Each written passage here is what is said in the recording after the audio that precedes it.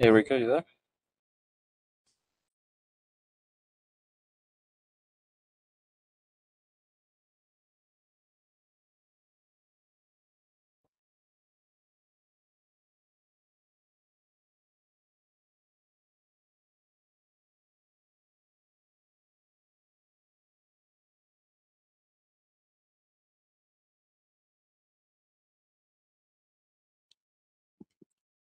Um, one, two, one, two. Uh, I'm up already. Yeah, she made me the host.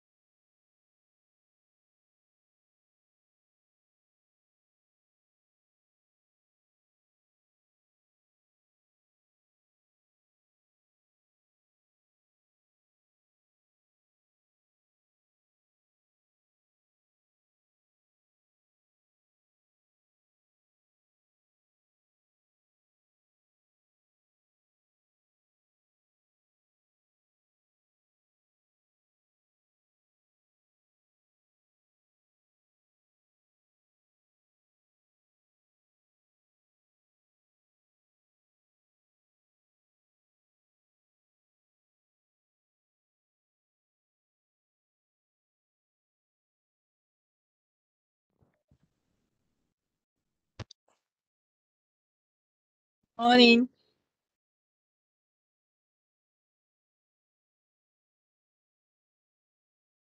Good morning, Rico. I just made you a host, uh, so you should have a whole um access to uh thing. You see Okay. it? Your host and I'm co-host right now. Yeah, no, I'm I'm I'm already in. Yeah, I just made you co-host. Are you good to go? If I'm good to go, Great. yeah, I'm I'm I'm host.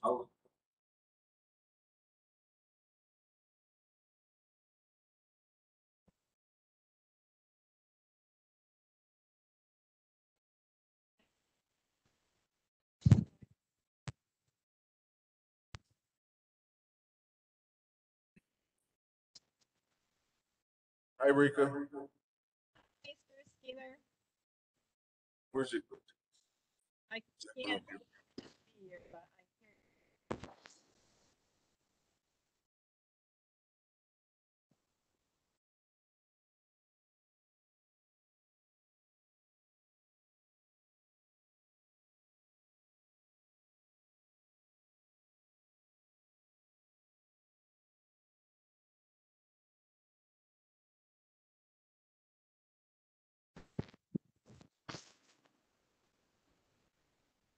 Hmm.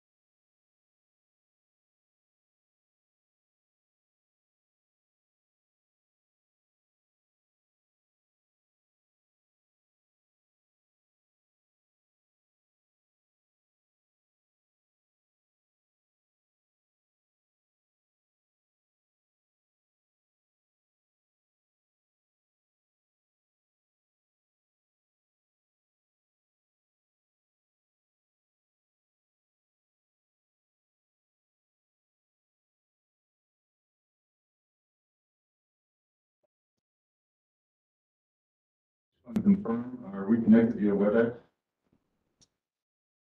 Thumbs up. Thumbs up, yeah, thumbs up, or as recording can start. Good morning. I'd like to welcome you all to the eighteenth Veterans and Community Oversight Engagement Board Federal Advisory Committee meeting. I'm Eugene Skinner, your designated federal officer, and the alternate designated federal officer is Mr. Chilong Seda. Based on the COVID restrictions at the time of the public notification in Federal Register, the initial approach to conduct this meeting was to employ a hybrid strategy, both virtual and limited in-person participation. Since that time, VAGLA HS has moved down into the yellow slash medium risk range for COVID, which allows for the removal of the physical distancing requirement for meetings. The public members can now access the meeting via WebEx or in-person attendance for the duration. One additional location for public attendees is at the CTRS facility on campus via WebEx. Public comment session will occur today on 19 October from 12:50 PM to 1:50 PM Pacific. Currently, there are eight individuals selected. In the interest of time, management speakers will be held to a five-minute time limit. And if time expires and your name was not selected, you did not register to provide public comment and would like to do so, you are asked to submit public comment via email at E veofaca@va.gov or included in the official meeting record. Before I turn the meeting over to the chair, Lieutenant General Hopper, I would like to cover a few rules of engagement. Next slide, please.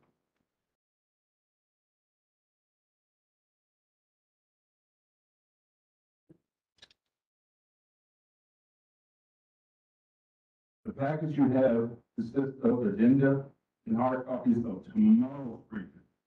Today's hard copies will be distributed later this morning. To the greatest extent possible, please hold all questions until the presentations are complete. The chair will ask for questions and or comments throughout the meeting. Please turn your name card on this end to signify to the chair your desire to provide comment or ask a question. Allow the DFO or VCOEB chair to yield the floor to you prior to speaking. Please minute taker and identify yourself prior to speaking. Allow the DFO support team to provide a microphone to you prior to speaking as well. The chair will ask for questions and or comments throughout the meeting. One final note, this meeting is being recorded. Now I would like to turn the meeting over to the VCOEB chair, Lieutenant General Retired John D. Hopper, to call the meeting in the pledge of allegiance. Sir? Thank you very much, Eugene. And good morning, everyone. Let's go ahead and start with the uh, pledge of allegiance as we normally do.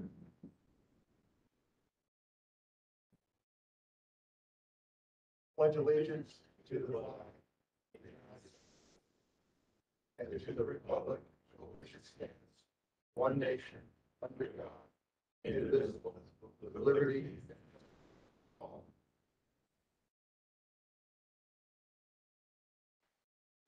Thank you very much and good morning.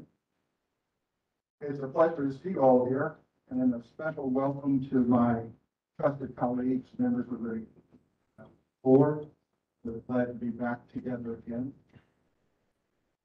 Uh, I'd also like to welcome the senior VA leadership that's here. You will hear from them uh, later on. We have some special guests as well. I'd also like to welcome members of the public uh, that will be here with us uh, today. It's the first time that we've all been together with the public uh, in attendance in some time, which leads me to say special thanks to Dr. Braylon and the folks at GLA. Most of us don't realize that uh, although GLA is our, is a nominal host, this is not something that occurs without a great deal of effort, great deal of uh, heavy lifting. So a special thanks to GLA. In fact, we have looked for other venues at times. Uh, we could not find, frankly, find a venue. Had to turn back to GLA and God bless them, they always accommodated us. And Here we are again, uh, in almost, uh, completely open form. And so, uh, GLA, thank you, Dr. Redmond, we appreciate that. Our agenda today and tomorrow. Going to be excellent. I look forward to it. Some have described it as a little bit heavy on the services side, which is okay, because we're about to turn over that first tranche of buildings and get about the business of getting veterans into those homes, and providing them with needed services and support. And so that will be a good part of our thrust uh, throughout this meeting. We'll adjust our timing a little bit today. Didn't expect the chief to be here so early. She was going to be out trumping through, uh, through the uh, homes. But I think she's going to trump through the tiny homes uh, tomorrow. Uh, We also have some new members, uh, which will be uh, introduced uh, a little bit later when we get to the new member introductions. But that also doesn't uh, give us time, or give me just a minute to say a special thank you to uh, Ms. Serrano and to uh, Dan Rosenfeld, two members of the board that are turning out. Uh, They provide great support, great expertise. Uh, Ms. Serrano, with her background, and uh, Mr. Rosenfeld, uh, with his background as an urban planner and uh, really uh, one of the experts in developing projects like this. So we will uh, miss them both. Uh, But we have two new members that uh, replace them as voting members, and we'll introduce them, as I said, just a bit, uh, a bit later. Uh, With an insight on services, uh, we'll get some, uh, an excellent briefing, I think, uh, on a new dashboard that has been in the works for some time. Uh, Some of our committee members have in fact uh, been helpful, I think, in figuring out what that dashboard should look like, so you can look forward to that. And also with uh, a, a sort of detailed uh, review, understanding of how service does its magic in uh, placing veterans in the right place at the right time as far as housing is concerned. Um, I think the last thing that I would add is uh, just uh, along the lines again of recognizing where we work, where we are. Uh, My wife reported to me this morning that the temperature in Alexandria, Virginia, where we live, was uh, in the thirties. So uh, I, for one, am pleased to be in California where it's going to be ninety today, if that's, uh, if that's correct. So I'll enjoy that uh, at least for uh, a little bit of time. Uh, now, without further ado, let me, uh, let me introduce you to the chief of staff. uh, the Department of Veterans Tanya Bradsher, for some opening comments.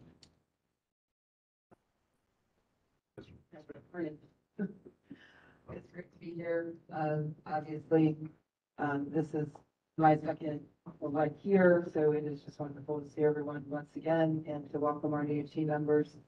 Um, it's definitely been a busy time at VA. Um, and part of that is that the secretary has, uh, set a goal across all of VA to have a thirty-eight thousand, uh, permanent housing of veterans. And so that has actually been really exciting to see, because right now we're on track, at least percentage wise. Um, and the surprising piece is that we are seeing citizens who hadn't necessarily been in the game step up and go beyond um, where we thought they would be. And so next week, I think it's the twenty-sixth, no, the twenty-sixth, that's when we have the. Um, next week, we're bringing in all of HPO, uh, coordinators to come in. And it's the first time since COVID that we're gonna have the opportunity to bring everyone up to VA, uh, meet with the secretary. Uh, I get to finally meet everybody and to really look at homeless across. However, you guys set the tone in LA. LA is really, because of pure numbers, so vital. And so that's kind of the big picture. The other piece that we're very focused on that isn't directly linked to our mission here, but does, is the PACT Act and Toxic Exposure Bill. So on August tenth, President Biden signed the, uh, called the PACT Act. But the bottom line with that means that there are now twenty-three additional presumptives for those service members who deployed uh, predominantly 9/11. However, it does apply to Gulf War, as well as hypertension for Vietnam veterans. And the reason that's important for this population is that can make the difference of them qualifying for benefits and being able um, to up the disability that they receive so that they're able to either be uh, eligible for health care, which of course is one of the other components that's really challenging for a lot of our veterans. But we're also hoping to bring more veterans into the VA pipeline through this, um, because we do have veterans out there who we don't touch at all. They may get their GI Bill, they may get a home loan, but they haven't necessarily filed for all of their benefits. So we're, we're excited for that. We've had a hundred thousand claims so far. Um, that's the sweet number from VBA. But we still know we have a lot more to reach because really the impact, the catchment area for this is in the millions. The other piece of this is throughput and making sure that if we bring them in, that we can take care of them. So we did get a couple of very important hiring initiatives through the PACT Act. We were able to do, um, dual compensation, which means if you have a retiree, we can bring them back and still let them have their full retirement and have them work. We are able to do direct hire for military spouses and disabled veterans, which is a program that we had under COVID, but once the pandemic ends, we lose those hiring authorities. Now we're gonna be able to keep them. And the other piece is every two weeks, I'm meeting with Jessica Bonjorni from the, uh, VHA, with, uh, Dr. Andrew Bates from, VBA, and, um, from NCA as well, just on what are we doing with NBA to enable our ability to hire faster, to take some of the very cumbersome, I'll say, archaic practices, um, eliminate those so that we're able to bring in folks faster. And so, um, it has been a really busy time, but an exciting time. The secretary is so focused on hiring, hiring, hiring. It's, it's really, um, you know, I think for our HR professionals, it's a lot. Because the challenge we have is for a government agency, we actually have three hiring authorities, which is very different. We have Title thirty-eight, we have hybrids, and we have Title five. And that's what makes us so different than like a DOD, per se, or Treasury or Commerce or any of those others. So we're working really hard. Um, but as we've all known, and all of us that have been here, just even getting the, the two buildings open, right? It's slow progress. It, it takes time. Um, but I really think in the next months that we're going to start to see movement in the right direction. But, um, those are the current focuses that we are looking at from perspective of all the PACO. But bottom line is I am thrilled to be here. I'm thrilled not to be in thirty degree weather. And I look forward to today's meeting and tomorrow's meeting. Thank you for having me. Thank you very much, Chief. Uh, now we'll ask for a few comments from, uh, uh, sponsor, Mr. Bursley. Uh, thank you, sir. Um, good morning, everyone. Welcome to the new members. We're really excited to get to know y'all and, and make sure you have uh, everything you need to be successful on, uh, Mosquito And uh, over the next year, uh, we're gonna have a lot of opportunities for, to bring on even more new members because of terms and everything. So, um, that's our official call to action for everyone to help us recruit, um, you know, passionate, uh, leaders, subject matter experts to help us continue to drive on the momentum that General Hopper um, refer to and, uh, make sure that we continue to, to move forward in the same direction together. Uh, as, as Chief Bradsher mentioned, the PACT Act and the implementation of new benefits and care available to veterans that have been exposed to toxins has been such a priority. We're gonna have some flyers passed out to everybody, uh, here in a bit, so you can take them, uh, back to your respective communities and share via social media, um, and, and, and make sure that we get the word out, uh, to make sure that so many more veterans and survivors are available for these benefits and, and for this, uh, incredible care. I, I, uh, for example, just talking about the veteran experience, I just recently received my claim for chronic sinusitis and rhinitis back, we're at a zero percent rating. And, uh, so that means I can see my, uh, for the rest of my life, uh, due to my exposure to the toxins in, in uh, Operation Iraqi Freedom and, uh, East Africa where I served. So it, it, it's a, it's a fantastic process. I went on to VA.gov, I filed my claim. It's more like TurboTax than it ever has been before. It's kind of where we're going to. Um, so I encourage y'all to, to do the same or use an accredited veteran service organization to help file your claims. Um, really excited to, to, uh, to talk more about the progress being made here, uh, at GLA, to see the tiny homes, uh, and, and CTRS again, and to hear most importantly from our community stakeholders and the voices of the veterans, uh, that, that we represent and that we serve. Uh, so, uh, with that, sir, just wanted to turn it back over and say thank you and welcome to all the new members. Thank you very much, Mr. Bristler. Um, Let me ask for a couple of comments from our vice chair, Mr. Montgomery. Thanks so much, General. And uh, greetings to all. Appreciate your being here and certainly a warm greeting to our new members. Just picking up on what the General said earlier, the services focus, primary services focus of this meeting, I think it's entirely appropriate and really corresponds to the theme of the VCOED E from its inception. And that is, we intend to be customer focused. Our concern is for the customer, the well-being of the veteran who has served, the well-being of those veterans who have fallen into homelessness. And of course, much of our deliberation is focused for that population with the intentionality of restoring to them the nexus point of the receipt of those services, namely the housing. And I think some of the questions that we're raising about services are appropriate and resonate not only here in Los Angeles, but resonate around the country in terms of what's the appropriate set of protocols for veterans who are homeless to ensure their stability in their housing and the trajectory to further social capital in their lives. So I'm particularly happy about the focus today on services, and I look forward to hearing what that constellation of services is evolving to. So thank you so much. Jim. Thank you, Mr. Montgomery. Uh, Dr. Harris, any comments? Good morning, everyone. Um, want to touch on a couple of things. I was thinking back to the last meeting and the the piece I spoke to at the beginning was my optimism for, for how things were I've retained that and tempered a bit by, uh, some fairly long-standing challenges, but I do retain that on the, on the housing side. I'm sure we'll hear a lot about this, especially tomorrow. We're closer and closer to the opening of the three new buildings.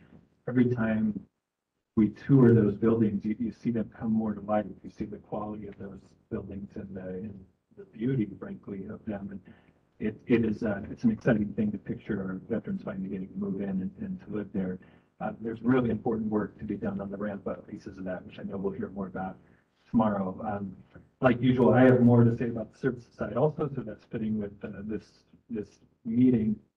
Um, the theme since last meeting has been identifying gaps, service gaps and challenges and coming up with new solutions to address those. We, we brought in DEMPS, which is the, um, disaster response deployment. Uh, there were three different deployments of social workers to serve and provide, um, fill the gap around uh, housing navigation and housing support services, which has been a really important missing piece of things here.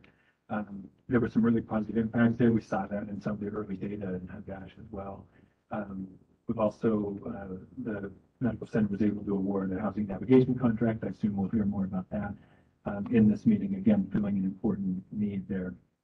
Uh, and then third, SSPF, which I assume when John Kuhn speaks, will talk about, uh, new dollars to assist even further with housing navigation. So something that was essentially a, a missing piece of the services continuum here has now been filled in many different important ways, some of which were the first we've done uh, in VA systems nationally. So that's a pretty exciting thing. More work to be done there, but um, an exciting bit of movement. We also recognize the need for additional support in CTRS.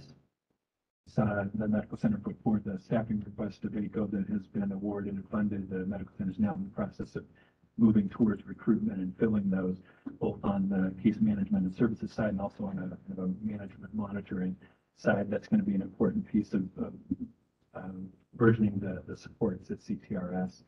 Um, one of the recommendations from this board last time focused on attrition and loss of housing. We'll, we'll hear about that in the dashboard review. This remains an incredibly important concern. I can't remember if I shared this before, but when you look at HUD-VASH housing numbers, almost as many veterans move out of HUD-VASH as move in. It's what makes that utilization number so difficult to uh, see increases in. The more we can do to prevent the unwanted, undesirable losses of housing, in other words, where someone didn't choose to move because they had somewhere better to move, the, the more we can do with that, uh, the better. Two other things real quick. Um, one, I, I think we'll hear more about this from John Kuhn. Also, uh, a renewed focus on rapid access to transitional housing and emergency beds here, something we've been talking about for much of the past year. It's good to see real movement in that direction now. Um, and then one last thing I want to mention, it was recently mentioned in the media, the idea of a veteran action board here. And I wanted to, to say that that remains in development. We want to create a structured spot for local veterans to provide input on both current state and future state. Um, and certainly, in fact, would be interested in hearing during public comment about people's impressions of how that should work. Uh, with that, I think I'll turn it back over. We've got a lot to cover, I know, in the next two days. Thank you. Thank you, Dr. Harris. And, uh, Dr. Hurdle, your turn. Perhaps you'll tell us who this John Kuhn is that Dr. Harris has, uh, Yes, highlighted. Yes, so, so that's the first order of business is to introduce two members of our team. Um, the first is Mr. John Kuhn, who is our acting, um, deputy director and, you know, executive director overseeing the master plan Sir, Do you want to just say who you are? Sure, so, uh, great to be able to join this. I, I feel a lot of energy, uh, staff, and we have some incredibly talented people, um, now here to serve. Uh, and one of the big reasons why these wells are, are coming on so well. Uh, I also wanted to thank Fiona, I don't know if she's here, but she's behind a lot of work up. We've done a ton of work pulling this together, so thank you, Fiona. We also introduced Sarah Carter, who's our new act- acting head of uh. So we have a, a lot of talent here. Uh, there's a lot of energy, and I think uh, some, some real prospects for change. We're going to be flatter on the work.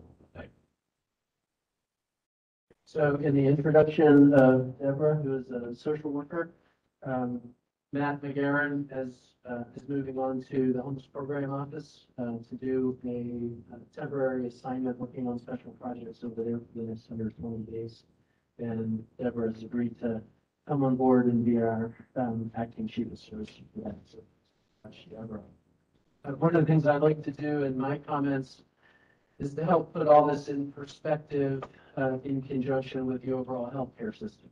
Um, you know, this is one of the things that we do, uh, but of course, the VA Greater Los Angeles Healthcare System's mission is to take care of all of our veterans in uh, the Greater Los Angeles area, our five county locations.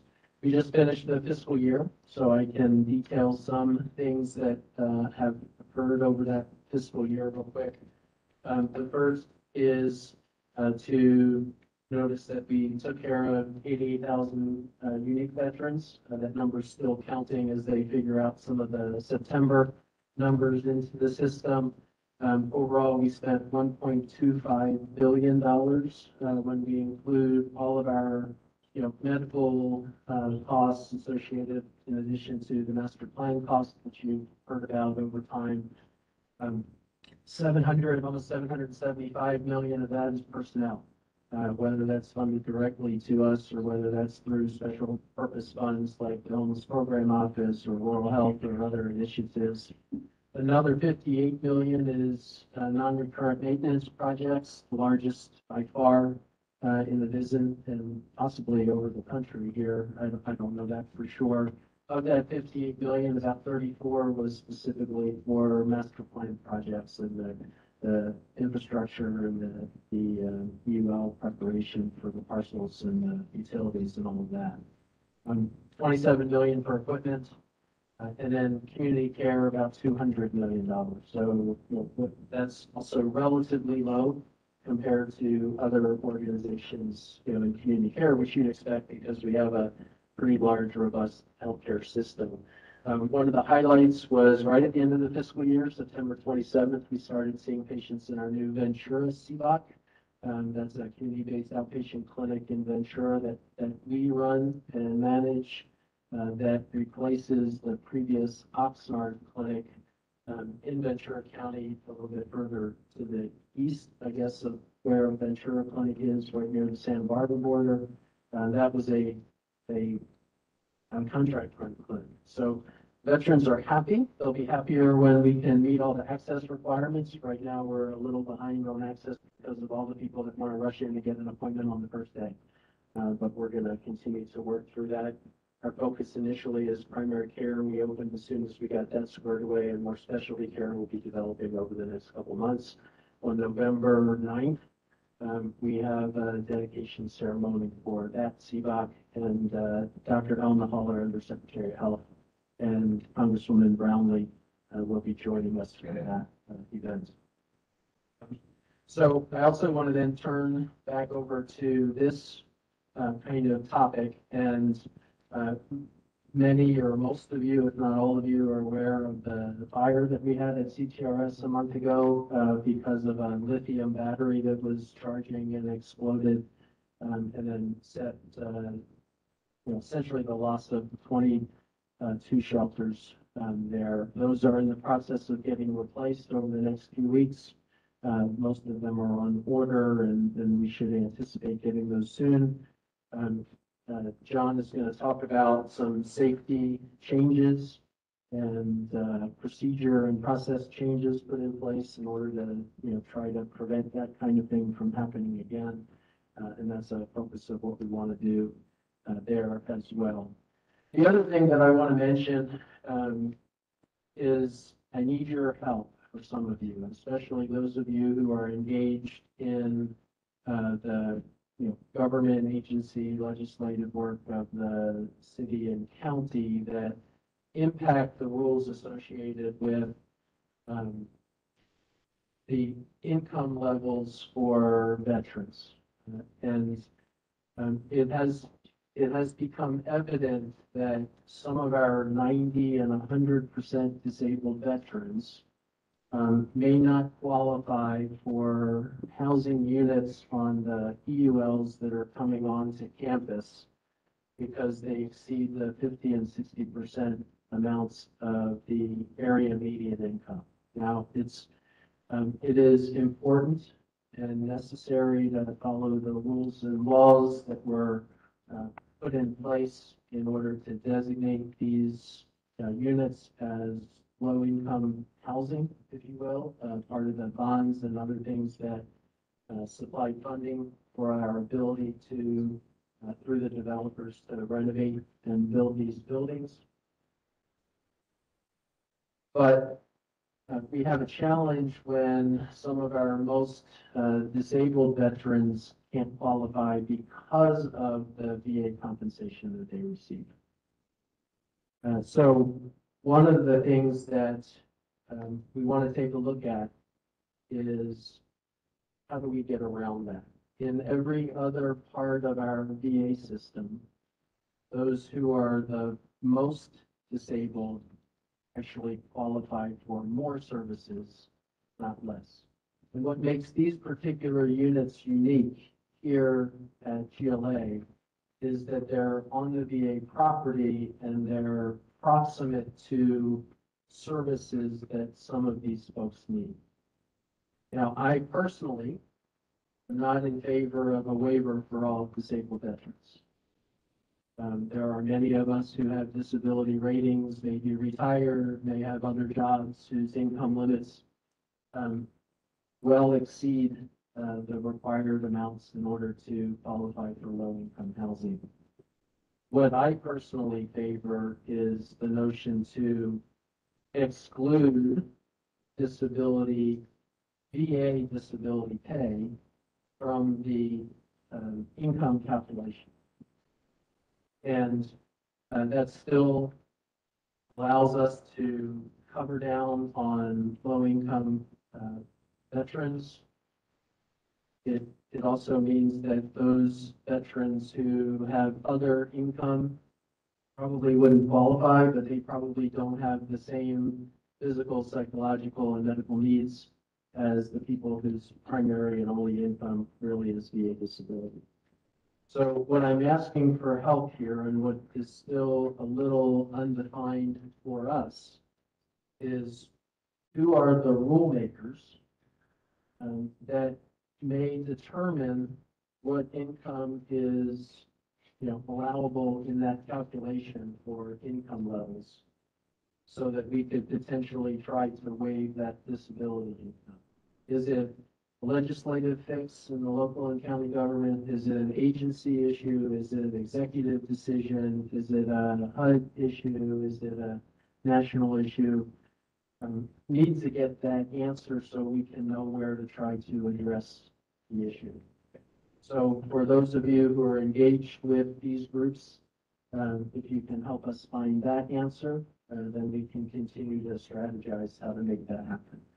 It may be that the simplest answer is a waiver for all veterans on VA project, you know, um, EULs.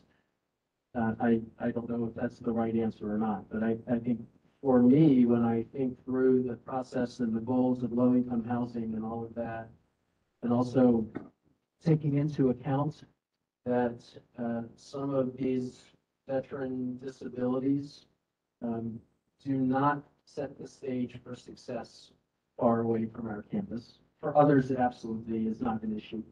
Um, and, and we need to make sure that we're addressing those. Because that's inconsistent with our overall practice of providing additional services for people with higher disability needs. So I just wanted to put that out on the table. We have had internal discussions about that, um, at, you know, all the way through the VA. Uh, but if, if this is an issue that I believe, you know, this group can help us with, if it's possible, please do. So thank you. Thank you, Dr. Braverman. And Let me just, a couple of follow-up questions. Is, is your staff doing, uh, I'll say research, for lack of a better descriptor, of how many people can be captured by the, by the uh, exclusion, the pay exclusion? Or is that still to be determined? And it, maybe it's not even a hard number. It's, uh, I'm not asking the question very well, but that's sort of the gist of my concern. So I think there's a couple of answers to that. We, we could, um, we could potentially identify the folks on our by name list who are ninety percent disabled. Um, not all of those, I would think, are going to, you know, still qualify, if you will, if those income limits were decreased, or if if the disability income was withheld from the calculation, they may not need it. So um, it's a floating number for that reason, but we can find some of that information. Keith has his, uh, I assume your, your, your nameplate being uh, vertical means you ask the question. And it's, it's bigger, so. Uh, And so everybody can see it while it's a tower instead of lights or something. giant. Uh, yeah, I actually just wanted to concur with what you said, and, and I'm part of doing that, that very research on the by name list. We have a really good partnership with the local VBA regional office. VBA has direct access, of course, not only to VA benefit and income coverage, but actually direct access to social security as well. The problem is the latter, they have to do manual lookups on, so they're not done. But they've actually taken the by name list of about two thousand people and identified all the veterans on that who, who show up in their system with service connection and what that percentage is. So we're, we're getting close to having a pretty complete picture of what you're asking for. you know. Yeah, and the reason why I say set ninety and hundred percent is there's a, there's a big jump in disability pay between ninety and hundred percent. So it basically goes from nineteen hundred dollars a month to know, almost three thousand to thirty-three hundred dollars. So it's a, it's a fifteen hundred dollar, fifteen hundred dollar a month jump, which comes out to eighteen thousand dollars. So that's what tips people over the edge. You know, with a, with an eight point seven percent cost of living increase coming in January, if there's not a recalculation of the AMI, that's gonna, you know, raise that gap even more. So, uh, it becomes important to start taking forward. I, I think you have another question from Mr. Masters. Yeah, um, I thought disability was non-taxable. In which case you could It's not a taxable issue. But if it's, if it's non-taxable, then you're look, only looking at a happen. I don't know if that's the case, so I don't think that's the case. Yeah, I don't think taxable income is the case, but that might be another alternative, ins- you know, instead of waiting a VA. to do that. Deciding that. You, Yeah, hi, Jordan. Um, I was just gonna add, we did a lot of this work, um, when I was at LAHSA and happy to help. It's a largely an issue with the state and CalVet and the way that the tax credits are structured. So I think it's a broader conversation because most veteran income is too high for these units. So happy to connect and figure out a strategy to, um, I think the idea is a good one around the, the veteran income and exceptions to that. Okay. Mr. Bethheimer? So I know, that- so I know that there are, uh, state issues with this as well, but I know federally, I'd expect the publish rule of the Federal Register that would take care of that, uh, piece around income. Right now, uh, income, disability pay, uh, is considered for the, uh, vouchers the work, but we know that, we heard from Congressman Levin's office that, um, I'd expect to publish in the Federal Register in the next several months. And so the question I try to back was, it's before January first, right? Because they only take effect on January first. So, Sean, is that just for this area? no, no, that would be oh, national. It, it would be essentially, you know, wiping away that income from the calculation. And, one I'm sorry, excuse me. Hi, Josh Bamberger. Um, I think to answer your question, Dr. Braverman, the part of the government that we need to engage is the tax force, IRS. They're the ones who make the decision as to where the tax credits can be, um, allocated to the construction people and who can qualify. That's where the, in my research that I shared with Dr. Harris, that's where the decision is made as to whether or not the developers continue to use the tax credit, um, to build their buildings. And if you can get the IRS to give a waiver that doesn't include the income to disabled veterans, then the tax credits to the developers can continue to flow.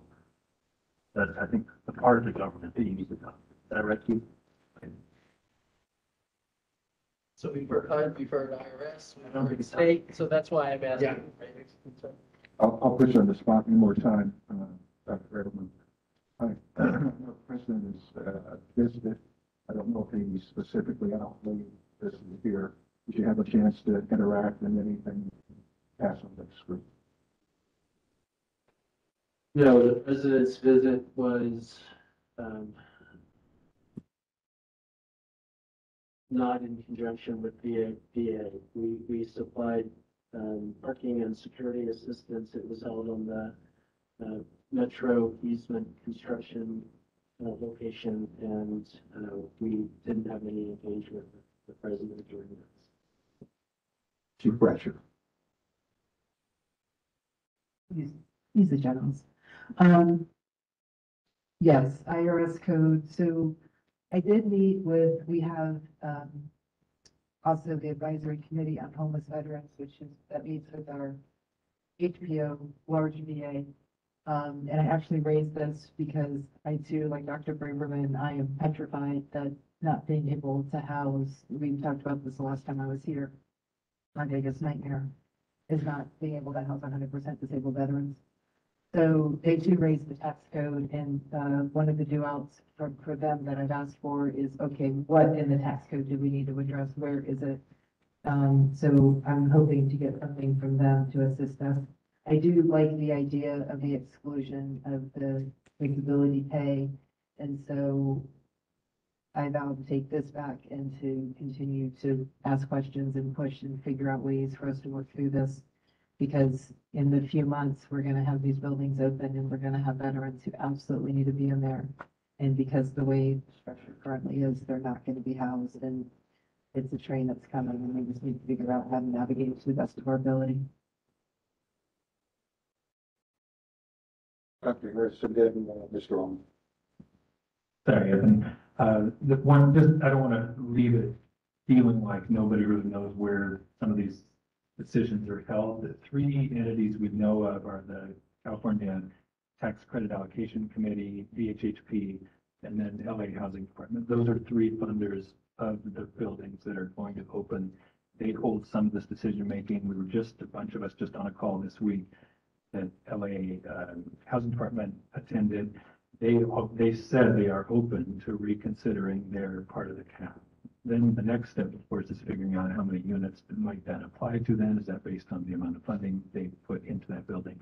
Uh, they're going to need VA and partners, the developers, to craft a letter seeking that. But that, for instance, is one very concrete way we may be able to get some flexibility on Mr. Altman. Uh, thanks. I just, I wanted to bring it back to the PACT Act real quick. Know, I, I've had conversations with veterans that I know that are experiencing some health issues, brain inflammation, respiratory issues. They're not enrolled in the VA system. Where do we direct them to? Do they set up a screening appointment first? Do they have to enroll in VA healthcare first? Um, you know, what's, what's the funnel looking like? So yes, for screening. They get, they should be able to get a screening if they've deployed, get a screening appointment. Um, at the same time, they need to file for their benefits. So it's, um, va.gov backslash PACT, P-A-C-T. Um, it's really, I did the same thing John did. I just submitted my stuff. Um, and so highly recommend that they do that so that once they get in the system, but there are additional, and Anthony, I'll look it up while I'm here, um, parameters that I'm not as familiar with of what they qualify for now, being able to come back into VA health. Um, and so there were extensions that were granted for them to have access to healthcare. So I will get that information for you and, and circle back. As, as far as the screening process, would the screener then, uh, I assume, be able to tell them, okay, you know, there's been an extension in healthcare enrollment, this is what you can do? I, I guess what I'm concerned about is, I, I just, I don't want to go out there and, and Yeah. just sell the PACT Act as a way to just increase your disability. I think Right, a lot of veterans I know, The goal is for them to hopefully, for those that aren't able to do all of their healthcare Right. through VA, that they're going to be able to do more. For Those that aren't currently having their healthcare at VA to be able to apply so that they can start being seen by us because we're convinced that we're the best place to take care of veterans. Right. And so th- it's a, it's a dual track. Sure. And, and so is, is, does, does the veteran contact the local medical center? Is there a national PACT Act hotline? Um, what, where do we go? So they can call, uh, one eight hundred, not, thank you, ma'am. They can call one eight hundred my VA four one one and address any of the PACT specific concerns or questions or recommendations or compliments. Um, you can also go to va.gov slash PACT, like Chief mentioned, but the local, uh, into VA, uh, offices should be prepared, uh, as well as the screening coordinators and Dr. Braverman, we may, it'd be great to connect with the local screening coordinator here. But the, the gist is, we're trying to get as much guidance out to the, those screening coordinators as possible, so that there's no wrong door approach, so they, you know, if you, if you're not enrolled in VHA yet, um, then, you make sure you, you, you, you go through that process, to the enrollment folks here at GLA or at Long Beach or Loma Linda, and then make sure you go into va.gov or use an accredited veteran service organization to file a claim so that you can continue to receive your care from VA. Uh, So in many cases, it may not increase disability, but you have that zero percent, which gets you care for life, which is fantastic. Yes, sir. So just to jump on to what uh, John was saying. So folks may contact our business office, our enrollment office to get the information on whether they already qualify based on their veteran status to at least enroll. Um, There's a, the, the screening site online that's been mentioned allows folks to fill out an initial screening information as to whether they were in the area, potentially exposed, et cetera. Uh, if that comes out as a positive screen, then that automatically goes into a portal which goes to our environmental and occupational health service and we'll contact those individuals for an exam, which is different from the screen. Um, that exam can then be used to assist in any compensation claim through VBA. And it's that compensation claim through VBA that identifies the service connectedness and which conditions might eventually be service connected. The thing is, you need a diagnosis. Sure. You know, It's not just, you know, my brain is swollen. So, um, and I mean that pejoratively. You know, I- understand. You have symptoms, but to, to get the claim in the service connectedness, you need the diagnosis. So that's, that's kind of our process.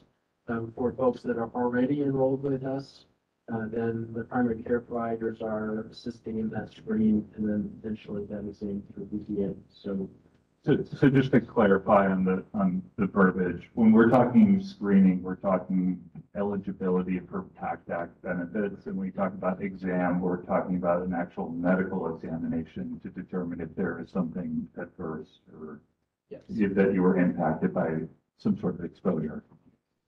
Yeah, screening is more about correlating your, your, your deployment with the symptoms that you have, and then the, you know, to doc, what Dr. Burley was saying, the actual appointment with the clinician is to evaluate those symptoms. Sure. Okay. Yeah, I mean, that's, that's super helpful. I just, you know, I, I, I wanted to be clear, so I'm relaying, you know, accurate information. And I think maybe, you know, we can talk about But it's the same. They should also apply and for the benefits as well with the screening, right? They should also get online, put in their information, start the claim process simultaneously. So it's, so everything all at the same time. I don't want them just to do the screening and not think that, that they don't have to do the claim. They also need to file the claim. Right. That makes sense. Thanks. Okay. Thanks very much, Dr. Bergman, and thanks for your questions. That was an important discussion. Uh, the last thing we'll do in this, uh, block is introduce our new members. We have two new members. Um, Ms. Stephanie Cohen, who is here with us in person today, and Ms. Amy Bravo, who is with us virtually online. I will ask, uh, Amy first. Both are, are well-rounded in, first of all, the LA community, as well as in issues associated with homelessness and housing homeless veterans. We're excited to have them on board. I'll ask uh, Ms. Bravo to go first because frankly, we need to take the WebEx down for a few minutes to get ready for the next, uh, uh, the demonstration. So Ms. Bravo, you're up. Good morning, everyone. Thank you so Oh, Hold on just a second, we've lost the audio. You Test your, test your audio. Go, go ahead, Ms.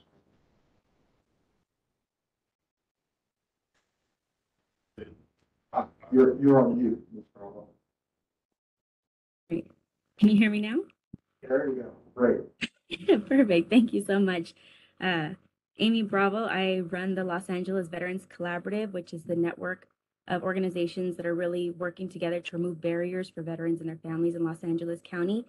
So I'm really happy to be part of this team. I'm sorry I can't be there in person. I do have my military obligation this week, but I am very much looking forward to listening, participating as best I can during this time, and then uh, being able to bring back the community input to look for real-time solutions for the work that we're doing.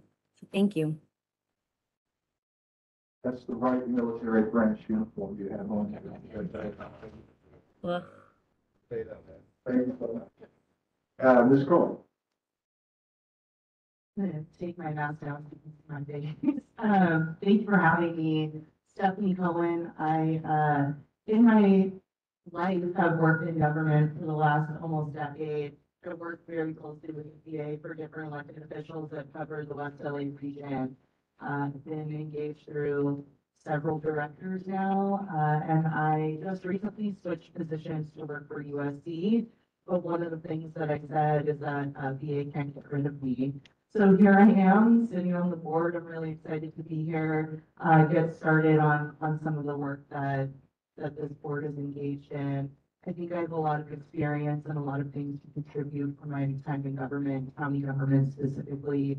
Um, and hopefully we'll be able to get some things done together. So thank you so much for welcoming me. Very good. Welcome aboard. Okay, we will take a uh, short break uh, in order to get set up for the, uh, the demonstration as I remind. Probably should define it that way. Let's take it in.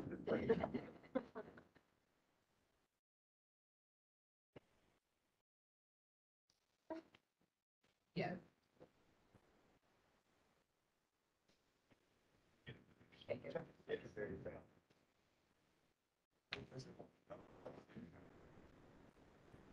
Yeah.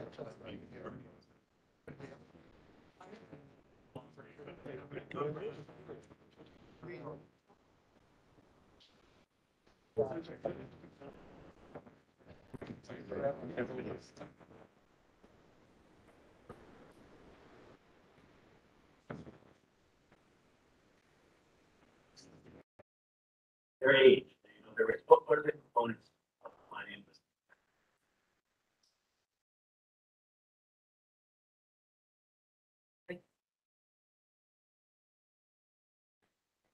Different order. Or valid? Reference. Veteran forty. Those questions will be answered.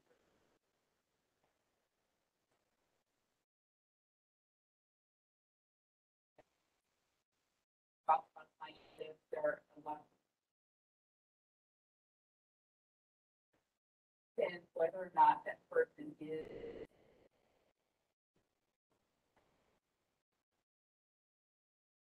Well, that would be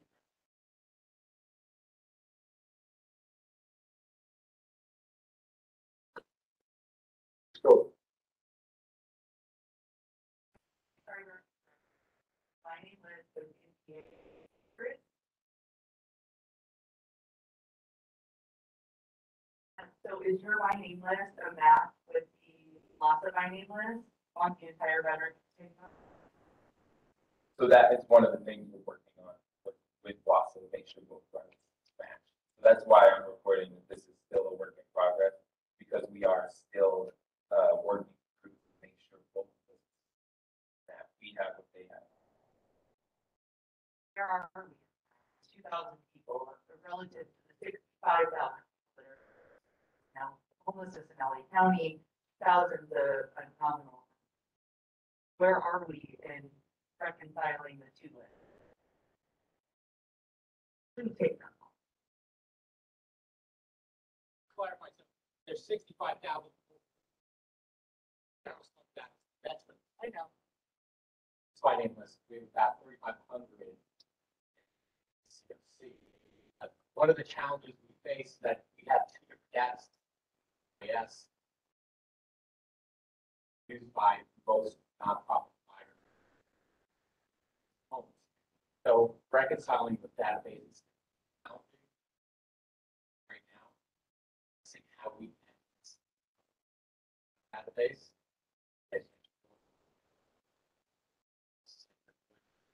One of the things we'll talk about in more. That. The whole.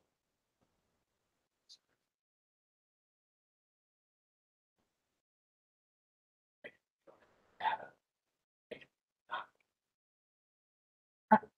I understand that. Uh, VA has your data, LAHSA has their data, so can.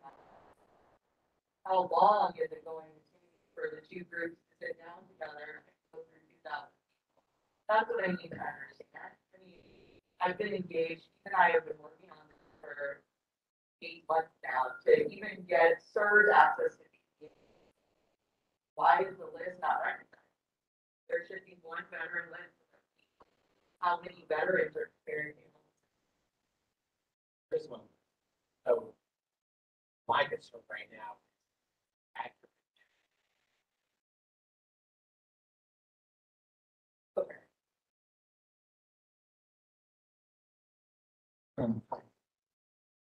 Just had a quick question on the permanent housing numbers. Um, what are you counting as permanent housing? Is it, is it just a VASH? Is it including like veterans who are on section eight or on their own, like what's the scope of what houses the permanent housing places?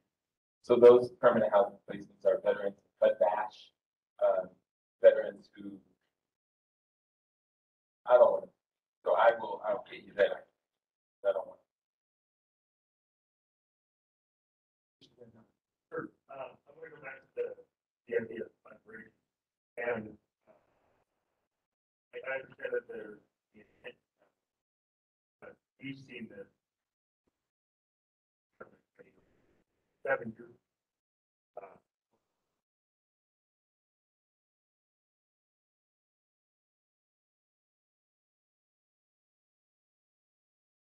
I. So, you know, to day is.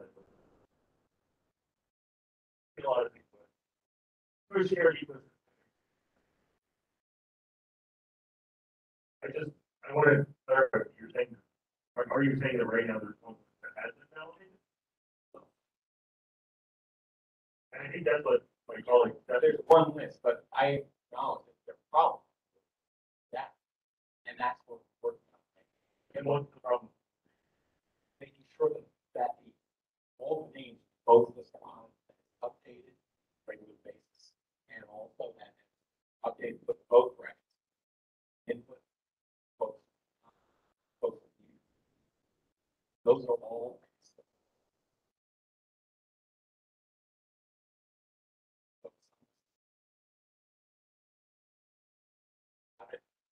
But it, it's gotta be good, finding the. First, so we understand I think what we're trying to get at is what is the, what is the challenge? Like, is the people process technology, like, have people not agree on what to share yet, like, or how to share it? John?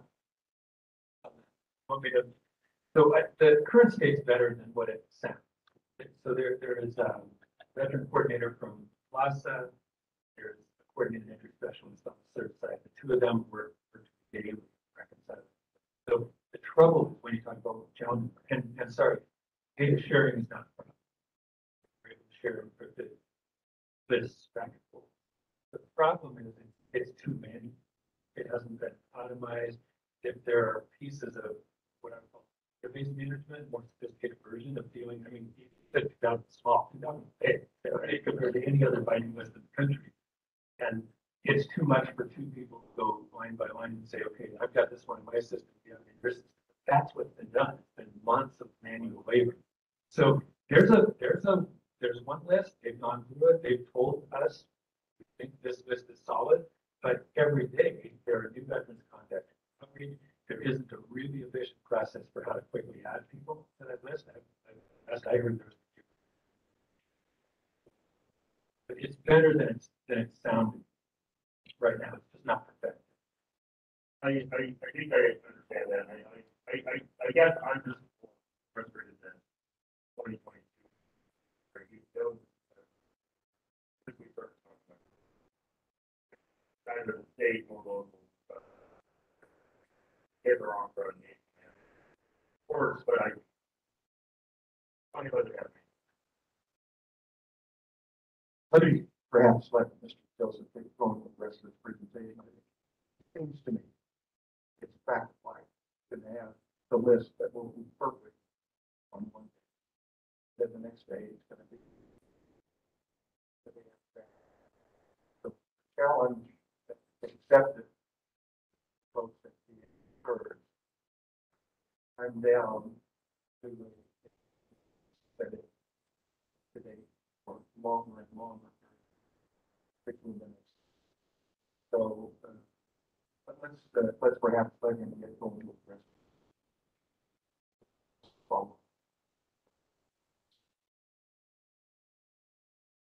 Uh, so Heidi, can you wait or the, uh, I was, just gonna add to what you were saying, that as somebody who's sat on the LAHSA side and the SUR side, it's a 50-50 challenge. A lot of it is on the LAHSA side, who's running the county. So I just want to acknowledge that the VA is sharing the data. We're trying to build the technology to make the system talk, but what's in the VA's control is limited compared to the scope and the HMIS system that is not within the VA.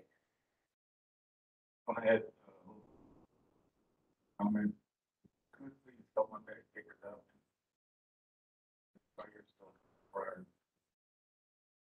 Thank you. Scroll down here just a little bit further. so this, uh, information here, uh, it was requested to, um, identify the total number of HUD VASH vouchers that are allocated to GLA.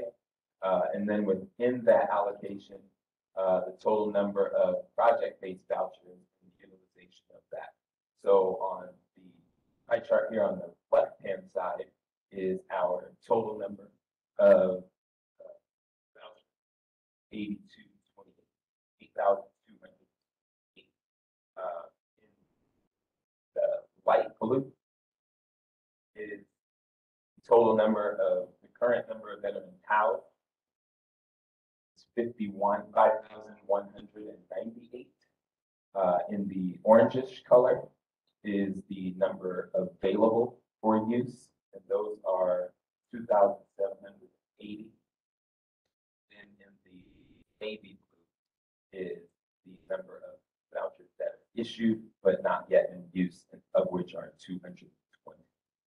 On the right-hand side, I should denote that this one thousand two hundred and twenty-nine number is inclusive of the eight thousand number. So of that, 100 1,229 project-based vouchers allocated and number of units occupied, one thousand seventy-three, uh, which is about eighty-seven percent. Also, uh, uh, one of the things actually we're gonna add to this pie chart, because I think it's important, is a field of veterans, the number of veterans that we have that are in process. Uh, so there are a number of veterans that we do have in process and we're working to get, and actively get into Project DQ.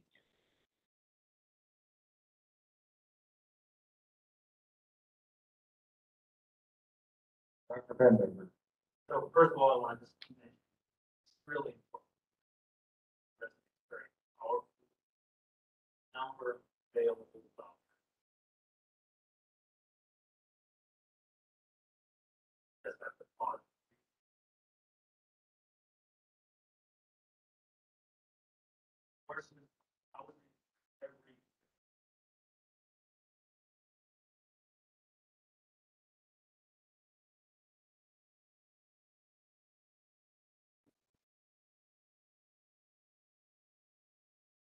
Second thing, the question.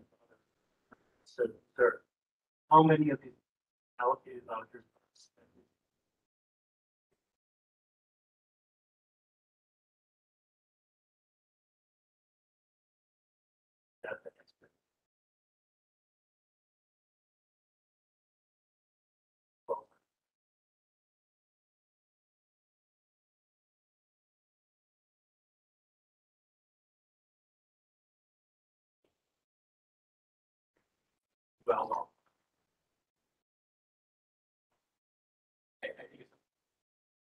It would be nice if the math was, absolutely right.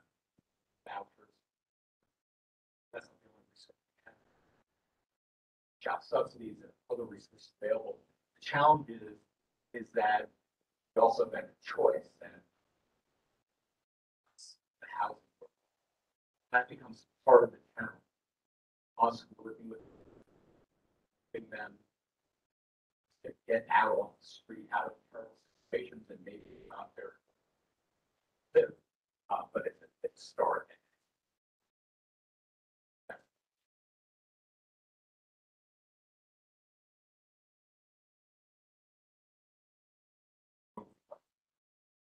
down just a little bit further. Uh, that area here is, uh, our progress in the homeless funded, homeless off program office funded positions within HUD VASH. So this, uh, updated on a quarterly basis, target is ninety percent. So for currently in quarter four of FY twenty-two, we are just under seventy-five percent funded homeless. In the HUD VASH program office, that is at seventy-four point eight percent. So that is uh, this measure here.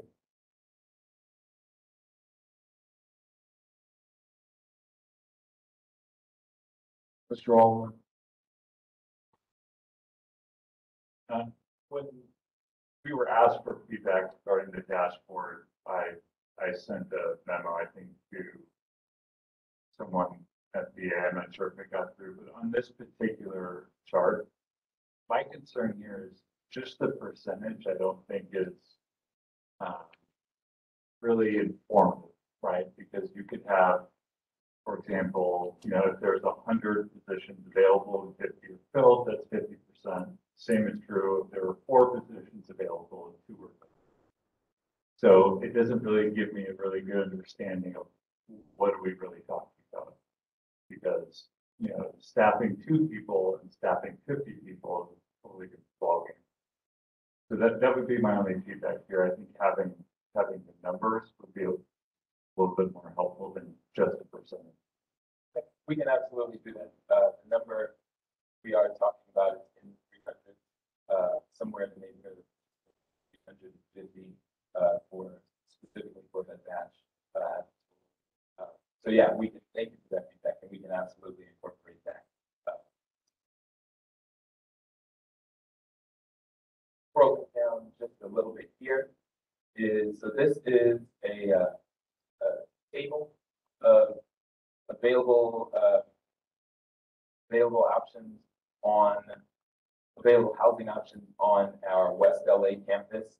Uh, so before we dive into these, I should just make note quickly that, uh, you will see in here coming soon will be buildings 205, 208, 207. Uh, so we will, those are expected to be on, uh, available by the end of the year, just after the end of the year. Uh, so those will be added to this, uh, those capacities. And, um, of course, we will update occupied. But we, we broke this down here, uh, a number of different ways. Um, so in the first one, you'll see, uh, medical beds, which denote, uh, both of our domiciliaries. Uh, and then just under that, you'll see our safe sheltering or, or safe parking, uh, which includes our safe parking area as well as our CTRS, uh, program.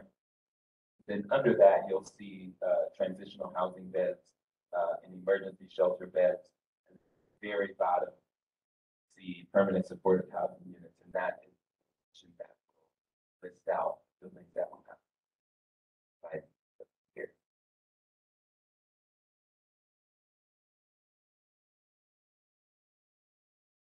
Scroll down further here. This request is our, um, number of veterans and homeless veterans that are placed in residential care facilities. Um, and so what we have broken out here is, um, so we worked with our community living, our community living center staff, um, as they track and compile this data. Um, and so what they, they were able to break out for us the number of veterans, total number of veterans, and they actually delineate which veterans, veterans are not homeless. And there's some different flexibilities available, programs available that can assist in this area. Um, as I understand, we're digging a little more into that. Um, and so I hope these numbers increase as a result of those efforts.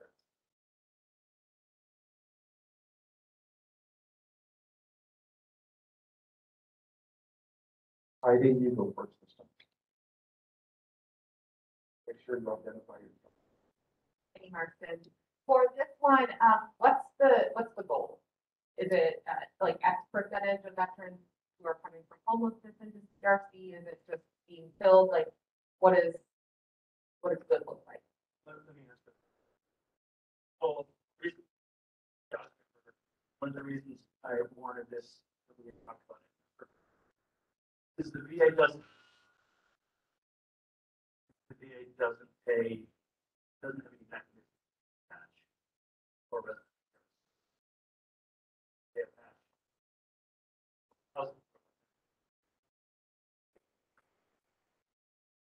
But the federal government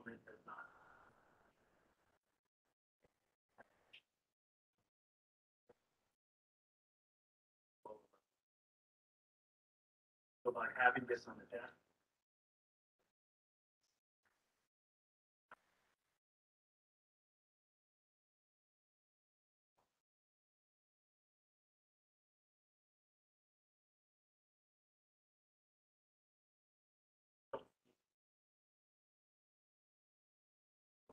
point of this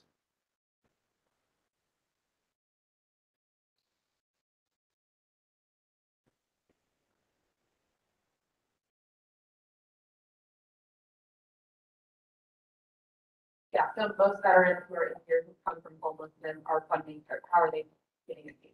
Right, that's what I was gonna ask. Oh. Do you- do you know where? I, I don't know that, but I, I try to get.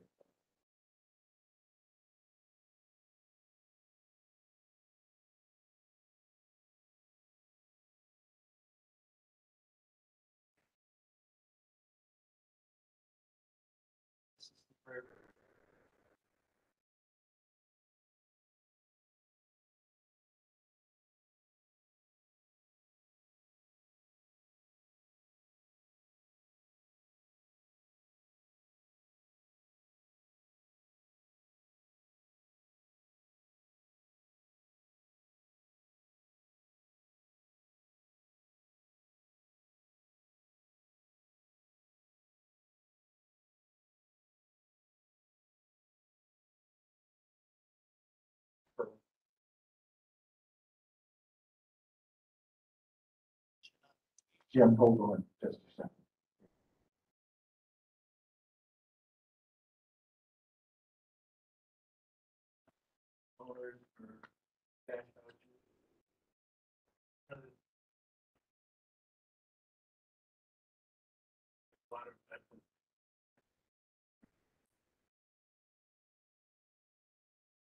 Might be by accepting cash.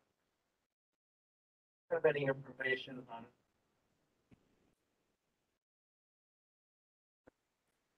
more bad, because get some data on that and get some feedback from owners, we might be able to, to do something to, uh, that percentage.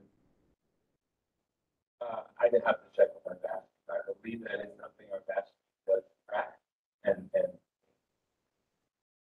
our landlord, but I would have to verify that with the VASH, absolutely, it's that. John, yeah, uh, Ms. Furley, though, it's an important point, and one of the things we have been hearing, talking to landlords, is understanding, listen, they're running a business, they are taking risks, and we have to compensate that risk. So the way we're compensating them risk, because many of the veterans we serve have challenging credit history and evictions, is by offering an incentive. So there are two sources for this incentive now, we provide incentive either through a here in Los Angeles. Also said that asking to get grant. Two months of rent.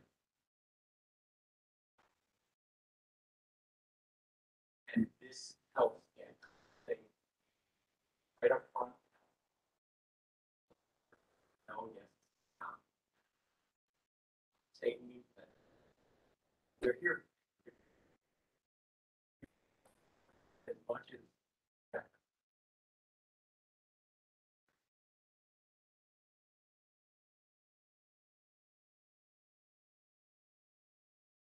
Oh, I, an owner, I. I think VASH vouchers. And our experience was negative and for, I think, for a couple of reasons. First reason is we did not know the level of acuity. Second reason, there didn't seem to be enough support. Because We can offer the unit, but we- the psychology and, and the social services way, way above our ability to determine, so. I, I've been troubled in the past when, uh, the answer seemed on some of the puzzling with nonprofits, and a lot of service, first thing they do is they resident evaluation, whatever you call it, but that is not shared with the owner, so the owner doesn't know what he's getting into. Um, that was a problem for us. He ended up losing a lot of money. It was a negative experience.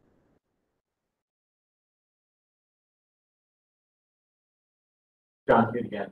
So some will, we can't share because of privacy. But we can be responsible. So when somebody's, and we can also understand your, so uh, saying. you know, Schools. That's here.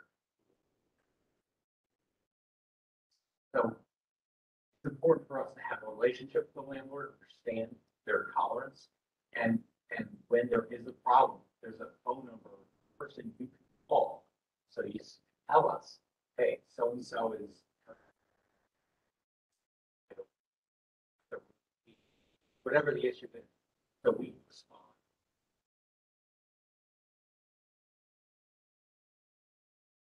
What my amateur uh, diagnosis not, service providers and high turnover service. providers. And the mix between money service providers and VASH vouchers should be shifted. There should be more money for social services. And that you've got thirty or thirty-five percent or kind of unutilized VASH vouchers. Um, and if we had had better service or more service. And I really think that's a difficult job. I think, um, social service providers can get burned out. And, and my guess is there's a turnover. So my amateur opinion is that, that more on that side and not just playing the, uh, adding more VASH vouchers without the court system. Well, for an amateur opinion, it sounds quite professional, because you're right, we, both things, have to provide housing. First, you don't get paid housing, all services, we're not gonna help. Uh, But once they're in housing, you still have to provide support. Not housing only. Services. So we've done this in a combination of things, yes, that's seventy-five percent of the challenge. Part of it is, uh, as expensive it is to house our veterans, expensive staff. So that's part of the challenge. They will give a bonus, retention bonus to staff that is- helps. Uh, we contract out well, so it's- that'll be built on the ground, Staff by nonprofits that are involved in development. So we are looking for every in the bolster our certain strength, but there are challenges.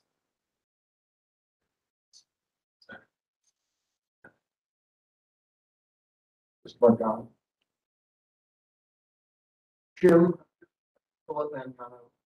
Jim, I'm wondering, uh, service providers that you're looking at, non-profit service providers?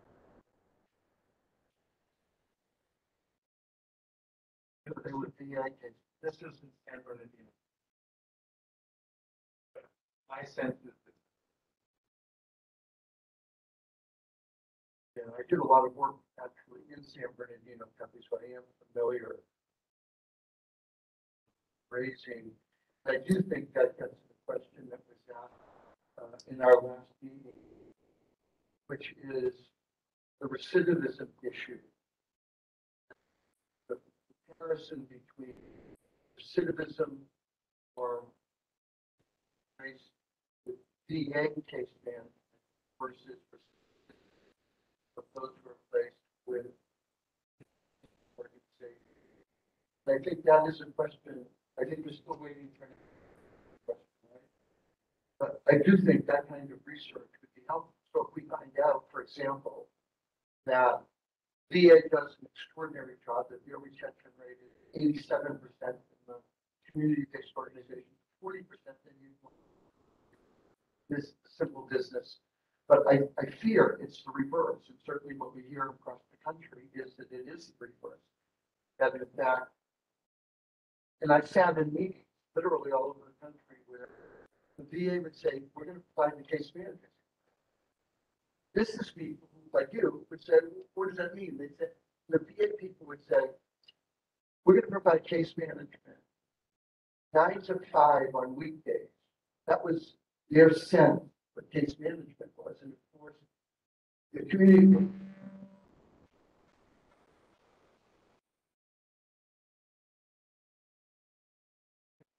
Organizations, broader sense of what that. And they have a greater capacity to build social connectivity is a critical element in disability. Is there any that comparison in terms of community-based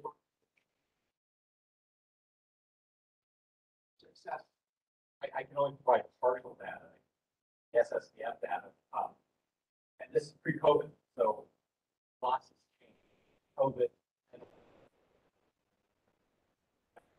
versus individual, we saw a range about ten to fifteen basis at services, VA, any homes.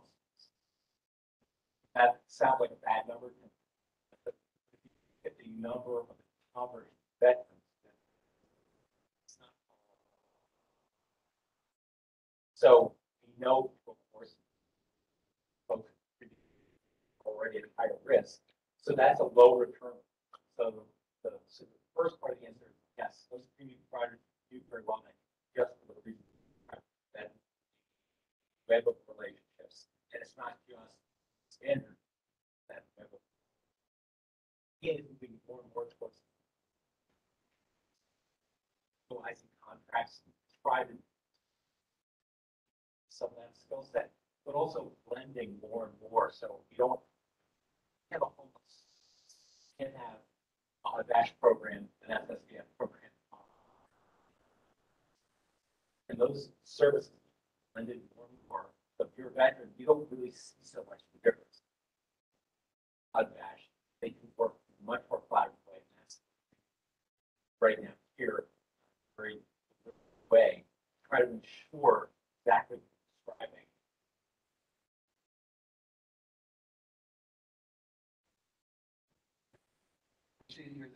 this is a work in progress. This is better and better.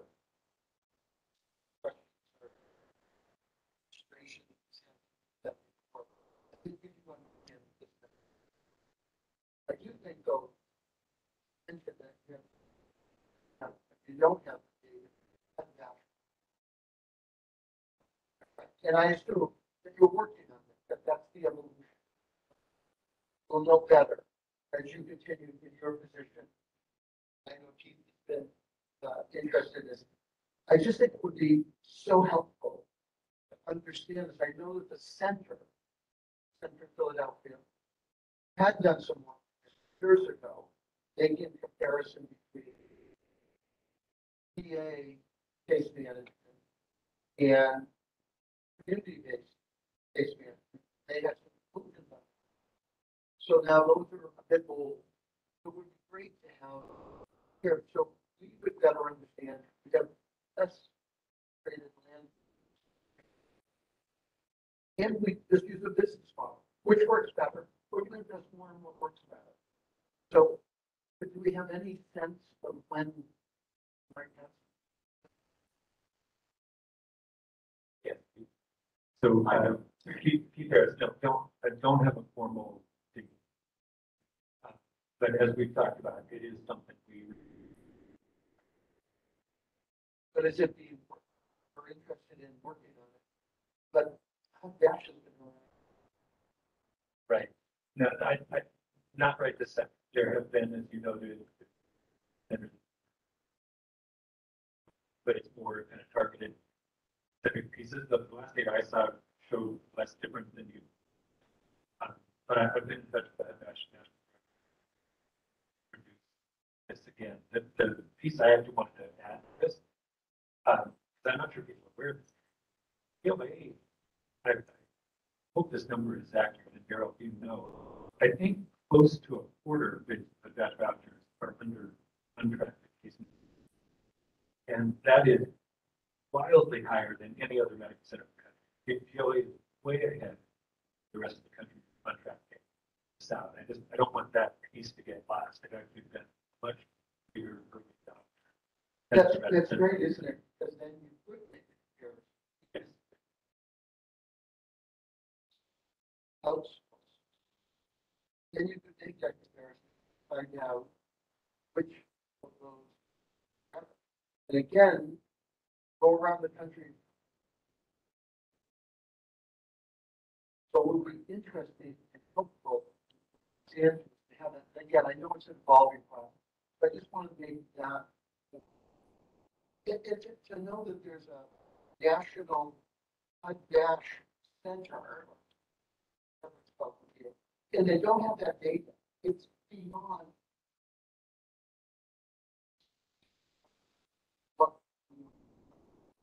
Say, of the. company That the best. Okay, I'm gonna call it six. It's almost irresistible, in, uh, Yeah, get through. We have not done. We have an eleven fifteen hard stop, both from the women and DC.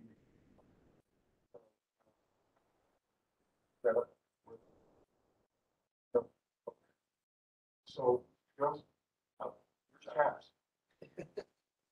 Seven minutes. Yeah. Uh, so what you're looking at here are exits from our public housing authorities. Uh, this one here is from Black, uh, HACLA to, uh, the Housing Authority of the City of Los Angeles. Uh, and so this one, it breaks down, uh, the reasons our veterans are exiting from, uh, permanent housing. Uh, this data is provided to us from HACLA. Uh, if you scroll down one more, this one is from LACDA. Um, and so we reviewed this information. Some of these you'll see we're trying to, uh, there's some in here, uh, like non-compliance, uh, and or that one's, uh, yeah, non-compliance, uh, DHT management. So those were obviously, uh, there's one, is um, for failure to provide documentation. So those sorts of things we're trying to work through. Uh, for obvious reasons, those are really low hanging fruit that we feel those with the veterans make sure they're exiting. Um, so we'll scroll through this one.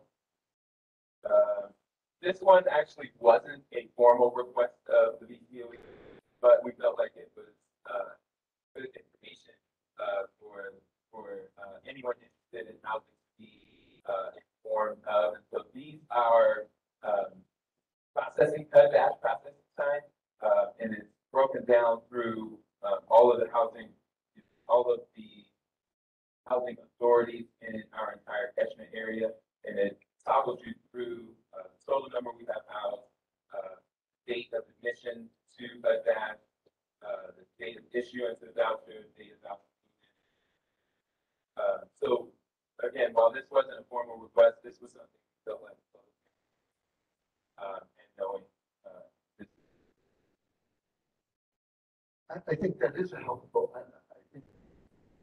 Philip and, uh, I appreciate what you're doing, just going back though to the hack. What, what is the level of access? I can't read it, sorry, my eyes aren't good enough. Thank you. So for the month of September, for instance, Do you know cumulatively, during data, say over a year, percentage of place that have uh, the product? Better. Uh, do we have any data that? I'm sure we do. I don't have it displayed here, but I, yes. I think we'd be eager that data. And I believe.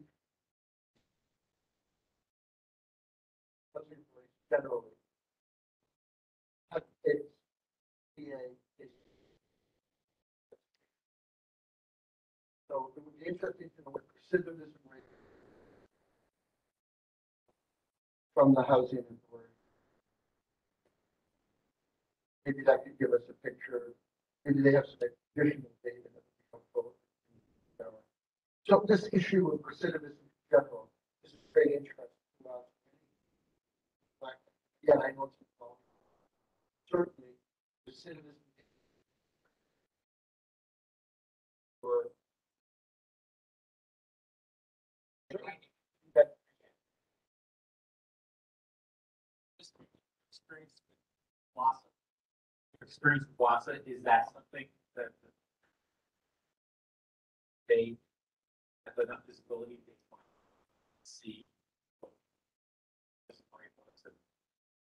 I mean, we, when we were at LAHSA and at CERS, we, we calculated returns to homelessness based on people losing their voucher for reasons other than I can pay for it myself, or I'm moving to another permanent option or defeat. So that's what this is. So E, this is the best indicator of how many people are falling out of housing, which is what we want to know, and how much of it is because of program violations versus, you know, something we want to see.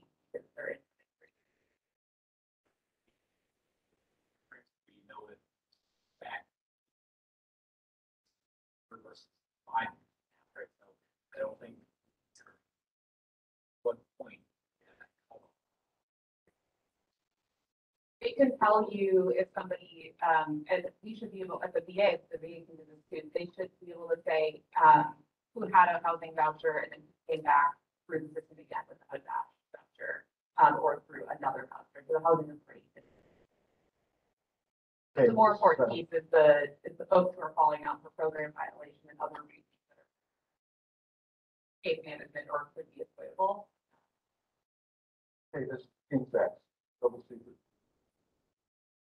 That. I think that was the last one. Okay, very good. Thanks very much. Was it. So, so evidently what I said before was not absolutely clear about solving the problem.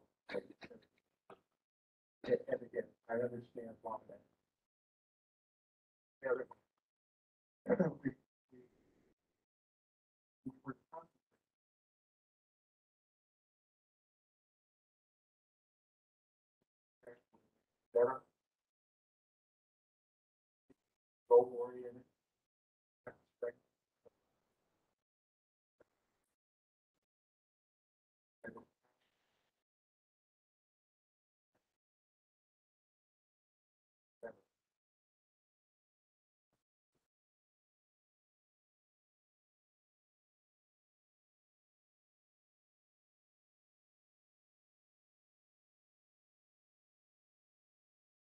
on the van.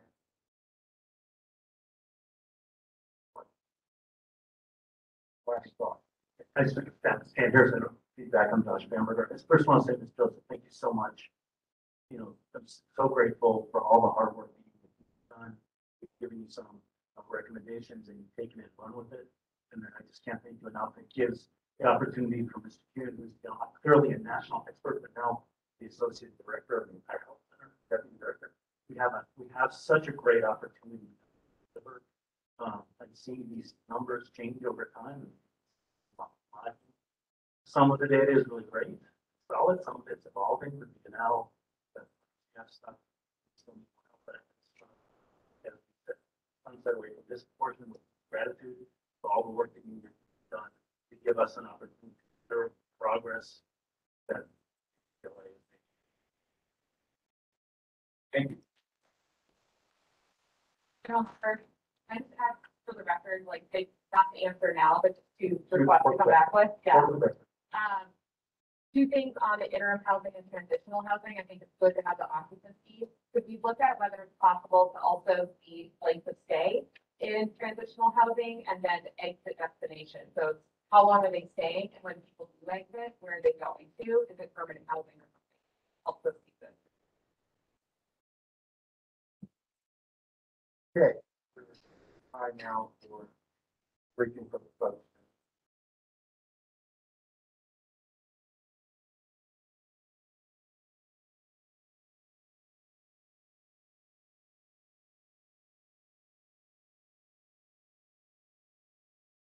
Okay, the slide. Slide.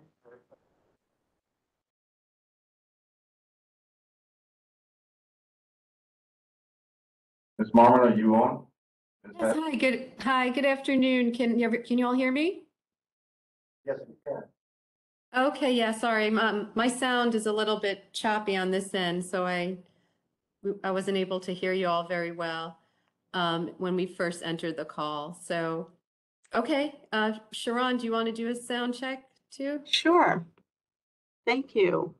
Um, I am going to start off with our presentation today. Thank you so much for inviting uh, the Washington DC VA Medical Center's homeless program, uh, Healthcare for Homeless Veterans program, uh, to present to you all today. Uh, We're honored, um, and we just wanted to share with you all um, a little bit about our keys to success, uh, a successful coordinated entry, um, collaboration, as well as housing placement uh, just um, share with kind of with you all what has kind of worked for us um, and also some of our challenges as well. So I will get started. Um, my name is Sharon Haddock. Um, I am the uh, Healthcare for Homeless Veterans Coordinator at the Washington DC VA Medical Center. I also have with me Alana Marmon, who is the um, Coordinated Entry Specialist as well as our lead um, outreach specialist. And then we also have Christopher Lewis, who is our lead for our housing um, housing team, HUD VASH uh, DC housing team. Uh, so we're each going to take a little bit of part of the presentation, and then we'll leave questions for the end, if that's okay.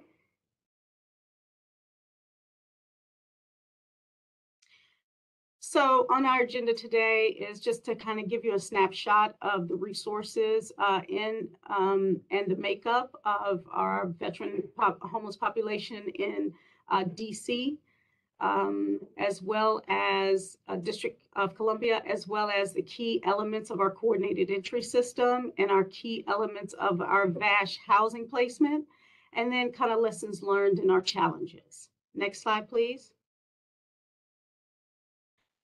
So a snapshot of our um, DC uh, veteran housing um, housing resources for the VA housing resources that we have, we have 100, uh, 1,200, sorry, one, 1,228 um, HUD VASH vouchers um, available. Um, we have two project-based facilities. Um, one is a 60 uh, unit and the other one is 29 units. We also have a one DC uh, contract uh, program that serves us 75 of our vouchers, um, an ACT team. Um, then we also have three SSVF grantee um, providers. We have two uh, grant and per diem programs uh, totaling 115 beds. And then we have two uh, programs as well as the Safe Haven program that total 53 um, beds. Next slide. Thank you.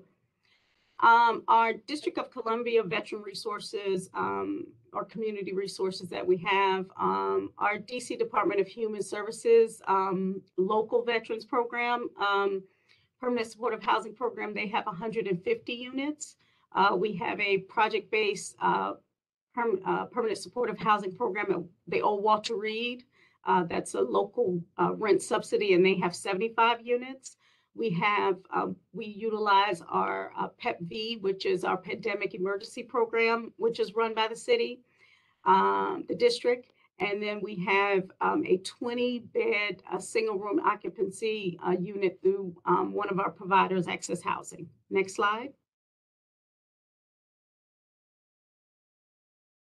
Um, our Washington DC by name list, um, which is our actively homeless population, in July of 2017, we had 441 veterans on the by name list. Um, in July um, of 2022, we had 262 veterans on our list. Um, and we'll talk about our current challenges, but one of the challenges is that we need our outflow um, to out, outpace the inflow. Um, and we are going to turn it over to Alana Marmon for the coordinated entry piece. Okay, thank you, Sharon. Good afternoon, everybody. I'm going to talk a little bit about our coordinated entry process in DC. Um, in uh, the uh, district, it's referred to as CAHP, which is an acronym for Coordinated Assessment and Housing Placement. And I'm going to go through some of the key elements that we feel are successful, make our process successful to result in that, to help it result in successful housing placements uh, in DC. Uh, so uh, the first element um, we're going to go into is our governance structure, also um, our outreach coordination in DC, as well as the CAHP uh, coordinated assessment housing placement process, where we make referrals and match veterans to res housing resources, And then we're just going to go a little bit into our post-match process with our warm handoff to our HUD VASH housing team and how we operate here with that. Uh, next slide, please. So the governance structure in Washington DC um, is, is we have a, a committee called the Vets Now Committee, which is uh, made up of our local, uh, the dis, well, the local government district of Columbia DC Interagency Council on Homelessness, as well as uh, VA representatives, the DC uh, Continuum of Care, uh, representative from Community Solutions and SSVF are part of the leadership structure of that committee. Uh, that committee basically um, is charged with establishing policies and procedures as it pertains to our uh, CAHP process, our matching, housing matching process. Um, the committee also is tasked with deciding on system level goals, aims, reviews our progress towards our housing placement goals.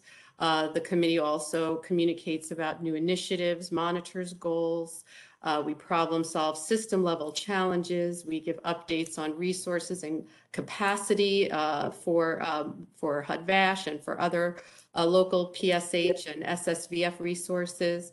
Um, uh, they disseminate, we disseminate updates on the non-veteran system, review aggregate data, and we also review and discuss trends reflected in the data. So that's a monthly meeting um, that uh, that is the um, takes place, the Vets Now Committee that includes all the really um, important stakeholders in the veterans uh, homeless provider community in DC.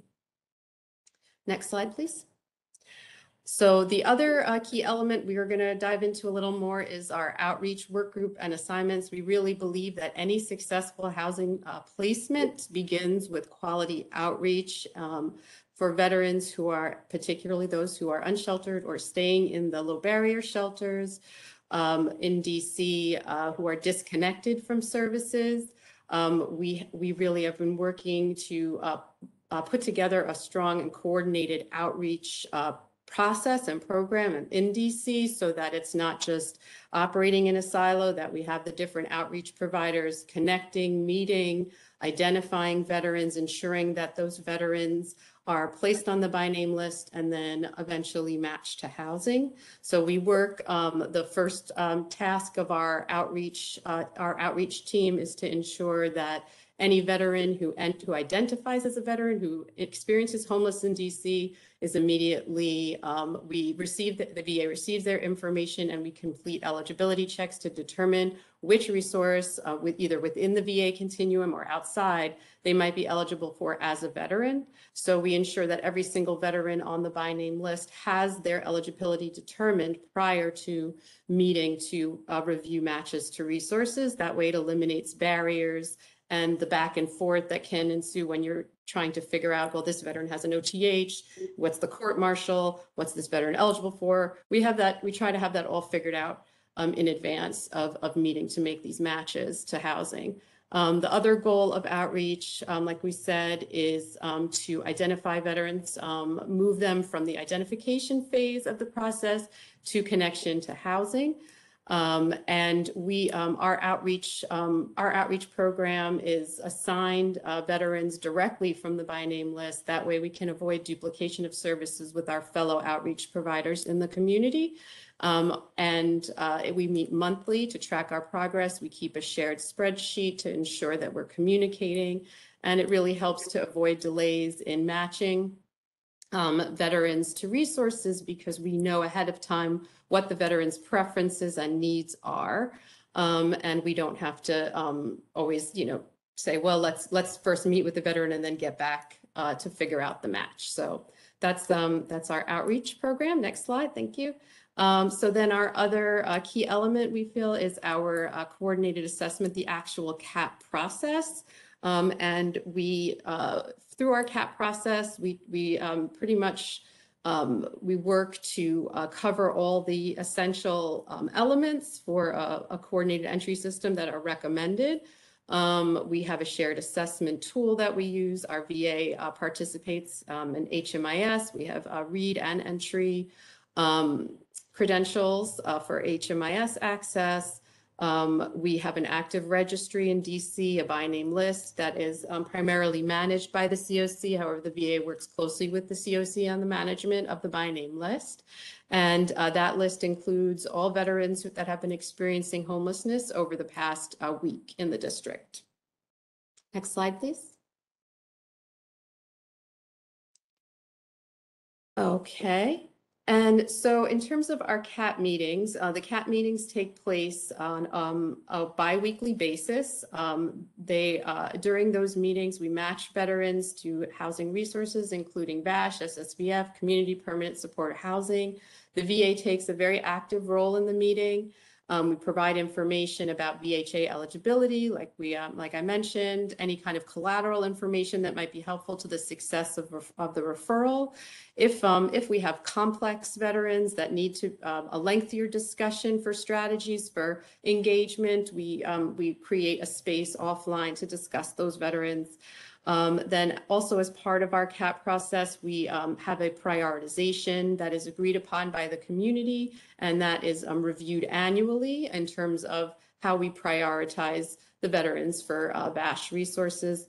Uh, the district, uh, the VA, the Washington DC VAMC also, we uh, dedicate 100% of our um, VASH resources to the coordinated entry process. Um, so we, we, those, those VASH referrals are made through the CAHP process. Um, and we also have a case conferencing process in place. So if, if there's a situation, there are many situations that don't fall neatly into um, the, this, the, the process, uh, this, the, our case conferencing process ensures that those veterans can still be reviewed. For example, a veteran that may not use mainstream homeless services, but um, engages with the VA exclusively. Um, we have a process to ensure, or veterans who are interested in porting in from other areas or re-experiencing homelessness from other areas of the country. Uh, we do have a process to ensure that those veterans also are reviewed. The next slide, please.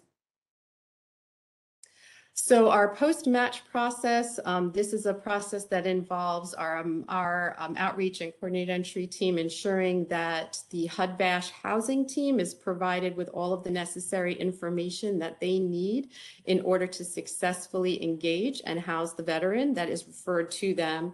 So we ensure um, through that process, um, our outreach team works closely with our HUD VASH housing team to ensure that all the information that they need with points of contacts, the whereabouts of the veteran, um, any other pertinent information um, are provided to them and that um, our outreach team remains available to assist with any type of warm handoff or support linkage to ensure that um, that referral that goes from the coordinated entry process to the HUD VASH team is a smooth process and that the HUD VASH team um, doesn't, to eliminate any issues that they might have in locating or engaging the veterans that are referred.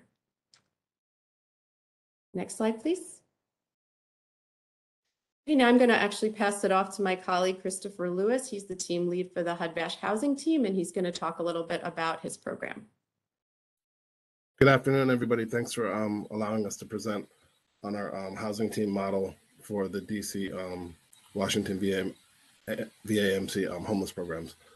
So, um, in the spring of 2022, we implemented a new housing team um, to really focus on the first phase of housing navigation for all veterans who've been matched to to VASH permanent supportive housing.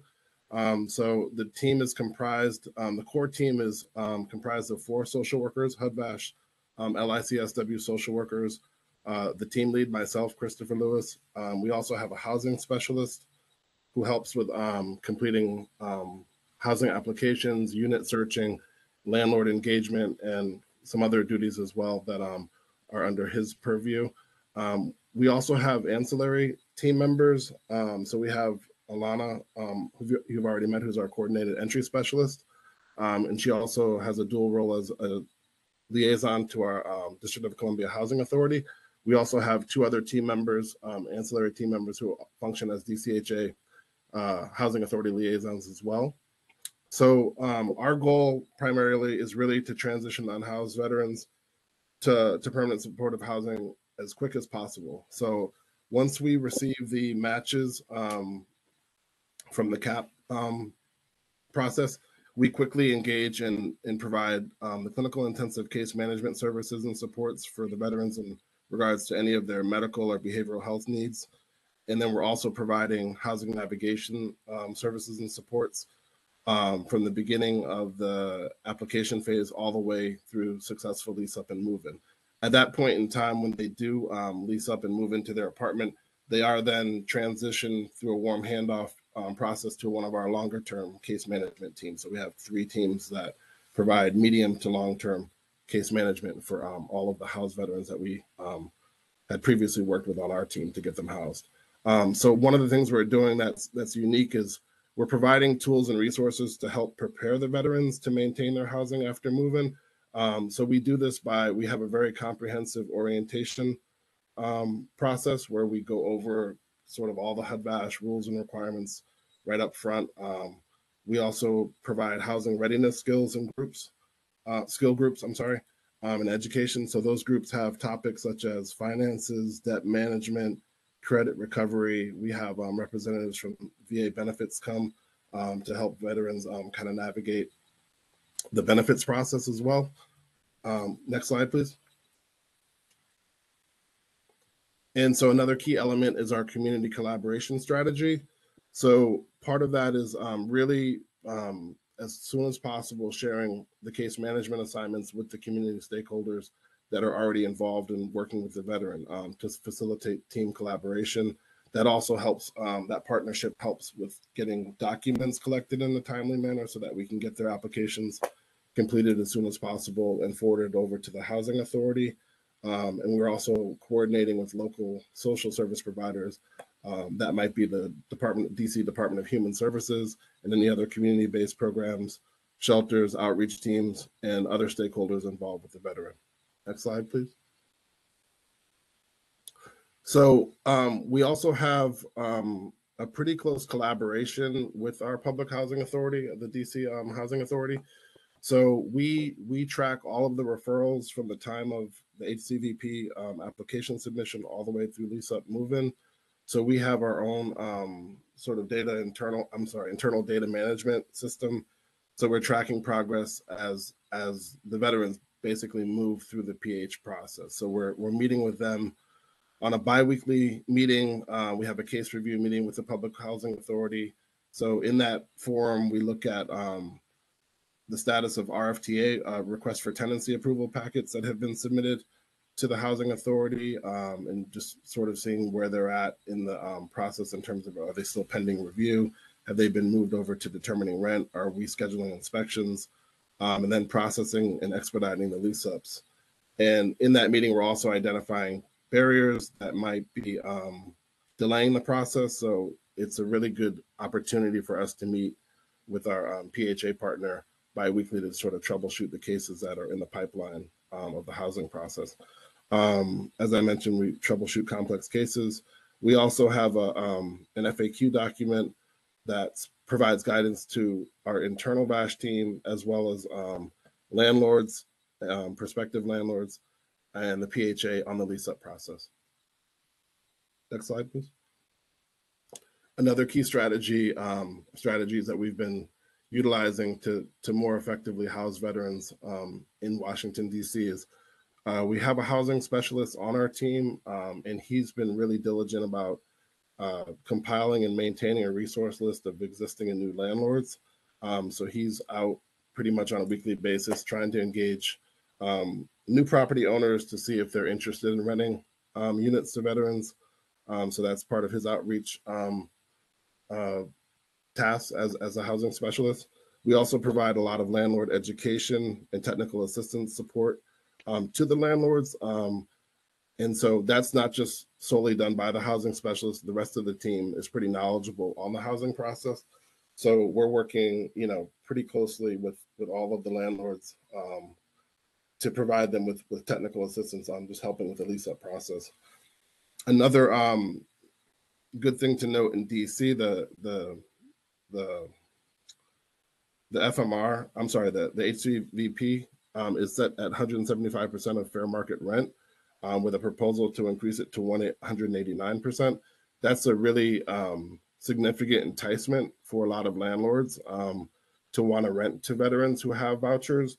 So typically, we're getting calls week to week from various property owners who are inquiring about, you know, do we have veterans who who need one bedroom units, two bedroom units, and so forth. So um, the fact that um, the voucher pays at 175% of FMR is is a really huge um, incentive. And we do have some additional plans um, this fall to get some additional housing navigators through an SSVF um, grant that was awarded um, to three of our SSVF providers.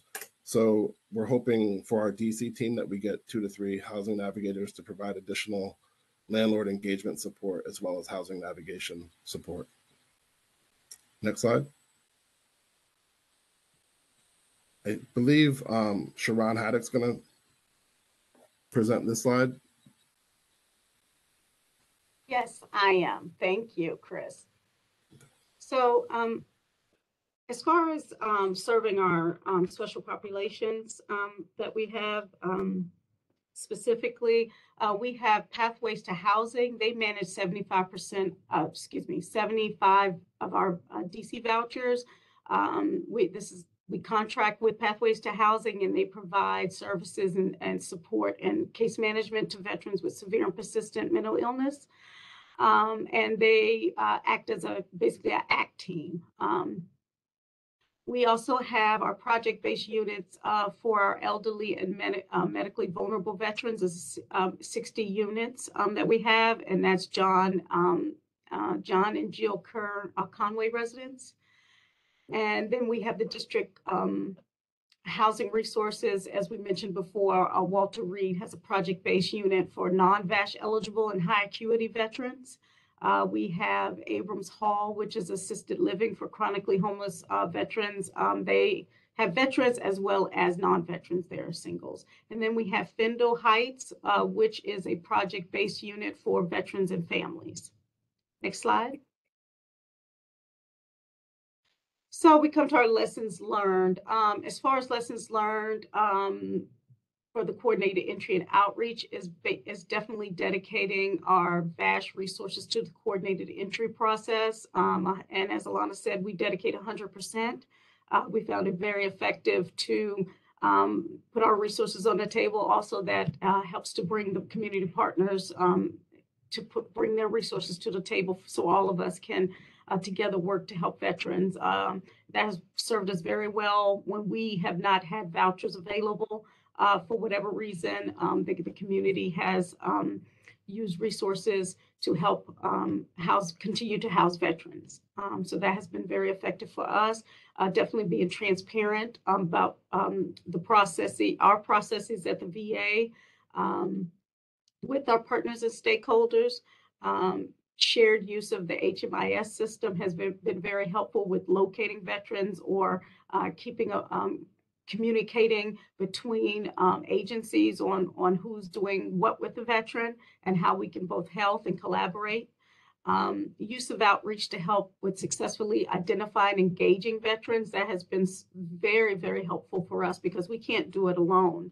Um, so as Alana indicated, that we, you know, we team up every um, every week or every other week and decide where um, each team and agency is going to go to do outreach. Um, need for team-based approach for the high acuity veterans. Um, more and more, we are see, definitely seeing a very uh, veterans, our veteran population is getting older, and um, we're definitely seeing more high acuity veterans. So to have a team that focuses um, directly on that has been very helpful with us, uh, for us. Um, the use of the GPD and our SERS um, programs um, and our local um, hotel programs um, to get veterans off the street quicker um, so that we can concentrate on working with them, um, alleviating the, the problem of not being able to find the homeless veteran um, to continue to engage them. So those programs have been very helpful. Um, as far as HUD VASH lessons learned, implementation of a dedicated housing team has been very, uh, very, very successful for us. Um, having a team that's just dedicated to the veterans who are unhoused and working with them to get them housed. Um, regular PHA meetings and reviews of the lease up um, process. Um, that has been very helpful, especially with our DC Housing Authority, which is our biggest um, housing authority that we deal with um, because of the ever-changing leadership there. And it helps us review the process that we have in place. Um, and it helps for um, process improvement, helps with communication. Um, if there's backup in certain places, um, inspections or, or eligibility, you know, those meetings serve um, as a catalyst for us to be able to talk about that and decide how we move for, uh, um, how we move uh, forward, as well as getting buy-in from the from the PHAs for this program. Dedicated PHA points of contact, um, as uh, Chris indicated, we have dedicated uh, liaisons that directly deal with portions of the housing authority eligibility inspections. Um, and that has been very helpful um, to our program to have those point of contacts. You don't have 10, you know, 20, 30 people contacting one person. They know that person's name um, and, and are familiar with that. So if they see an email come through, you know, they know that it's from this person at the VA and they answer it. So it builds um, definitely rapport and camaraderie between the two agencies. Um, and our continued collaboration with all the programs and the community service providers has been very helpful. Um, having a variety of housing types, uh, one size doesn't fit all. Um, so definitely having the project based in those other um, housing resources that we listed before has been very helpful um, in, in housing our veterans. Um, ensuring that there's um, um, the housing navigation uh, process uh, within the VASH team has also been very helpful. That's uh, where um, a lot of times veterans get stuck after receiving their voucher or waiting for their voucher is where do I go? Who do I go to? And so having those habit, housing navigated, navigation services and support has been very helpful. Uh, next slide and our challenges. Uh, some of our challenges that we continue to deal with is staffing and hire, hiring delays. Um, you know, we have definitely enlisted the assistance of our SSVF programs um, to assist us when we've had um, hiring issues, um, getting people on board. Uh, they have assisted us with housing navigation uh, and some light case management when we've needed that. So that's been very uh, helpful to get through that challenge. Um, managing the um, homeless inflow volume. Uh, that has been, um, it's been in, creeping back up, you know, lately, the inflow, um, and for different reasons. But uh, so trying to manage the inflow and figure out how to how to uh, move forward with that. Um, the complex needs of the veterans as well. Um, like I indicated before, the high acuity of the veterans, we continue to see that and insu- insufficient uh, specialized housing for veterans. Um, as I indicated, the veterans are getting older, so their needs are more complex. Um, some veterans just are homeless but just can't live alone. Uh, and some of the services that we could provide in the home, uh, such as the waiver program where they could get aids, uh, you know, to help them, those programs take a long time for veterans to get uh, approved for. So that slows the process down. So definitely looking at other uh, specialized housing options for veterans who may not be able to live alone. Uh, or, or getting um, older uh, and it's just not feasible to live by themselves. Um, and PHA related issues, um, as we indicated before, um, sometimes there's delays for whatever reason with the the housing authorities and, and those are things that sometimes we can't, uh, we have to just wait for those um, for those processes to go through. But uh, as we indicated before, meeting with them on a regular basis to so we are aware of that and keeping those communication uh, th those lines of communication open has been um, uh, helpful for for us. But sometimes uh, there are delays that uh, it's just no way around, uh, especially with inspections or eligibility or just the application itself. Uh, and inconsistent communication at times, as I indicated, sometimes there's a change, it, there's a shift in management or leadership or or people leave and and the inconsistent communication uh, has been a challenge at times. Um, and then also the lack of um, clarity of the housing policies and procedures uh, at the uh, PHA. And as I indicated, we uh, have tried to resolve that by continuing to keep an open line of communication, our liaisons, um, meeting with them bi-weekly um, to kind of navigate some of those challenges. Next slide. And that concludes our presentation. Um, If we're open for questions. If there any, Hi, this is Josh Barron. Thank you again for agreeing to present to us, really wonderful, and uh, congratulations on reducing the number of people. And over a relatively short period of time. See that. Um, couple of questions about your system. Um, this is kind of a nebulous question, but maybe you can answer it. How much do you think the community solution as a partner in this process has been influential in creating a movement towards reducing the number of people? I'm sorry, it's very hard to hear what the question is. I don't know if it's just me, but I can't, I did not hear question. It's a little bit muffled for me as well. Yes, Can you hear this now? But that, that yes. That's That is better. Yeah. first question was, how much do you think Community Solutions, being a partner in this process, has helped to move things forward? That was one question. And the second question is, how do you decide who goes to the ACT level care?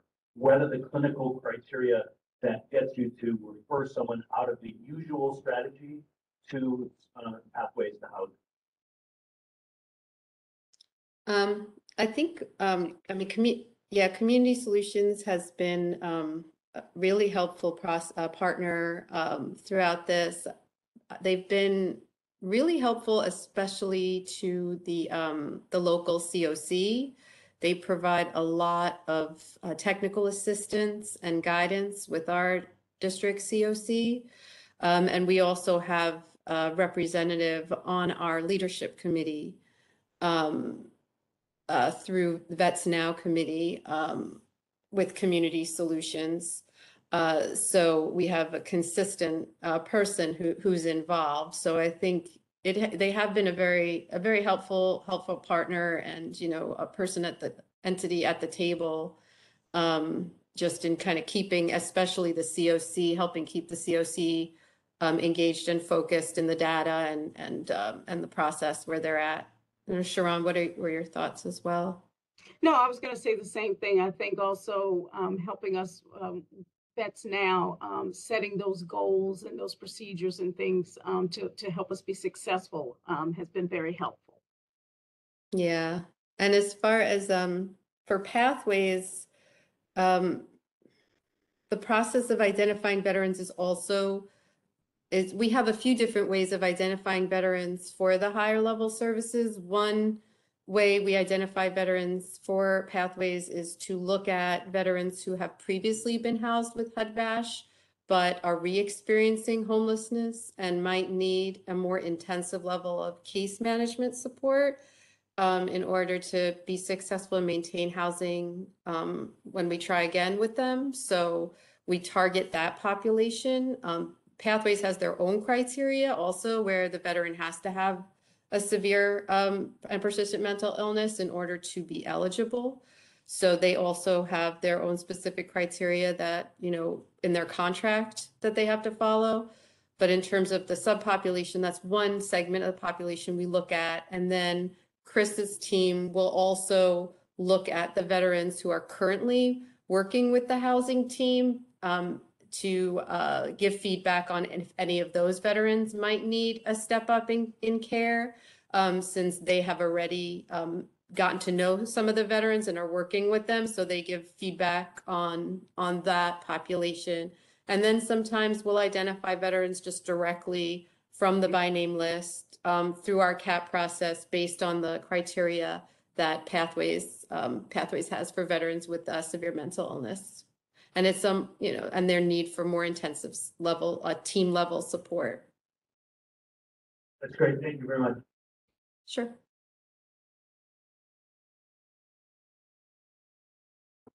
Anthony Allen for the record. Can you hear me okay? out in DC? Can you hear me? No, it's muffled. How about now? Is that better? Yes. Yes. Um, so I have a question with, uh, with respect to a couple of the things that you had mentioned in the presentation. Um, could you talk a little bit more about the hundred and seventy-five percent FMR, the fair market, uh, rent versus, for example, what, what the cap might be, uh, for your locality? Because there's a distinction, right, between fair market rent and the maximum allowable rent payment under section eight.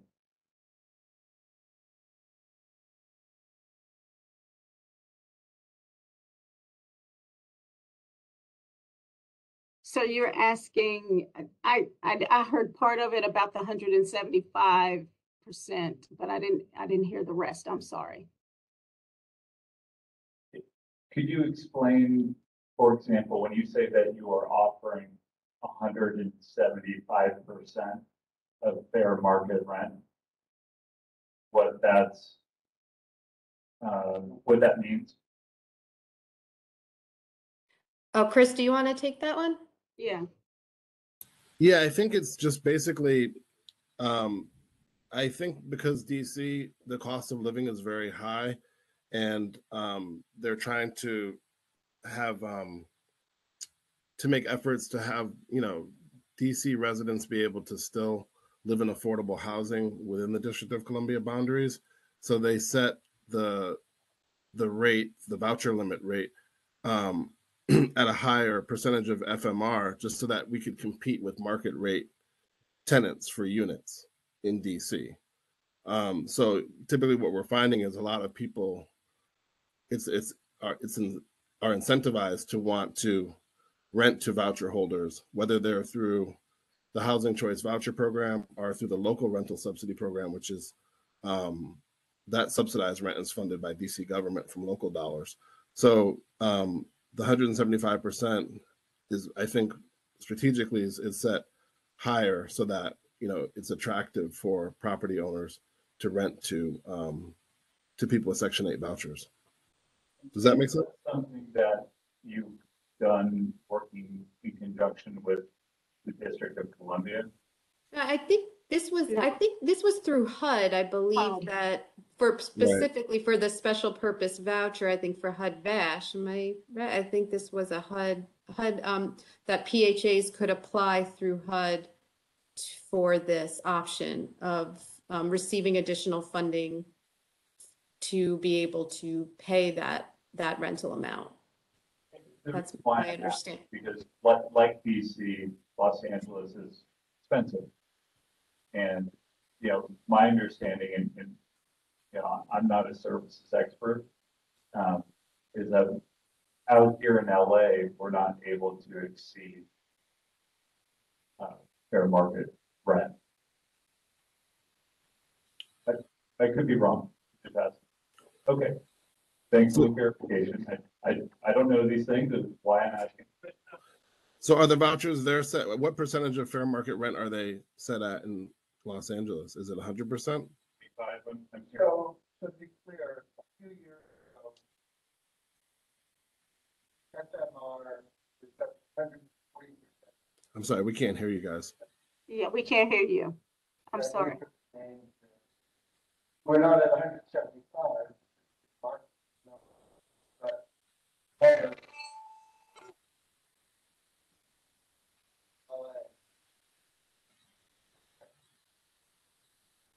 I'm sorry, we're still having some audio problems, I think, on our end. Yes. So, are, can you hear me now? Yes. That's better. That's better.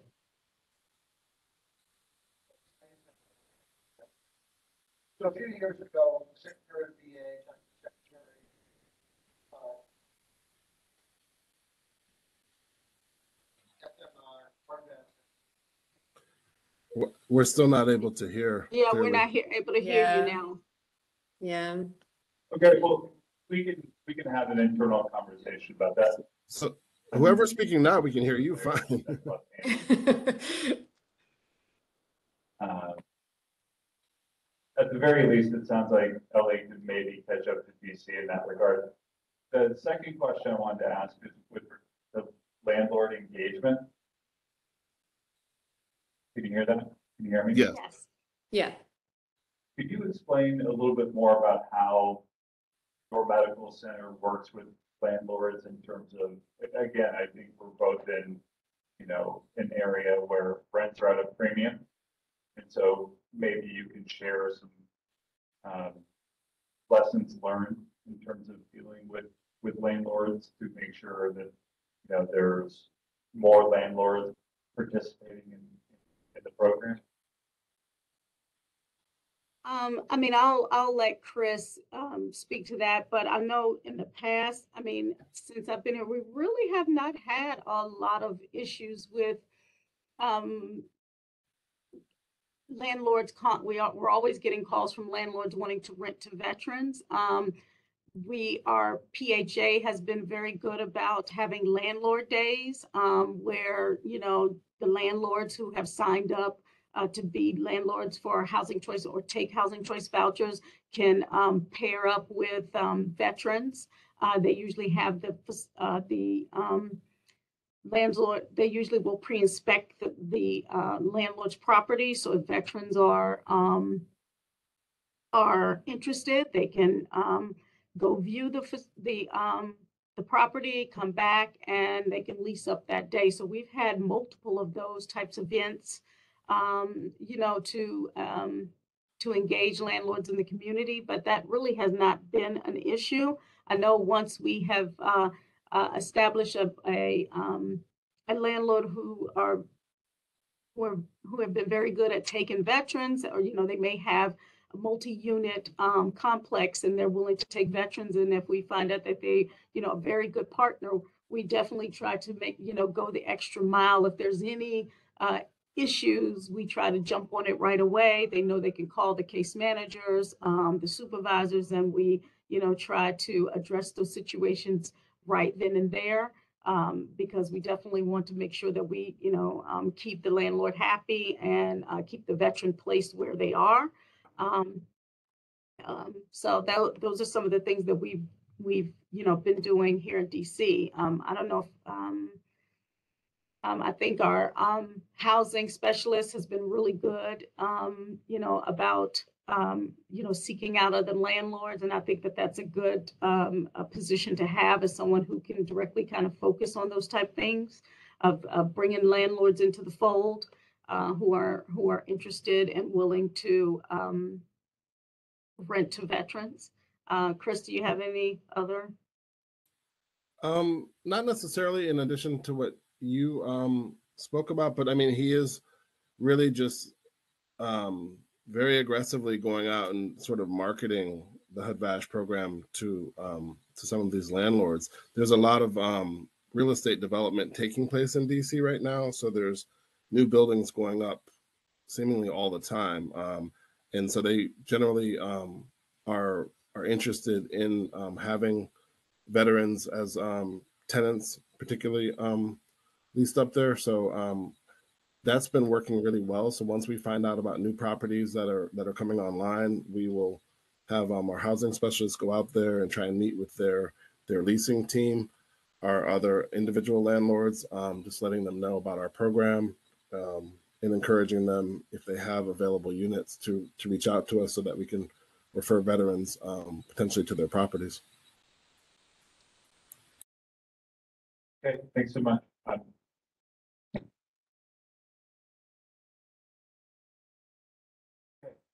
Yeah, shoulders up, up. Try to position myself between the seat. Can you hear me now there in Washington DC? Faintly, but yes.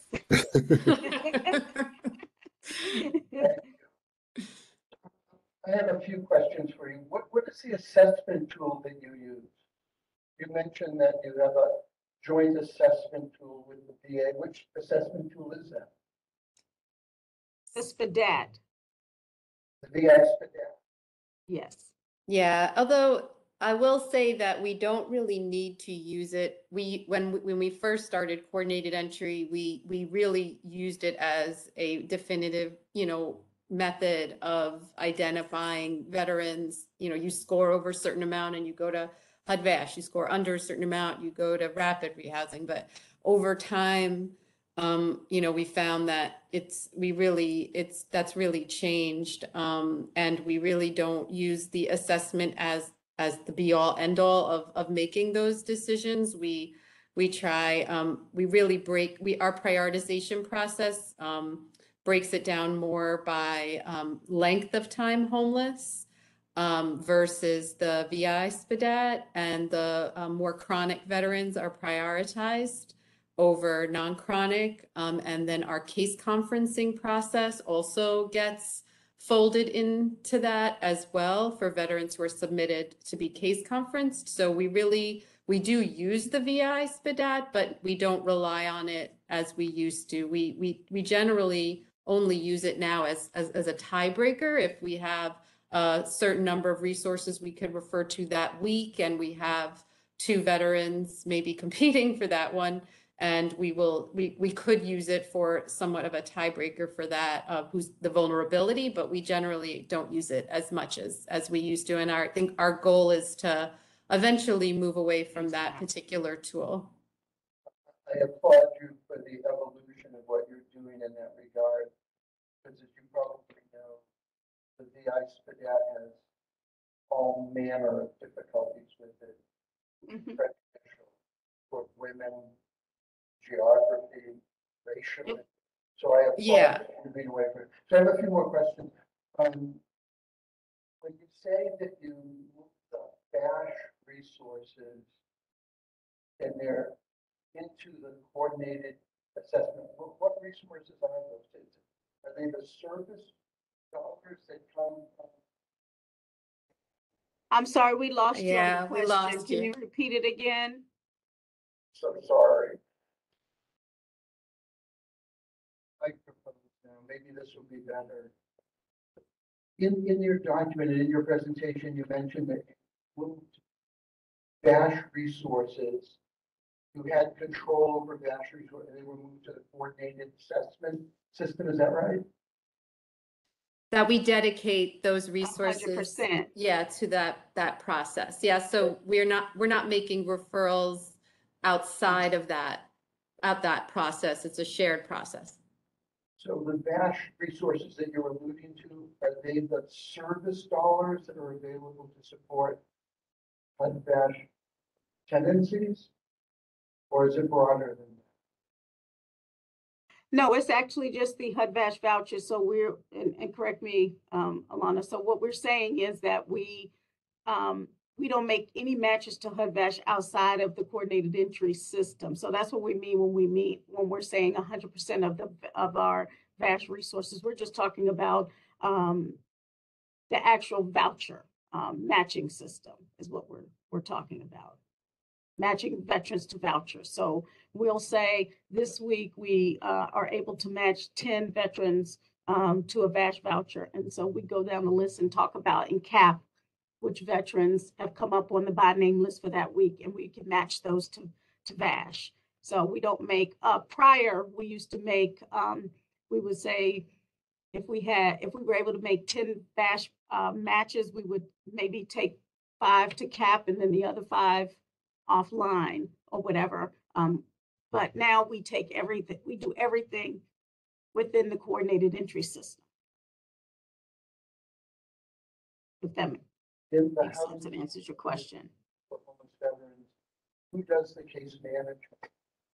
Oh, they're still, it's still HUD VASH. They're not just, it's not just the voucher, it's the VA, it's, it's the VA provides the case management and the voucher. It's, comes through HUD. So it's, it's, it's still a HUD VASH. It's through the HUD VASH program, those, those, those resources. Right, so we're just saying that we take, um, we, we give hundred percent of our vouchers, um, to the coordinated entry system. So veterans are matched off the by name list. And then once we've matched them in CAHP, then they go to the housing team for them to, um, work with them. So they'll get a case manager, they'll house them from there. Right. Thank you. Do you, do you have any idea what your recidivism rate is at that Housing?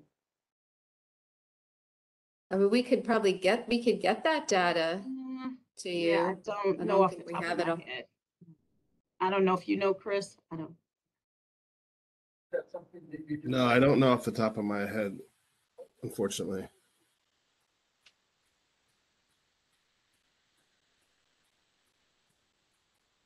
presented in terms of the general decrease that you uh, have in your site?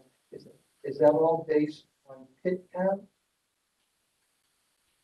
So in the PIT, so in terms of looking at, at how many veterans are on the, the by name list, we, we have, well, we use the PIT data, but we also use the by name list data and our by name list data and our PIT count data are pretty much in line with, with one another typically. There's, there's some variance, but for the most part, you know, are, eh, they're pretty much in, in sync. Um, so we, we do rely on both for, for the, for our data though. Referring to the general decrease that uh, is indicated, the forty-seven percent decrease, I think, is that based on PIT count data?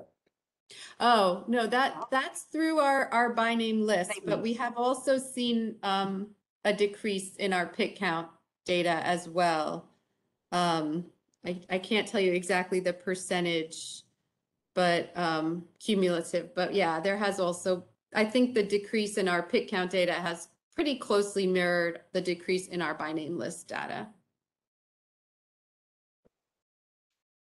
But we typically go through by our by name list. Yeah, we, we find it to be more, more reliable, um, for the most part than our PIT data, because the PIT is, count is only one day, where our by name list is continuous. So one final question. I know that your data indicates that from two thousand seventeen to two thousand twenty-two, you went from four forty-one to two sixty-two, but then you have an asterisk. And you say that, uh, inflow is trending upward. So is two sixty-two your current number? No, we're about at two eighty right now, I, uh, roughly, about, about two eighty. Um, currently, but it, it, it fluctuates month, month to month. Sure. Well, thank you so much. Thank you.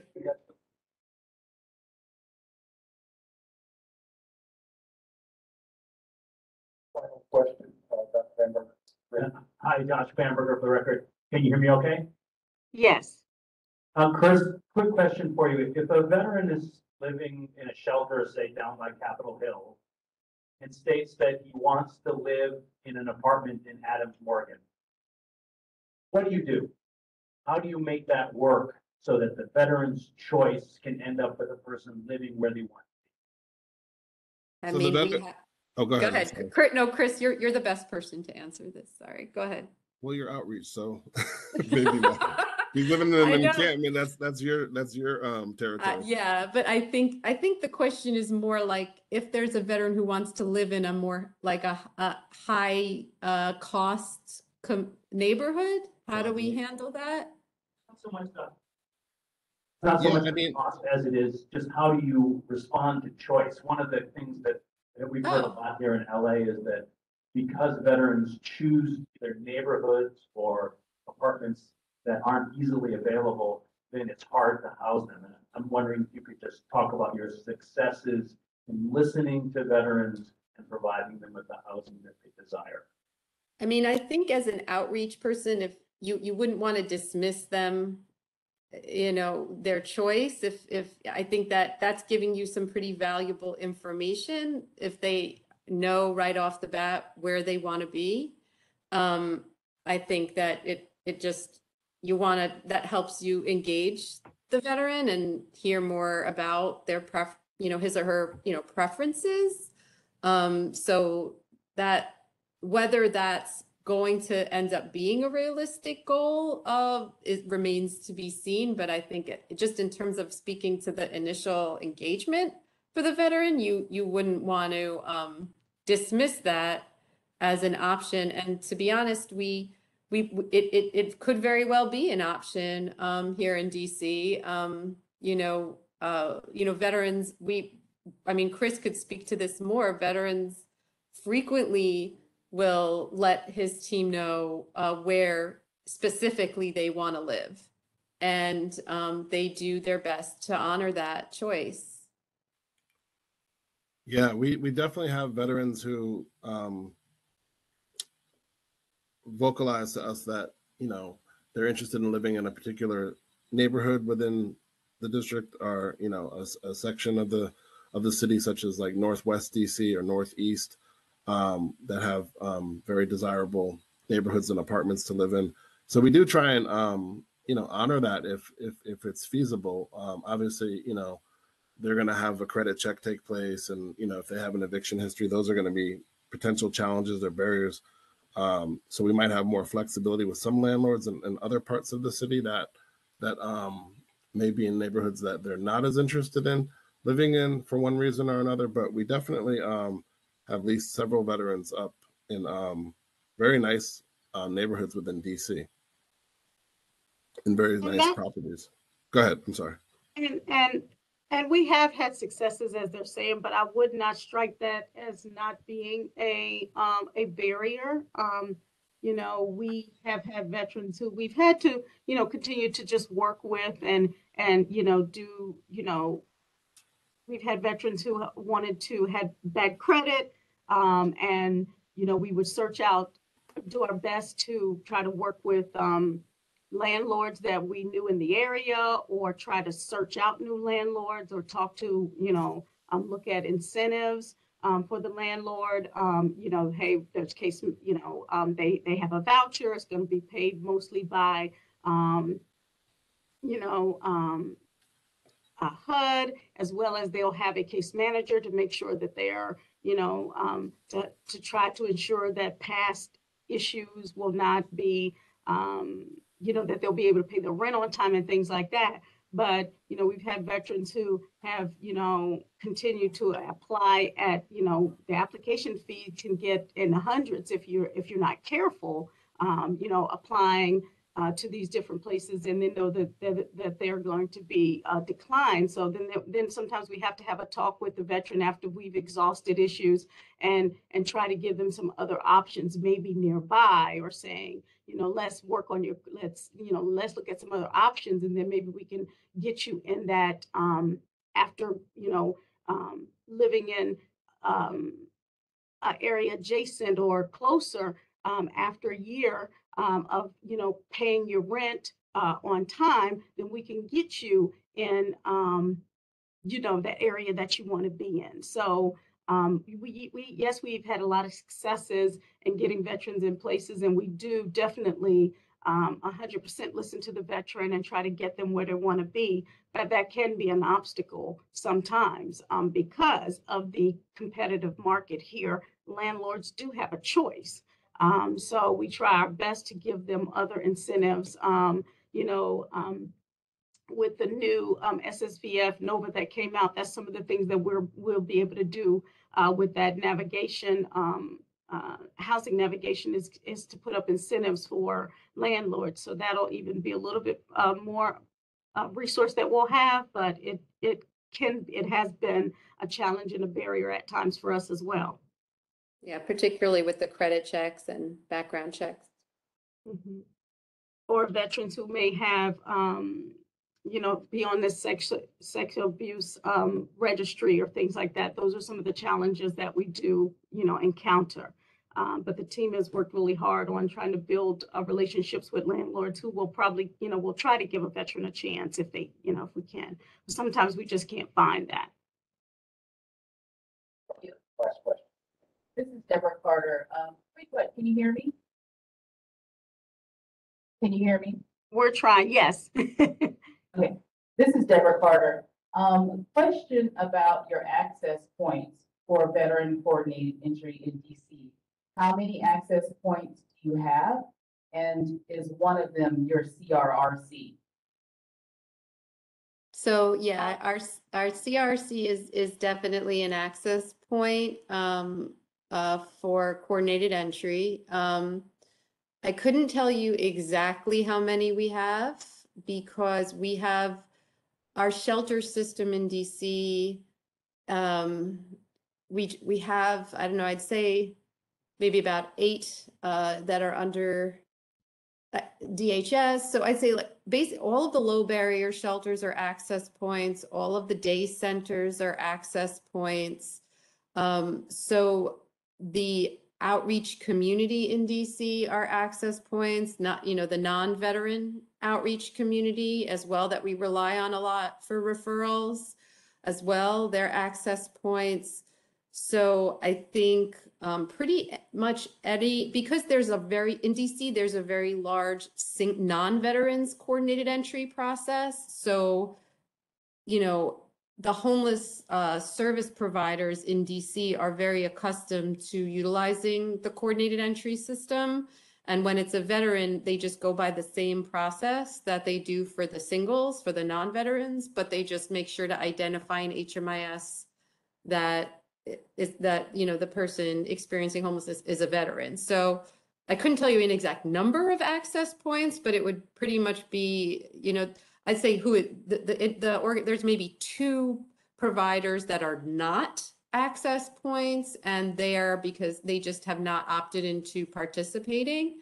Um, but other than that, I would say every other homeless service provider in DC is, and as well as our CRRC.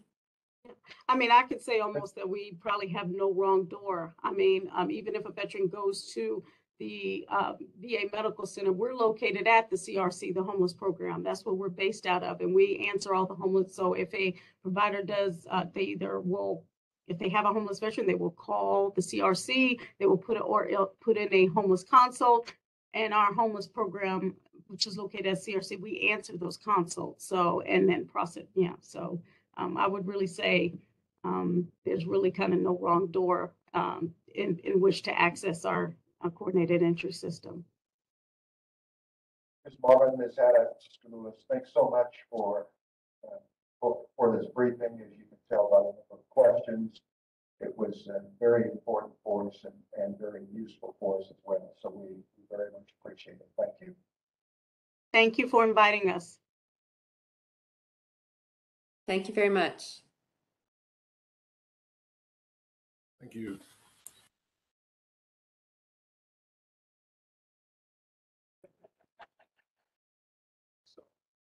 So it's, it's lunchtime. Uh, we started twelve fifty with the public comment. Do not be late for the public comment. That's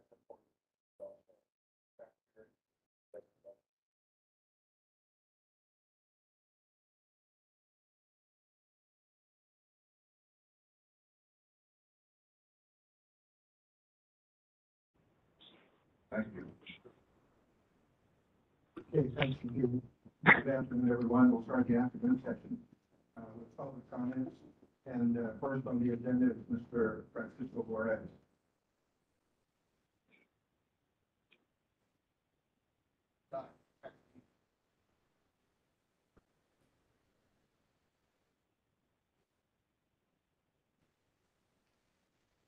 Okay, Mr. Mr. Juarez is unavailable to speak. And, uh, next is Mr. Thomas. Yeah, yeah, this is Ryan. Can you guys hear me?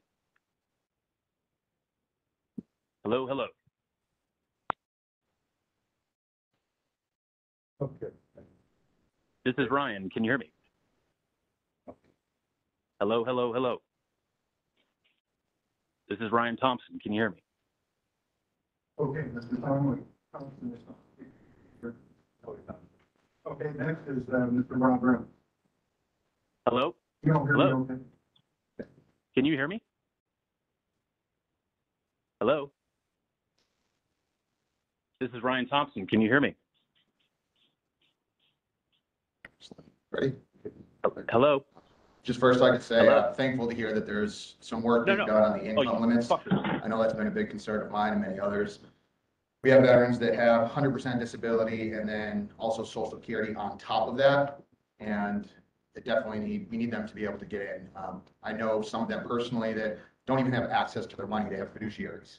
Uh, so those are the ones that I think benefit the most from being at the housing on the VA.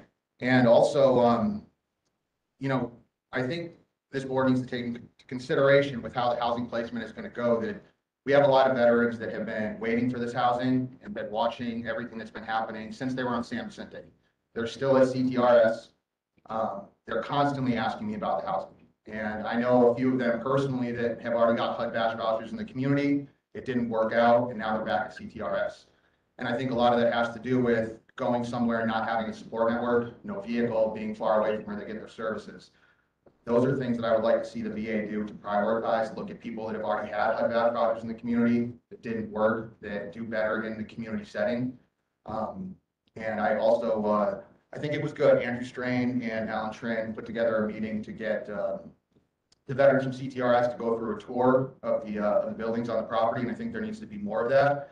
Just informing all the different programs, new directions, the domiciliary, the staff there about what's going on, how the process is gonna work, when the housing opens. Cause I think that's been a big thing. There just hasn't been a lot of communication and everybody hasn't been on the same page of how things are gonna work. Um, that said, I really want to make sure that we continue to keep the twenty-four hour emergency shelter access open. I know after the fire, there was a gap in that service for a little while, but that is very important. When we have veterans show up, they need to get access as soon as they, as soon as they're asking for it. Um, I know just the other night, we ran into an issue where a veteran showed up after, after hours and the drop-in shelters were full, and we had to stay in another veteran's vehicle. So I think these are things that we should be thinking about. Um, I know at one time they put some cots in the day room when the drop-in shelters get full to accommodate any overflow. So I think that would be, that would be good as well. I just don't want to see getting into a position where people are being turned away. Uh, that's the big thing when they show up and they need help, just try to make it happen right then and there. Also, um, it would help if, you know, we had an idea, maybe on a weekly basis of how many beds are open in different programs, how many tiny homes are open, because a lot of times that I get contacted and I'll bring people down here and then, you know, program will be full, or there's a wait list. So better communication on knowing what's available on any given day and what's available during the week would definitely help, um, just so we're not bringing someone that's then gonna get turned away. And, you know, I think just the big thing through all this has been communication. There needs to be good communication between the VA advocates also with, with the veterans on the property. They really need to feel like they're heard. I know a lot of times they don't feel like they're heard, they don't feel like their concerns are addressed. So anything that the VA can do as a whole to get down there and spend time speaking with them, see what it is that they're gonna need, what they're gonna want, and what's gonna work best for them. I think that that will really help, um, will help the veterans a lot.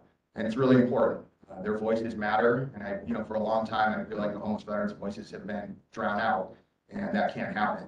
We start listening and, and take into consideration what it is that's gonna set them up best for success, however we can make things work for them. And, well, we go, well, we go forward right before we get to housing, um, I really want to make sure that some of the, the veterans over at CTRS get an opportunity for that. I know several of them, that even if you took them and put them into a voucher somewhere else, they will just come back.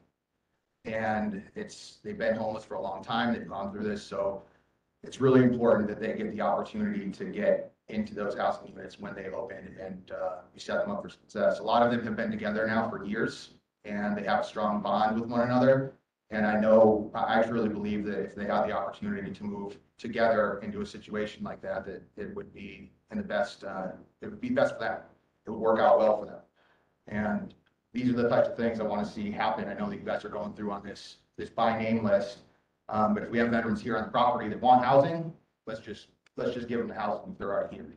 I think that makes, uh, most sense to a lot of us. Um, they're already here, they need it, they want it, let's get them in and make sure that they get, get what they need. And we also need to, uh, get this, um, sorry, I'm going over time here.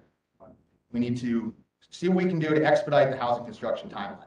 Um, I know I've said that before, but anything we can do to get the housing done and get it done faster. And also the VA work on their messaging to assure everyone and all the veterans that you're here and you're committed to get the housing built, that you're here and you're committed to return this property to the way it's intended to be a soldier's home. Thank you.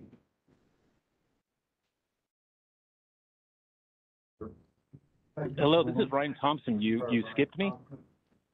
Yeah, okay. Uh, can you hear? You guys just muted me. Why can't I speak?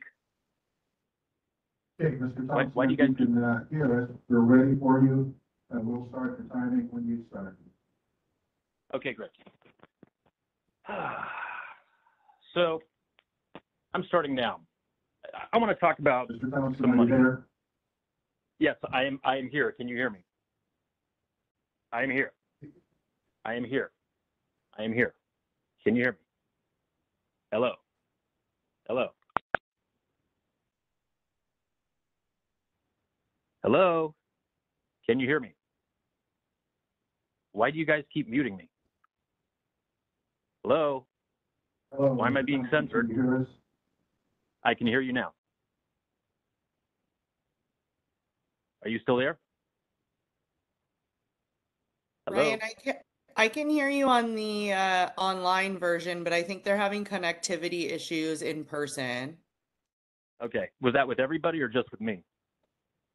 I, well, the other people have been in person, so I think they just aren't able to hear you talking to them. But I just sent a text to Chi and hopefully they'll be able to get it worked out. I just came to take the meeting uh, virtually, the second half. So I just wanted you to know I can hear you, but I don't think they can hear you. Well, well, there, there's a need. What was that? Okay. We can hear We can you. hear you. Oh, you can hear me? Well, so Ryan's talking. He called into the meeting, but you guys can't hear him, I guess. And he was on before Rob went, but he keeps saying hello, hello. And I guess you guys, you can't hear him. We do not hear you. Yeah. So Ryan, they can't hear you for some reason, but it looks like he's a call-in user. So maybe on your WebEx, there's like a block on the call-in people. Because I'm using a computer, I logged in through the WebEx app, but it looks like Ryan, Ryan, you called in, right? And I just got muted again. I had to take There myself back off mute. Are, are, you can hear me now? Ryan, try again. It looks like, uh, there's been a change. You're on mute, perhaps. Okay, Are we all Ryan, good now? Uh, can you hear Ryan? No. Hello, hello, Still testing cannot one, hear three. Ryan. Okay, so can you use your speaker phones so because they can hear you? So can you just put on speaker so they can hear me talk to your speakerphone? Is that possible? Or Well, I, I'm at, I'm also online at home. I had to, I'm taking the second half of the meeting, not from the VA. So let me try to figure out how I can make this work. Let me see if maybe I can call someone who's there who can, um, yeah, I mean, th- th- I got to find a way to do this because the WebEx didn't work for me last time. You know, the I get arrested if I show up there and sit in a seat. yeah, Uh, Ryan, I try to dial on the phone now. They can't hear me. Ryan, hold Yep. on one second. Let me, let me try to figure it out. He's gonna call me, okay? Yep. Okay, we will, uh, on, No, you got me on mute. Put it on speaker with my phone. Can you hear? Just, just a second, we may have them here.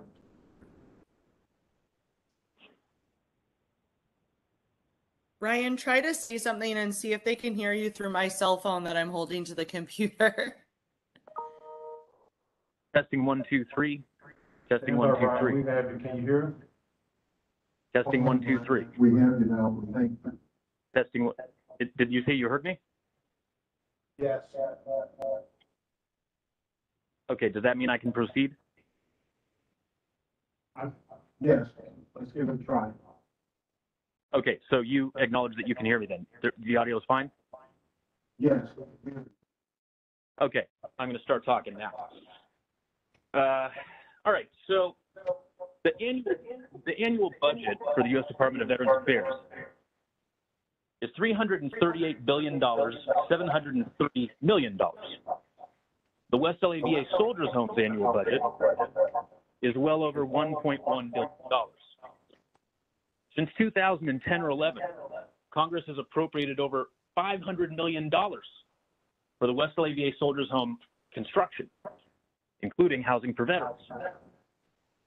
Uh, so now let's look at all this money, and then let's think. Okay, so we got at the most, right, 400 million dollars of that 1.1 billion a year going to the hospital, the medical center. What's left? You know, wh- what exactly are the expenses that remain? And then amid all of this money, we're supposed to believe that the few million bucks that UCLA and Brentwood School pays is desperately needed. And of course, pursuant to HR 711, I guess that's desperately needed for them to maintain their own buildings. And they're taking up all that land in the nation's capital of veteran homelessness, while homeless veterans are sitting in flammable plastic sheds. And God forbid one of them tries to charge up a, a scooter in an outlet and a fire starts, he gets evicted into homelessness. It's blamed on him. It's not blamed on the fact that it's a suppressed fact that Village for Vets and Brentwood School have control of that land through their revocable licenses, right? And that they never thought about putting fire hydrants there or thinking about the materials. They never thought, hmm, maybe it's a bad idea to take oil-based paint and paint all these sheds, even though no one asked us to. This is utter insanity. So now let's talk about the housing, right? So in 2015, after a two-year construction period, VA renovated Building 209 for under $30 million. And they filled it with homeless veterans. They didn't have to wait to get vouchers and disability and income, become patients, become pharma lab rats. They, you know, they, didn't- they didn't have to feel like they're losing their minds paying at least $1,600 a month to rent a studio apartment that VA renovated in a building VA built on land that is deed restricted for only the federal government to permanently maintain as a home for disabled and unemployed veterans. And that's without laundering that building 209 to Shangri-La, Step Up, Vivian Ming Lin, and a bunch of other crooks who make a monthly lease payment on that building to VA of $1,650, about the price of a studio unit. And not only does that cartel sit there and collect all those rents and get their tenants provided for them for nothing, receive tens of millions of dollars for case management that, I mean, the only case management I've seen is them filing lawsuits and trying to evict people that talk to the press about the slum that they're running over there. And as if that's not enough, they then subversively and fraudulently file in December of 2021 with the state of California under their new company that's the, all the same people basically except for Vivian Lum, uh, Friendship for Affordable Housing. They said they, they're filing for $20 million from state taxpayers, saying that they want to renovate a quote unquote empty office building, Building 209. That's a criminal fraud. They are criminals. And then not only that, I, I mean, they sit there, they do practically nothing. I mean, does Rebecca Ritchie cost $35 million every five years? Because that's about how much Step Up's received in grants to do case management. You know, and then what happens, right? So, so what happens for, for all this work that they don't do? They get rewarded with buildings 205 and 208. And then you get another cartel, the West LA Veterans Collective, with Thomas Safran and a bunch of uh, uh, Century Housing and uh, Housing Corporation of America and U.S. Vets. And then they start taking 207. And even though VA spent 30 million and did a two-year construction job on 209 that was fantastic, as just as the, as the federal government has done a fantastic job building stuff there for 157 years, these people have not renovated a single solitary studio unit of housing for veterans ever in the soldiers' home's 157 year history. Yet they took between buildings 207, 205, and 208, what about $200 million in homeless housing subsidies from the state, the city, and the county? This is incredible.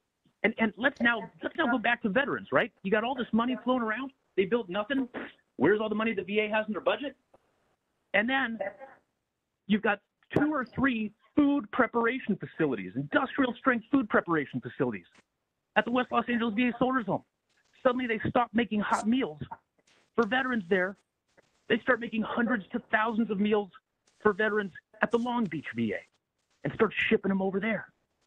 And then behind our backs, behind the hospital that they're going to try to tear down soon, they're building a, a hundred or hundred to three hundred million dollar dietetic center which it turns out it's a building for a new UCLA program to do clinical research about food. And you know what? Food research seems to be pretty popular these days because even though the West LA VA Soldiers Home doesn't spend one penny, one penny on food for veterans in those flammable sheds that Brentwood School and Village for Vets have a revocable license on and also have liability insurance that I don't see them filing a claim for that fire. Not one penny. And then the Congress says, hey guys, we're concerned about food insecurity with veterans. Throw a ton of taxpayer money in studying food insecurity of veterans for a couple years and see what we think about it. Right? Tom, your time's And up. Congress is. Did you say my time's up? Yes, sir. Okay, thank you very much. Have a great day.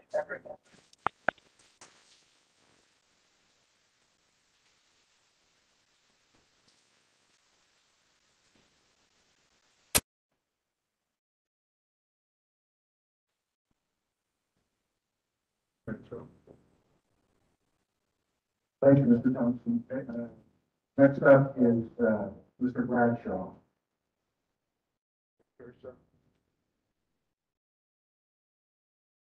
Hello, can you hear me? This is Abe Yeah. Bradshaw. Yeah, we can hear you. Okay, thank you.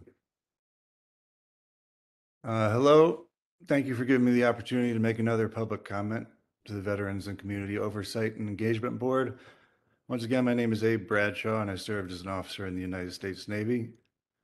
And although I'm greatly concerned about the massive responsibilities that you have to deal with in regards to such tremendously important issues that you have in front of you regarding housing, et cetera, in my public comment on the 22nd of June, I raised my concerns about the current and future plans for two of the many beautiful structures on the West LA campus, quite possibly the two most beautiful buildings on campus, the Brentwood and Wadsworth Theaters, and I would like to use my time to give you a quick update. For the past several years, I've been more than a little concerned at the beginning of every fire season, like we are currently in the midst of here in Los Angeles, that all of my wildest dreams of saving these theaters could all be for naught if a random fire should happen to occur in the vicinity of either the Brentwood or the Wadsworth theaters. So I pitched the idea of to the 501c3 not-for-profit Veterans in Media and Entertainment, where I volunteer as the Director of Community Engagement, that we should submit an application to the VA so that some volunteers could help out at one of our community service days to all meet up on the West LA campus to clean the areas around each theater on some Saturday before the 2023 fire season begins. Through some friends, I was able to get in touch with Assistant Fire Chief Brian Martin of the Air and Wildland Division in Pacoima, who has offered to join us in our efforts to clean these two areas of debris, dead grass, branches, and trees, and other tinder that could quickly take these two legendary theaters up in smoke in the blink of an eye.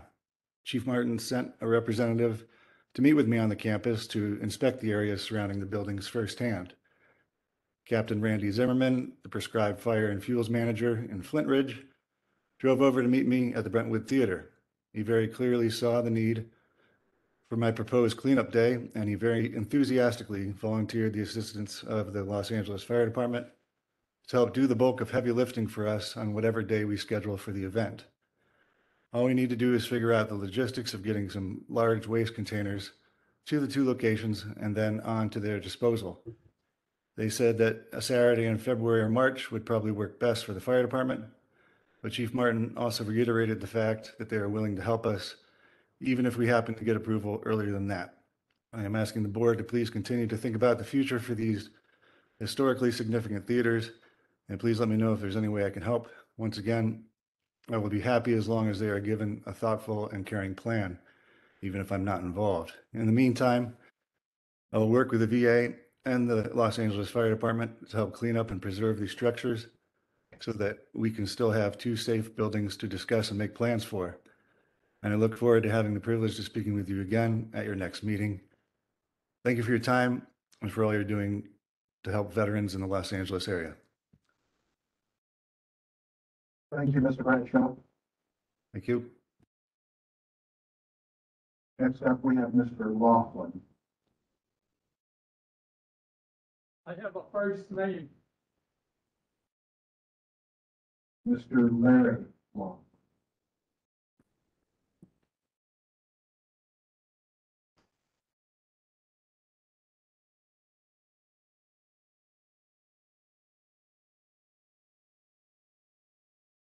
My name is Lawrence Laughlin. When in Chicago, my hometown, I joined the Army on December seventh, nineteen fifty-four. No one told me if I became homeless, the US government would provide shelter for me. For the fact that my government is doing that here, I am proud and grateful. But now I learn that in eighteen eighty-eight, land that later became the West LA VA Medical Center was deeded to the US government with land use restrictions to be used as a national home for disabled veteran soldiers. And now I am a member of the NHDVS Coalition. And our goal is to enforce the deeds restrictions as a whole, not as a Brentwood school or two UCLA baseball stadiums or for an oil well energy company.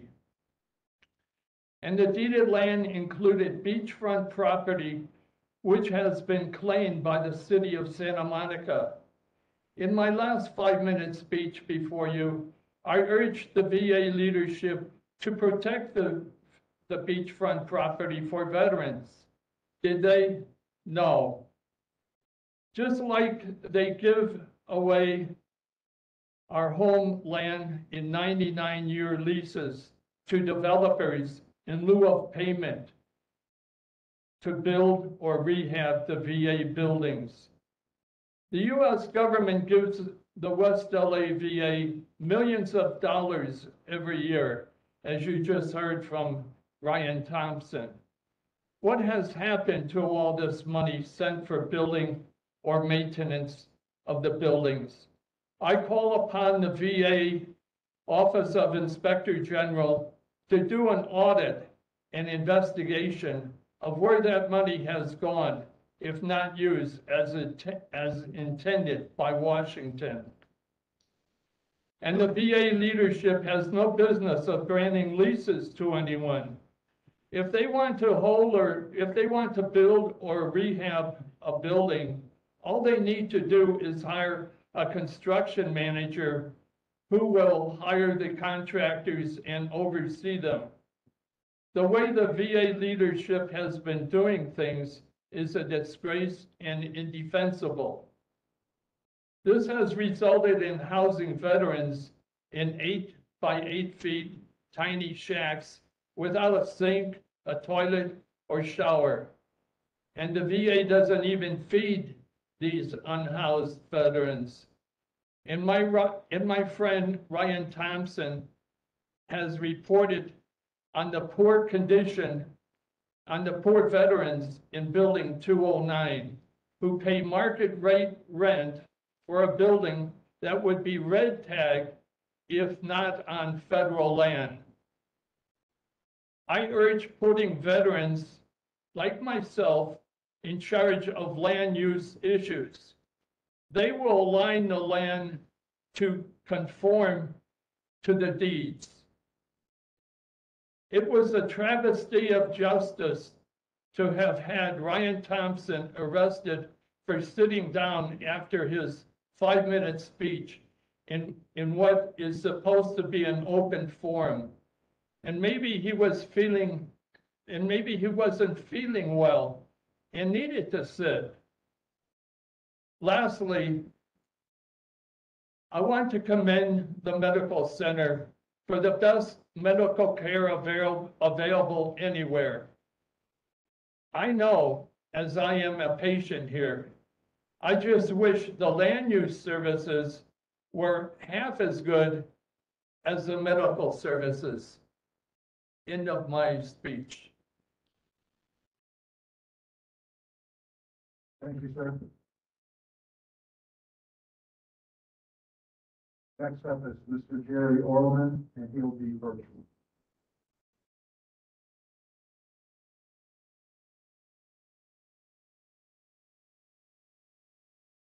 Mr. Roman, can you hear us?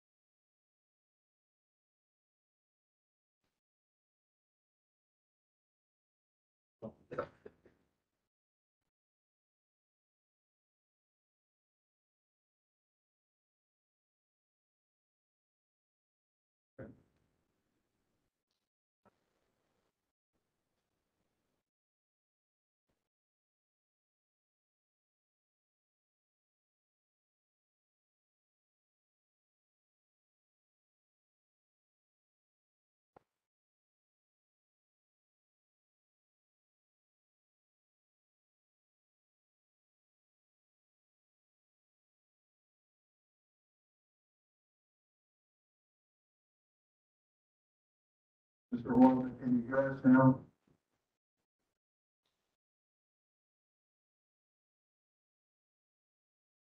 Stephanie, can you hear Mr. Roman? I cannot. I can barely hear you guys. When when you guys speak from around the table, it's very muffled. Like it's hard to make out anything anything you're saying. Mr. Roman, can you hear us now?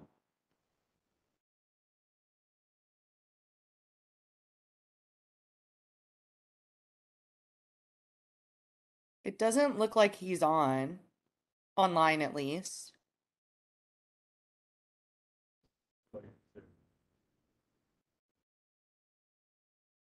Okay, thank you, Stephanie.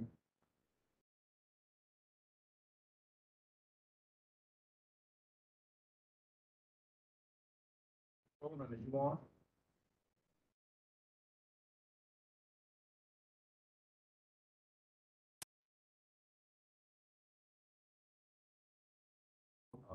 Okay, we'll circle back if Mr. Roman comes up. Next up is Ms. Jessica Miles.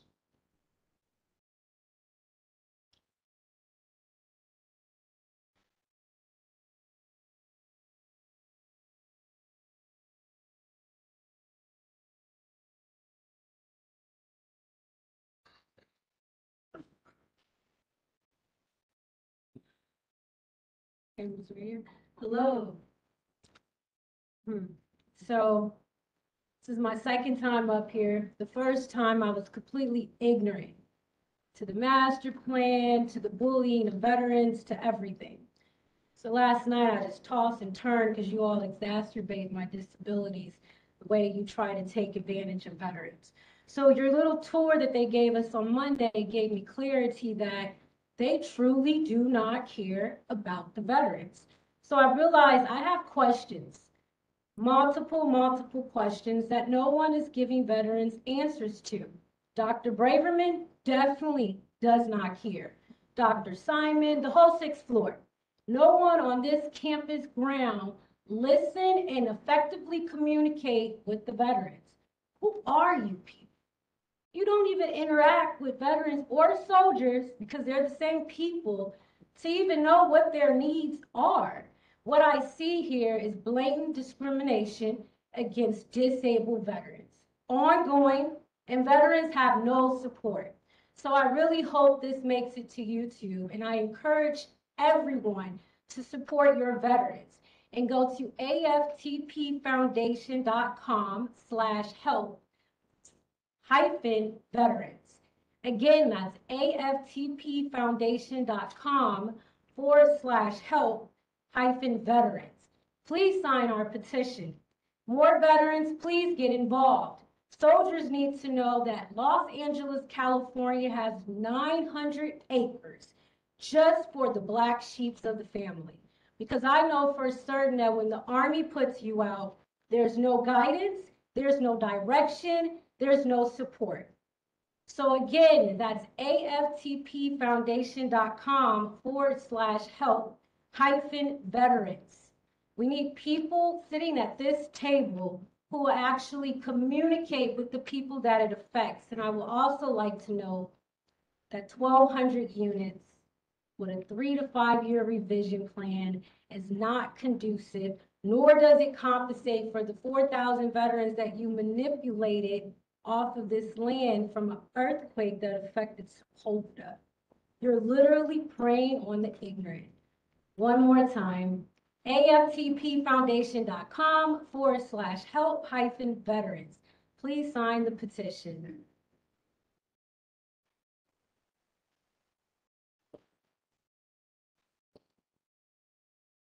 Thank you, Ms. Miles.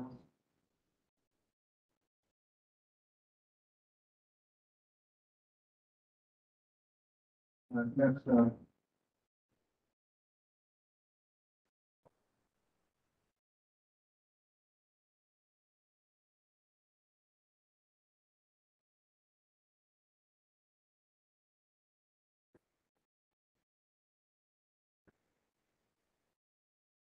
we, have Mr. Orleman on the phone now. Jerry, can you hear us? Yes, we can. Your five minutes. It's okay, your five minutes starts now.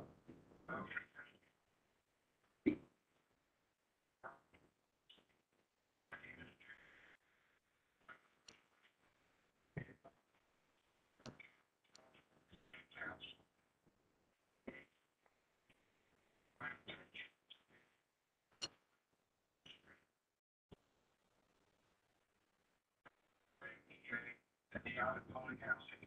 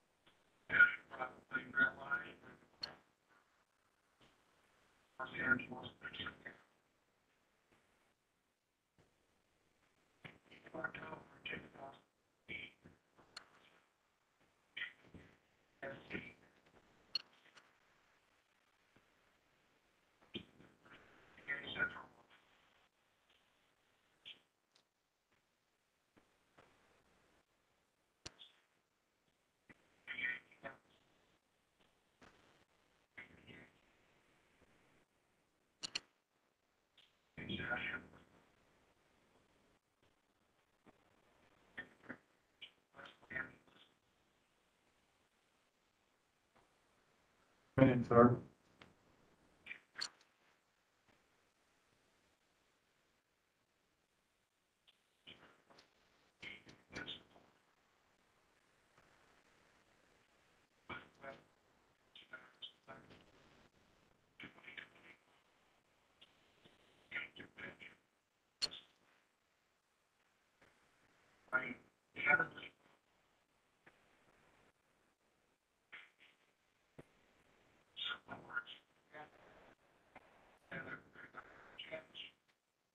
Regarding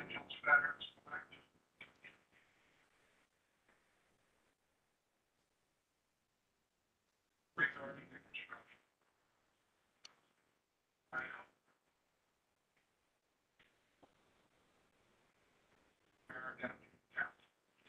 Council. Where we stand. Construction. Is. The cost. An expense. Yeah.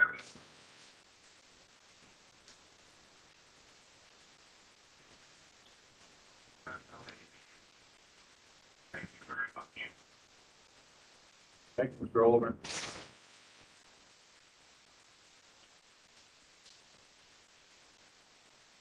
Yeah. Next, uh, up is Ms. Conway Orland.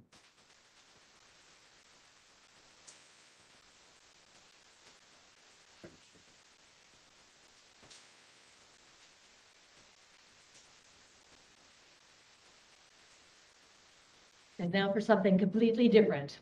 My name is Kyle Orleman, and I am the local liaison for Associates of Vietnam Veterans of America. I am also, up there, better, okay? Um, I am also the wife of a totally disabled veteran and have been a full-time caregiver since, uh, actually September of 2001, since the day of the 9/11 attacks. Many of you know my husband, you just heard him, and many of you have seen us around the campus with his service dog and my service dog. And I want to talk to you about the dog issue today because that's one of the things that you're going to have coming on the campus. With people coming in to live on the campus, you are going to have service dogs that are going to be here. You are also going to have emotional support animals that will be able to better, uh, that will be able to live in the supported housing. Also, you have an opportunity here that I think is unique and that I really think needs to be taken care of as promptly as possible. There is currently a dog park on the campus, and it's on the far side of the Arroyo, so it's not part of the campus that you can actually walk to here. One of the things that's important with service dogs and with emotional support dogs that will be coming onto the campus is that sometimes they end up having a health problem. They may break a leg, they may end up with some kind of a uh, medical uh, treatment that is needed that the veteran will not have the money to pay for. There is a problem with the way that those services are given, and I believe I have an answer to that problem.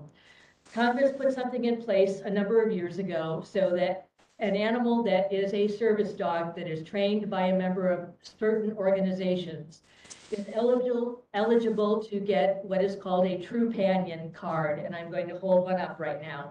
It looks like this. My husband's service dog had this card issued to him in 2015. At that point, it was policy number 814. So this policy or this program is not very well known and it needs to be.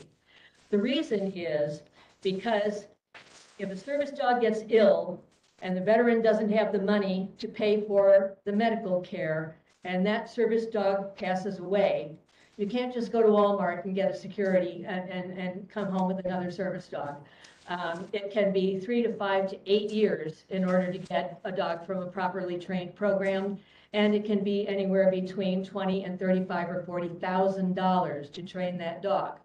The other part of it, and this is why this is so important to us and why I'm giving our own personal story. My husband's service dog that this card was issued to came down with a very rare autoimmune disorder. If we had not had this card, which covers wall-to-wall uh, veterinary care anywhere, anytime, for any condition.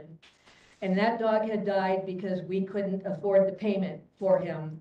My husband would have been a suicide and there would have been nothing I could do to stop him. So first of all, people need to be aware of this Trupanion program. It's very important. The rules pertaining to this uh, can be found on the Federal Register that was published on September 5th, 2012, and effective on October 5th, 2012. And one of the things that Congress did, and with this final rule that was well-intended but had unintended consequences, there were many people at that point who were saying, I can get you a service dog and I can train it and I can give it to you and that'll all be fine. And those people were backyard breeders and they weren't competent to train the dogs. So the reason that this final rule was put into place was to assure that the dogs were properly trained. And the way that they did that in that final rule is that in order to get this Trupanion policy and have the recognition that the dog is accepted by the VA, and I need to be very clear here, I am not talking about public access. Your dog does not have to have this card to have public access to come in here. But in order to get this insurance policy, under the final rule, your dog has to be trained by a trainer who is a member of Assistance Dogs International. At this time, there are only 82 Assistance Dogs International programs in all of North America. So if you have a dog that needs multiple training, say, for example, it needs to do diabetes alert, it might be trained in San Francisco, and then it might need to go to Canada for mobility assistance training. It might need to go to somewhere in Mexico for a different kind of training, and the veteran has to go and be housed while that training is being done. So where does the VA here come into play with all of that? Here's your answer. You have that land that the dog park is on right now. One of the members uh, of Assistance Dogs International, so they are qualified and would be able to train trainers so that the veterans involved would be able to get this assistance card, is um, local here. It's the Sam Simon Foundation. My suggestion would be that you contact the Sam Simon Foundation, which is right up here in Malibu, and you get their certified trainers to train veterans on this campus who perhaps have been service dog handlers or military working dog handlers or trainers. Use the facility that you have over there um, for the dog park to turn it into a training facility. Also, the veterans who are here on the campus would be able to take their dogs there and get training for them. Also, there could be the ability for the veterans living here to, that 30 seconds? That's out. Okay. Um, Veterans who are living on the campus here could be trained as dog walkers or groomers. Um, That could give them a career opportunity, and it could also bring in income for people who would come in here to use those services, uh, the dog walkers or the groomers or whatever. So you have an opportunity to here to use the facility that you already have to grow it into an organization that would be certified by Assistance Dogs International. So the dogs trained here would have access to this veterinary care policy. And it's a win-win all the way around. If you need more information, I can provide it. And also, one last quick uh, comment. Uh, There's an organization called American Humane, and they are a national organization, and they also supply mobile veterinary services. Perhaps they could be contacted to make arrangements to bring their veterinary care vans onto the campus to take care of the animals who will be living here. Thank you very much for your time. Thank you, Ms. Rowland. Next up is Mr. David Echeverria.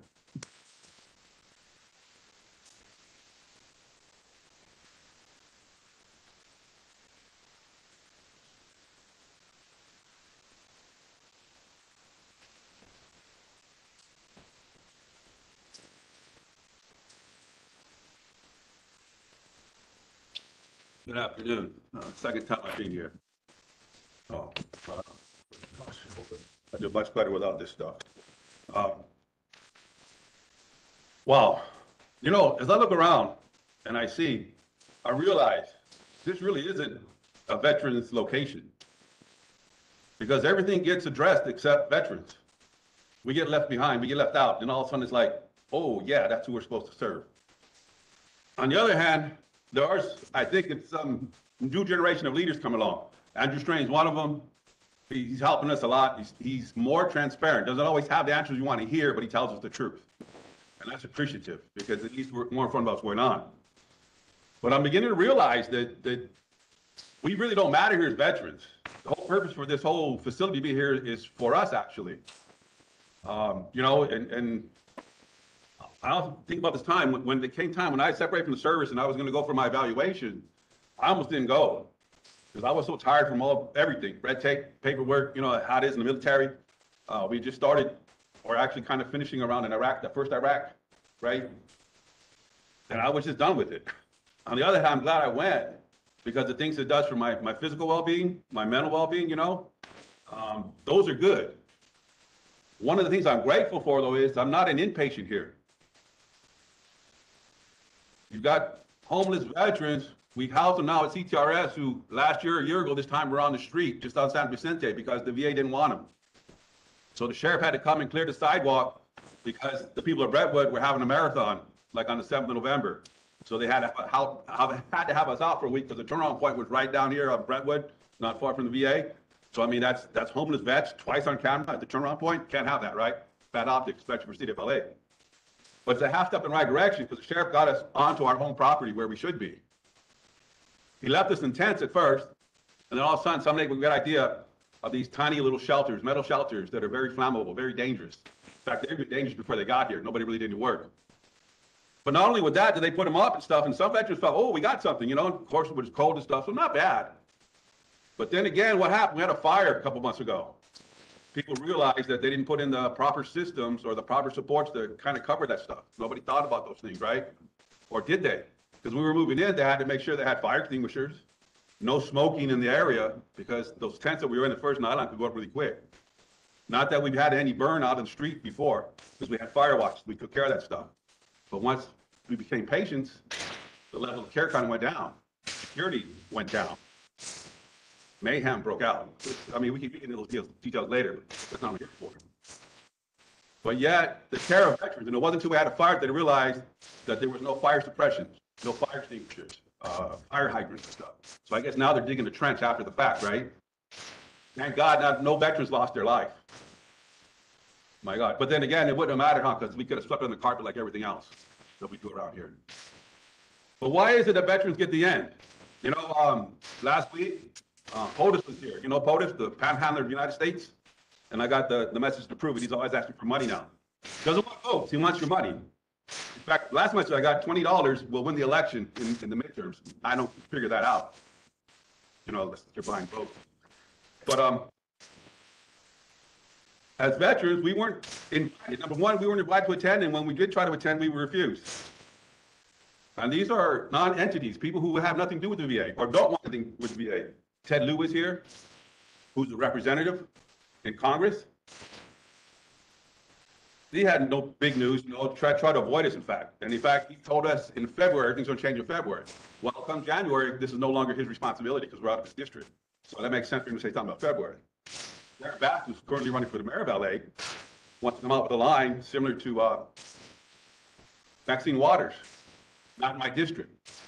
Not my district, not my bets, actually, is kind of what they're saying. And yet she wants to be mayor of LA.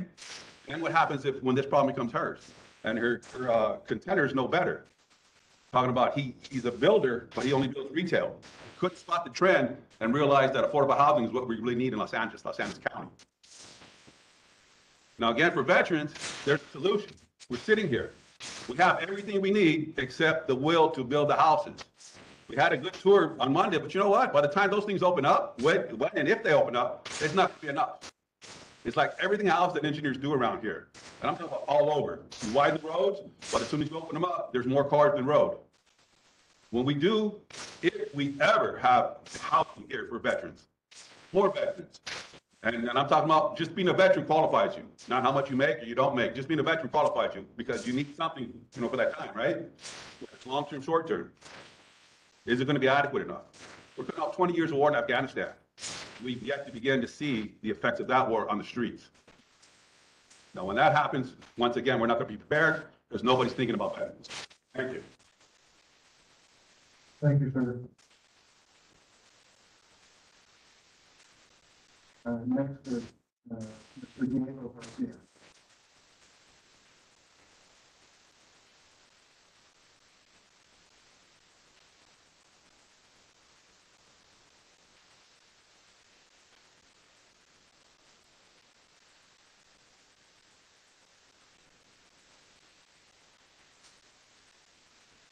Hello, everyone. Uh, Thank you very much for the opportunity to speak here today. Um, Again, my name is Diego Garcia. I'm a little bit different than uh, most other vets or most other people here in the sense that uh, I'm actually a West Side uh, native. I I was raised here. I'm from Culver City, went to elementary, middle school there. I graduated from Venice High. I used to operate the rides at the Santa Monica Pier right up until I left to the Marine Corps. Uh, believe it or not, on September, on, on September 11, 2001, when those planes were hitting the towers, I was at MEPS, about uh, just a few miles away from LAX. So I saw those towers hit while I was sitting down at MEPS, waiting to sign my final contract. Um, Everyone else went home except for the Marines, because the Marines just had a bus ride. We didn't have to hop in the plane, right? The plane got grounded, Marines just had to hop in the bus. So I stayed back. Joined the Marines, uh, as a, as a Marine, as a combat engineer with the Marines. Bush said go in, uh, in March of 2003 and we invaded Iraq. I was six miles away from that border, already dressed in full combat gear, sleeping, trying to sleep in the trench. Uh, so when he said go, we jumped into the back of our trucks and we stormed that border. That whole night lit up with all kinds of freaking missiles, right? I was front row to uh, shock and awe. Fast forward 2005, I got out, came back home, Marina Del Rey. Um, having issues. Mainly, I couldn't sleep. Mind couldn't shut off, just nonstop. Came here. It's my hospital. Tried to get some help. weren't able to help me out. Whatever, went away. Um, ended up finding a good outpatient clinic that uh, ended up helping me out. Uh, Done a good job as a risk management professional, safety dude. Uh, Then I got tired of that job, tried to go into, uh, try to, the family business as an electrician, went to school for electrical engineering.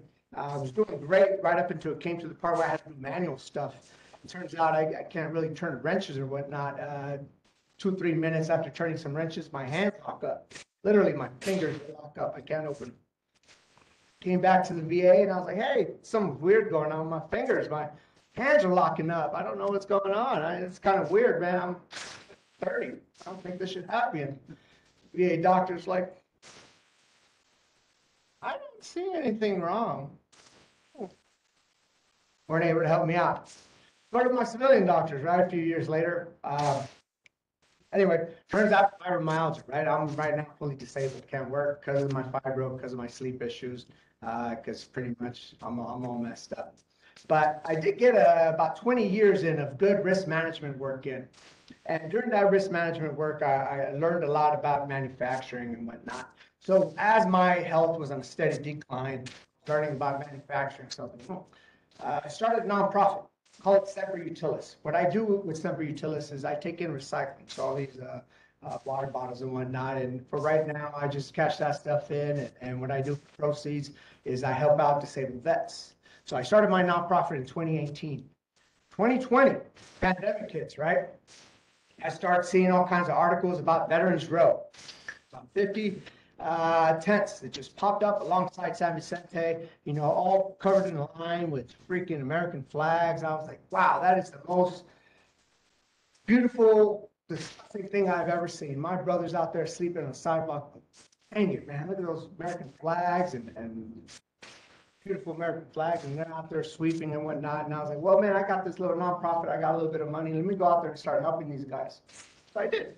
Started going out there in 2010 2020, taking them hygiene kits, clothing.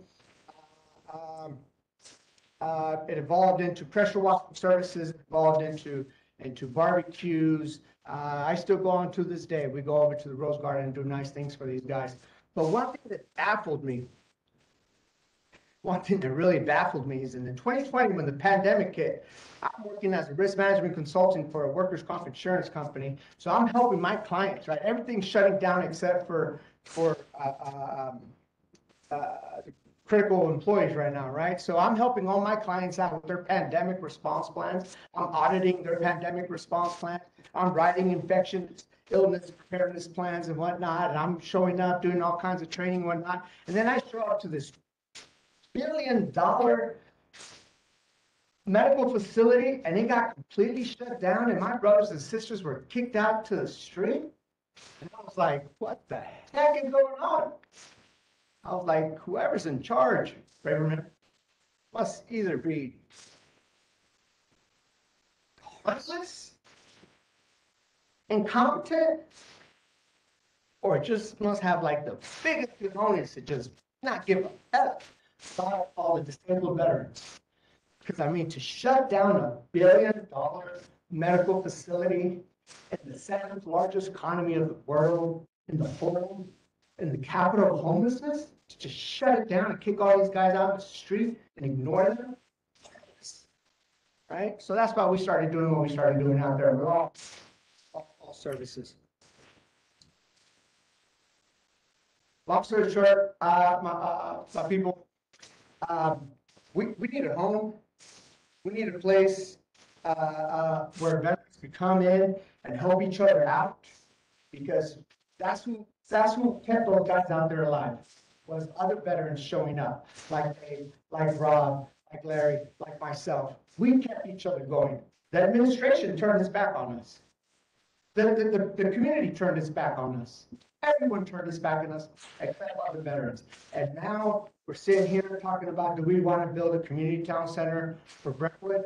Do we want promenade? Do we want, you know, public parking spaces for a public train? No. We need a home for veterans where we can come in and, and, and, and, and heal.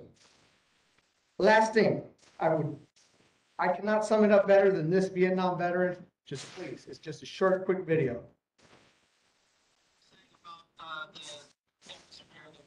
This is during the cleanup when. Sorry, this is during the cleanup when the sheriff was actively, uh, uh, with, with the bulldozers tearing down the, the, the, uh, sets.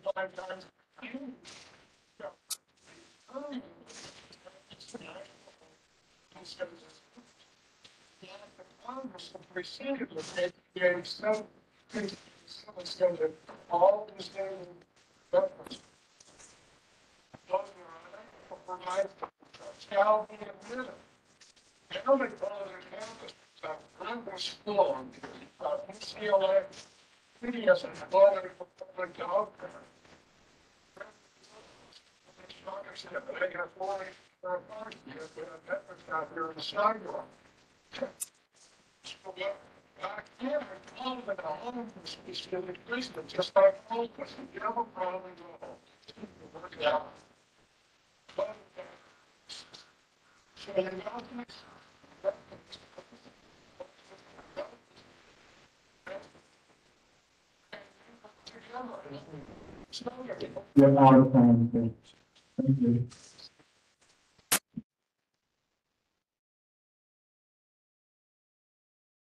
Thank you very much. We really appreciate your efforts. Uh, next for us is a presentation from, um, the city of Detroit.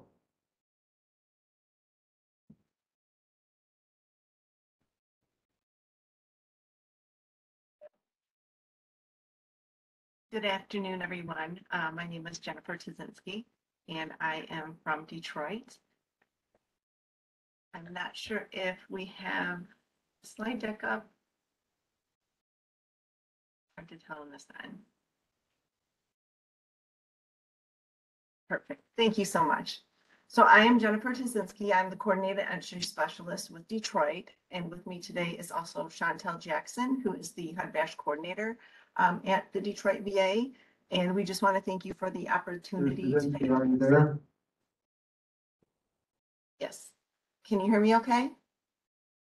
Ms. Jazinski, can you hear me? She's presenting and she can hear you, but I guess you guys can't hear her. No, ma'am, we haven't heard it yet. Just, uh, just a moment. We're checking our controls here. Jennifer, they're having some some audio issues from the the WebEx, so just hold on for a second. Okay, I sure will. Thank you. Mhm.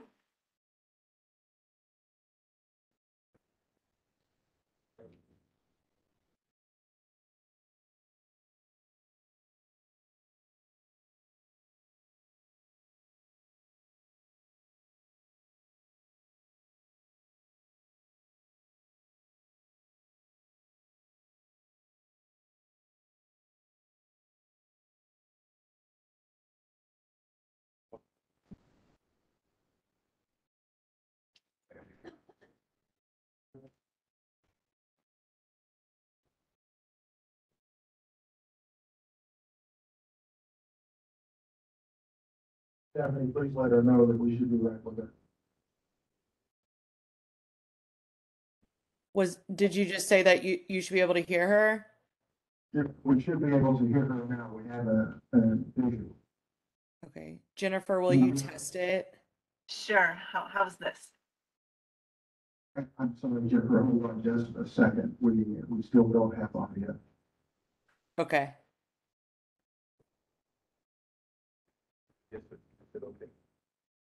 Jennifer, could you hear us, ma'am? I can hear you, yes.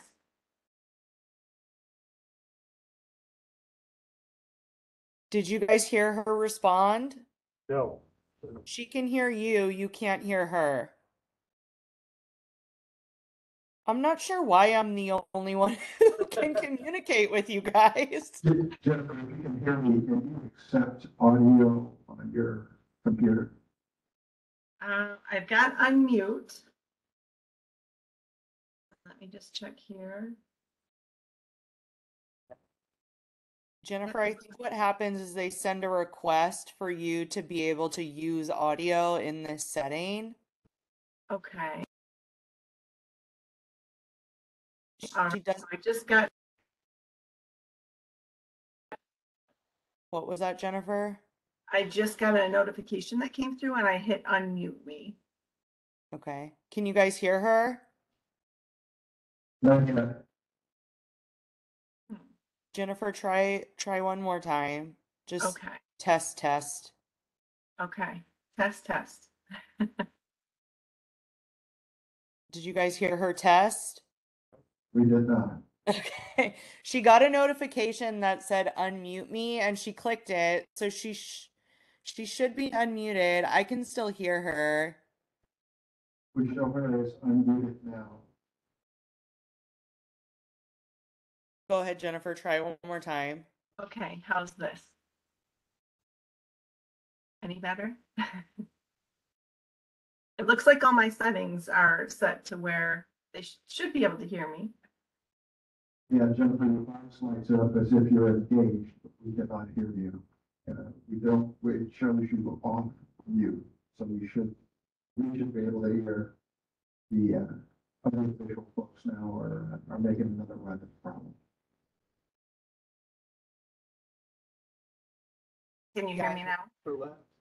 I, I apologize, this is uh, taking so long, we just had to have one of these WebExes with, uh, with some other folks, and it seemed to work okay. Try, try again now, they move the volume. How's this? Testing one, two, three. No, I, I still think they can't hear you, Jennifer. Sorry about that. Oh, that's okay. Yeah, I, I've. It looks like.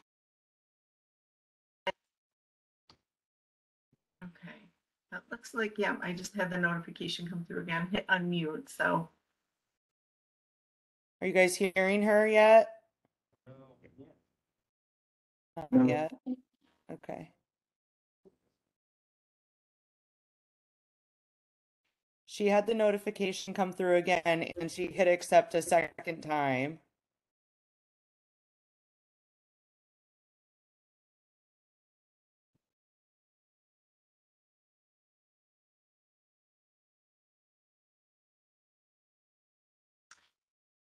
I wonder if Chantel, do you want to try and see if they can hear you? Maybe it's something with my system. Oh. If Chantel can hear me? I can hear you, but testing. Who said testing? That, that was Chantel. I think Chantel's mic is working. Chantel, say something else. Afternoon. Yeah, we've got her. Yep, um, I'm clear. Okay. Box in the upper left. Should she click on that? So Jennifer and Chantel, I can hear on the WebEx side. Chantel, it sounds like is coming through to you guys, but Jennifer still is not. Right. Any change? Chantel, is it possible that you can go ahead with the presentation?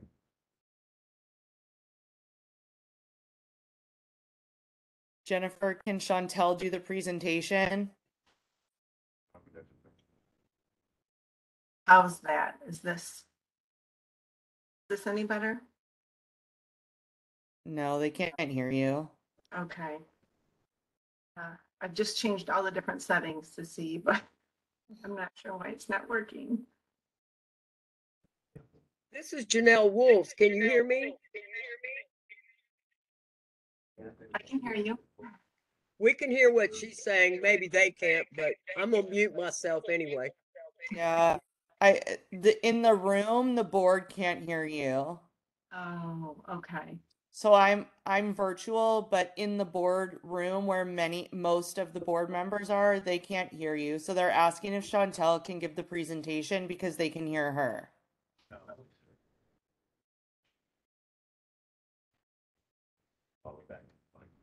What do you think, Jennifer? Um, I'm going to see how Chantel feels about that. I mean, we can try. Jennifer has a lot of information in regards to the coordinated entry process, which I'm sure is very detailed, but we can try, maybe if you get, I get started and then maybe you can speak, at least the members here can hear, and then I can pick up with the HUD VASH. General Hopper, how do you want them to handle that? Do you guys want to maybe call Jennifer while Chantel mm-hmm. starts and then try to figure out if you can make it work with her? Yes, that's what we'll do. Thanks, Stephanie. Okay. And Go there's ahead, a number too, Jennifer. I don't know if that helps if you want to maybe call in that phone. Isn't there a phone number too?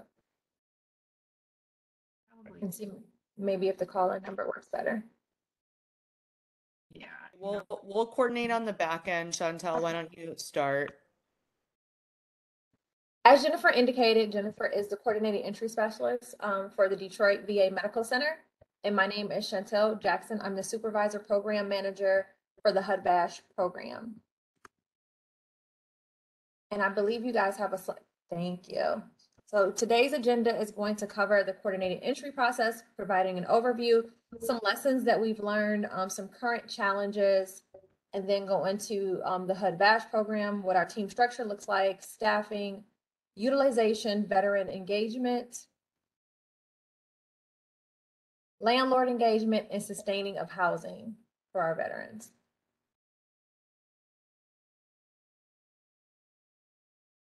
And you can click to the next slide.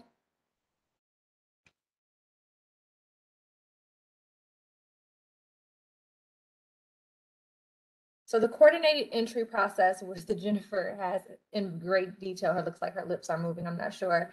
Um, but Jennifer, um, works in tangent with, um, uh, with another staff member as well. So Jennifer covers the large bulk of the area for the Detroit VA Medical Center, which is, um, Detroit. In addition to, um, Highland Park and Hamtramck, which are two smaller cities, um, kind of within the city, larger city of, Detroit. And then we have a second coordinated entry specialist who works the out county areas, um, which are a little smaller settings, but outside of that, uh, larger, um, urban area that we have. Jennifer, I saw you nodding your head. Are you all set? or-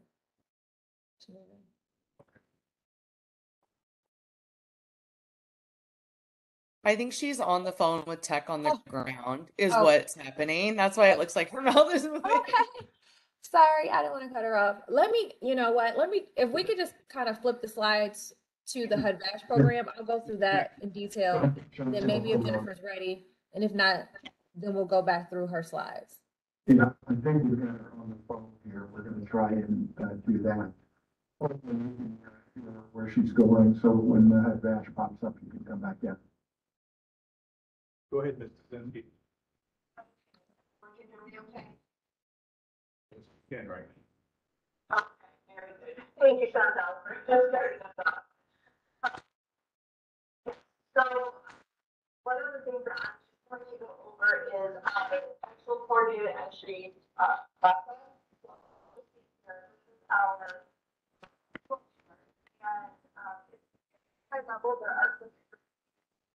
Um, which there may be questions that come later, but you have to answer. But just to give you an overview, so our um, was that when Metro presented homeless. uh, They're initially referred to what's called the coordinated assessment model, which is CAM, and that, um, and so, uh, the, uh, through, uh, conducted through the shelters, uh, via phone, CAM, or we actually have a person on site at the VA hospital that the veterans come to the hospital, they can connect with that individual. So that person's going to do the initial homeless assessment, uh, to run the SQUARES report to see if they, um, are actually a veteran. And based on that, if they are not, then they'll be routed to the community resources. If they are, then, um, they'll then move forward with the process. So if they're literally homeless veteran, they're first gonna work on trying to do diversion with that veteran. And what that could look like is they could be reached referred to as a CF for uh, diversion assistance, uh, or we have a social worker on site at the VA hospital, that they may get connected with the spot. If we are not able to support that veteran or provide prevention services, uh, then they move forward with having a homeless assessment completed. And that includes, right now, the for that, we are still using that, but it's just an initial tool and we are looking at exploring other options because we know there are challenges with that tool. Um, they also complete, uh, the HMIS assessment, uh, and an ROI. And as you'll see, the branching off to the right is what happens to the veterans on our by name list and connected with their, uh, housing support. So when, uh, CAM does their homeless assessment, uh, that which triggers our by name list coordinator to, uh, identify which resource the veteran, uh, is best best to be connected to. And initially, it's based on their yes to that score. So a veteran that's first between a zero and three is considered self-resolved, they need medical supports or resources. Uh, four to seven, uh, housing. And if they're or above, they're considered, uh, permanent supportive housing. So based on those initial scores, that's how we identify what they could be referred to, that we gets sent to my S, either to our SSVF partners or our PSH providers. And PSH could be the actual VASH or maybe PSH if the veteran doesn't qualify for funding. And so then from there, the veteran connects with those supports and moves forward with permanent housing. While that's happening, when Cam does the uh, homeless assessment, they refer the veterans afterwards to shelter. Cam notified the VA the shelter placement, and then the VA completes the clinical assessment, uh, which is done for veterans who identify as, uh, or if they're going to be placed in GPD or contract residential. And so based on the appropriate and the supports that are provided by, uh, agencies, um, something that would assist them to get to permanent housing, then those referrals are completed uh, to those providers. So as I said, that's a, a brief overview of our system, and then I'll go into more details um, as we go through our current challenges. You want to go to our next slide.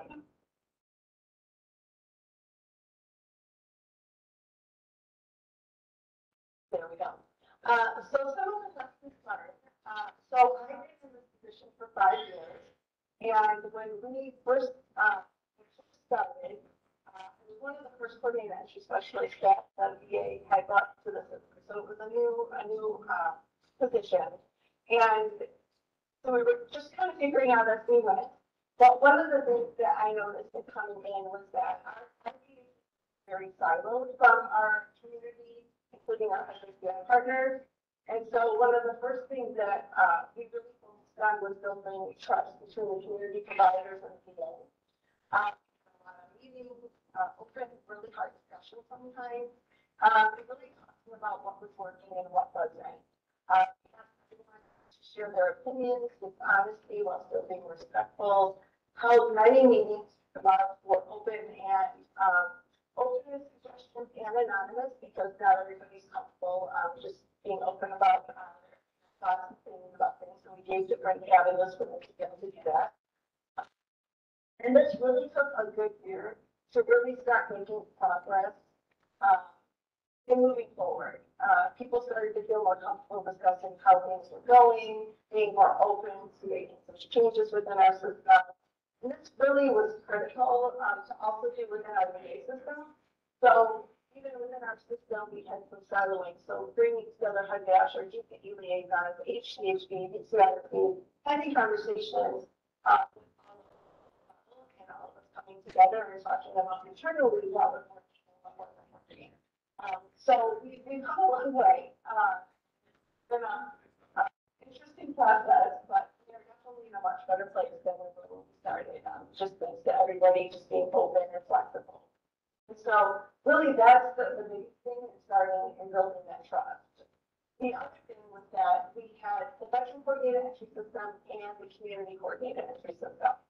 So having two separate systems, we recognized was that not all veterans were accessing the resources that were available for them, for them. For various reasons, some didn't think that they were veterans.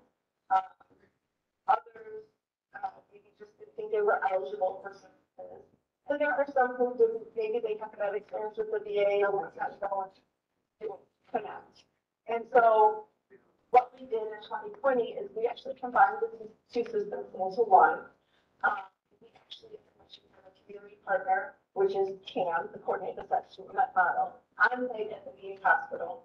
There's also a caller number that veterans can call if they're not able to come to the VA and access homeless services. So anywhere a veteran they're screened through CAM and then connected to homeless services now. And we have been able to connect with those veterans who previously would not have ever access to the resources that are available. Um, The, another lesson learned was assessment. So we had to work through how the process would flow. Um, mentioned, CAM does the initial assessment, um, and then each of us, that is assigned a track. Uh, so as mentioned, here, permanent supportive housing, rapid housing, and self-resolve. Uh, We do have a progressive engagement policy to shift veterans as needed within our system. So as mentioned, the VI SPDAT score is just the initial tool. But if we have a veteran that say initially was referred to SSVF based on that the VI SPDAT score, but after working with that veteran, is recognized, you know what, they actually really would benefit from more assistance case management supports in order to be successful in their housing. Then we have a process that the veteran, um, uh, referred over to HUD-VASH, and there's a form and a policy that is for that. And while that's fairly common for SSVF, what we also did was then adopt that with our version for doing a contract residential providers as well. So if a veteran is at one of those sites and, um, they might not have ever engaged with SSVF for whatever reason, but the site has recognized that there is a clinical need that the veteran fits from HUD-VASH, they can also submit a progressive engagement referral over, uh, that with, um, some of the other parts of the assessment is that initially, uh, a veteran came represented, you with the assessment and they get referred to shelter. And what was happening is some of our veterans were getting lost in the system. And so now what happens, CAM will refer them to shelter, but before they leave, they do a warm handoff to our HCC social workers who do that clinical assessment. And what that does is that, um, has expedited the process of getting that veteran connected to HUD-VASH, because we need to have that clinical assessment for HUD-VASH. And also expedites them getting referred to our or contract residential programs as appropriate. So we made some adjustments in the system as we, as we move along. Uh, Another lesson learned, uh, so our findings, originally it was the Excel spreadsheet. And um, the numbers limitations for Excel. So in April last year it was, um, actually put our by name list into HMIS. Uh, and now we're able to run reports, which is better able to provide data analysis, um, and really looking at uh, how places are going to based on that data. So still one of the challenges that we're facing is just making sure that the data is constantly updated. And, um, we've got policy constraints regarding that, we're just monitoring that, which are finding reporting for us too. Uh, also then is our improvement team. So we knew there were many projects we wanted to and issues within our system that we needed to fix. Um, we needed more than one or two people to do this, and so we brought together a working group who actually does the work and test projects. So some of the examples of, uh, worked on is implementing the progressification process for the contract residential sites, uh, better engagement of our case management right within our system. So we do have a case management grant really has been brought in initially. Um, just they were doing, we were trying to figure out, so we were able to bring that in better. And then also ensuring that our vets start working on completed vital documents as soon as they hit GP and contract residential. We know with all of our programs, is critical in just being able to get housing, um, those items that we can, the development project. We also have the GPD strategy team. So as system is changing, so when initially around five years ago, we had fifty-four homeless veterans on our by name list. Right now, we have about hundred fifty. So we made a significant decrease in those numbers. And what that means, our GPD utilization rates have gone down. And right now, we're operating about thirty to forty percent utilization of the site over the past four years. So we're being part of what's called the last final, so that's working with solutions. Uh, Detroit and DC were identified as mile communities, which means we're just at that point where, uh, we need some additional big resources to help get us to reaching our criteria benchmarks and veteran homelessness, which is really exciting. But what that means is that our numbers are going down, and we need to do some right sizing with our beds and the number of beds that we have. Um, but then also supporting our CPE program so that they can still serve our veterans, but it might just look a little different. So we are, um, have GPD strategy meeting that is helping us be able to do that, help for our community. All of our GPD providers are a part of that, um, as well as our community partners and of course the VA as well. Uh, housing first. So this is pretty basic, uh, the housing first model. Uh, one of the things that we recognized is that we didn't really ever talk much about it. And so when it came up, there was a lot of misunderstanding of what housing first meant.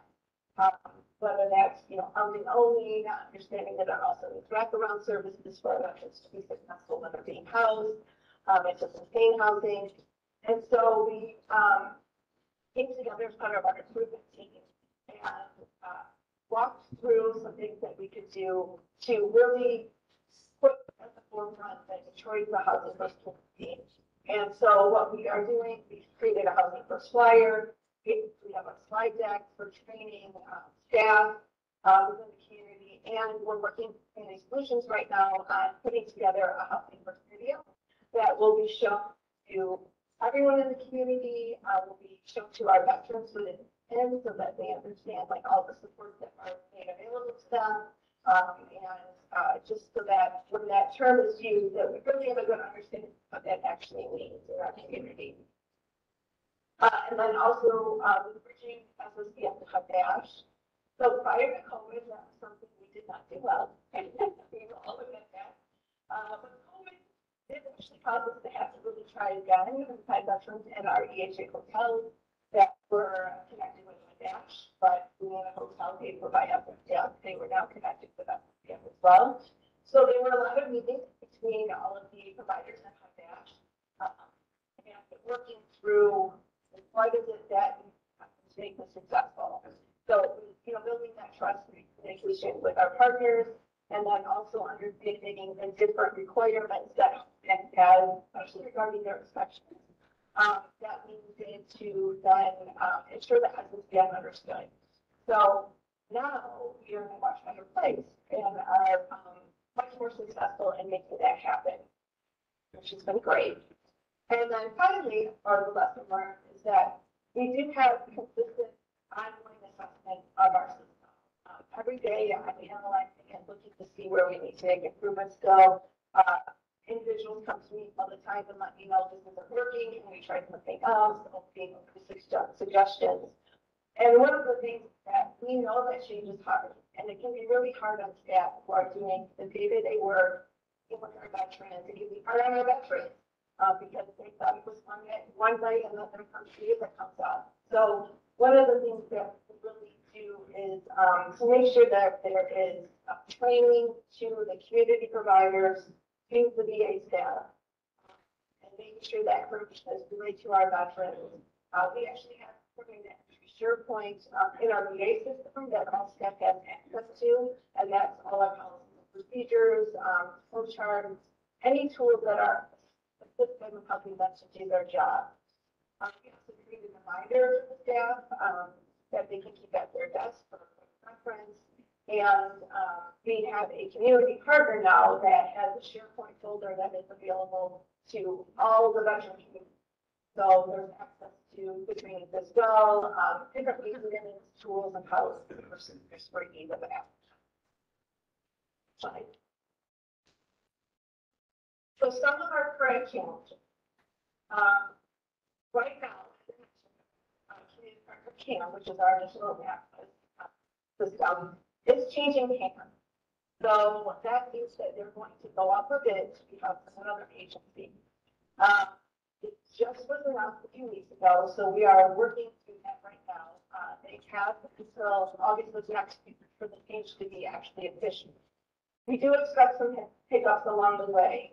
Uh, so in order to ensure the veteran system, uh, community is uh, represented, uh, participating in all the various meetings and bringing in different VA providers and community providers who serve the veterans throughout the to ensure that, uh, you know, there's changes that we need to make have happen, uh, that and um, just supporting the process as we move through this. But so far, we still have a person, and we are finding them that will stay. Uh, the other challenges are going to stay in our GPD programs. I know it's not unusual, that's fairly common across the nation. Our average stay is about two hundred and twenty-five days. Our goal, of course, is ninety days, which is everyone's goal, ninety days or less, get our veterans out. Um, So this is a huge challenge, so we're looking at meeting, uh, we're looking at the criteria and benchmarks. So actually today, meeting, we had a discussion about this and coming up with a policy, uh, that will really support our veterans being able to move much more quickly to permanent housing. Uh, we know there are some challenges there, um, they like they it with the GPD sites, they have challenges because they have, you know, they have the sites, so trying to figure out how they can support it. And then also just making sure that our veterans, um, are aware of various housing options, but Jeff does an excellent job and getting connected right away with our veterans, uh, getting them engaged and getting them moved through, um, to get housed within the ninety days. So, um, building those relationships with those landlords in our community, uh, and just like ongoing, uh, search for affordable home housing. Uh, also there is a large portion of our veterans on our by name list who has been through the system multiple times. This is something that we have been aware of for at least the past couple of years. And now that we've got our by name list to HMIS, we're doing some data cleanup work now. Our goal, once that is completed, is to then take a look at all of the veterans who have been through our system multiple times. Um, look at their GPD states, contract residential, uh, that are gone, and really trying to come up with some test projects to see what our system is lacking that is causing our to lose their housing, because there's something that's not working. And so we don't have that answer, but we're really going to dive in. Probably starting next month, I'm looking at that, and of course, you know, bringing in our, doing a lot of surveys with our veterans, um, you know, having persons with experience a part of this, critical, uh, so that is something that we're going going to be, to be working on. And then finally, uh, affordable low barrier housing, low barrier housing is this with all our community. Um, and we did have one of our convert from GP to, uh, low barrier, low barrier housing, and that just opened, um, last month. So we're seeing some veterans who never were able to get housing because they might have had multiple evictions or background, um, or whatever the case may be. Now being able to move into those units.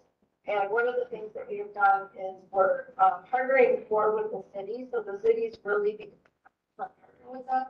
And we just found out today that they are now requiring that any developer that provide housing to our veterans they have to be the VA, and they have to get approval from the VA and support from the VA in order for the city to even forward and approve that.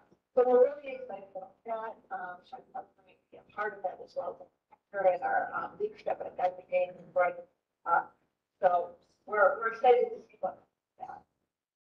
And I will now turn it over to Chantel to discuss our financial. So the HUD Vash program has experienced a number of the same challenges that we've been working together, the- the coordinated process.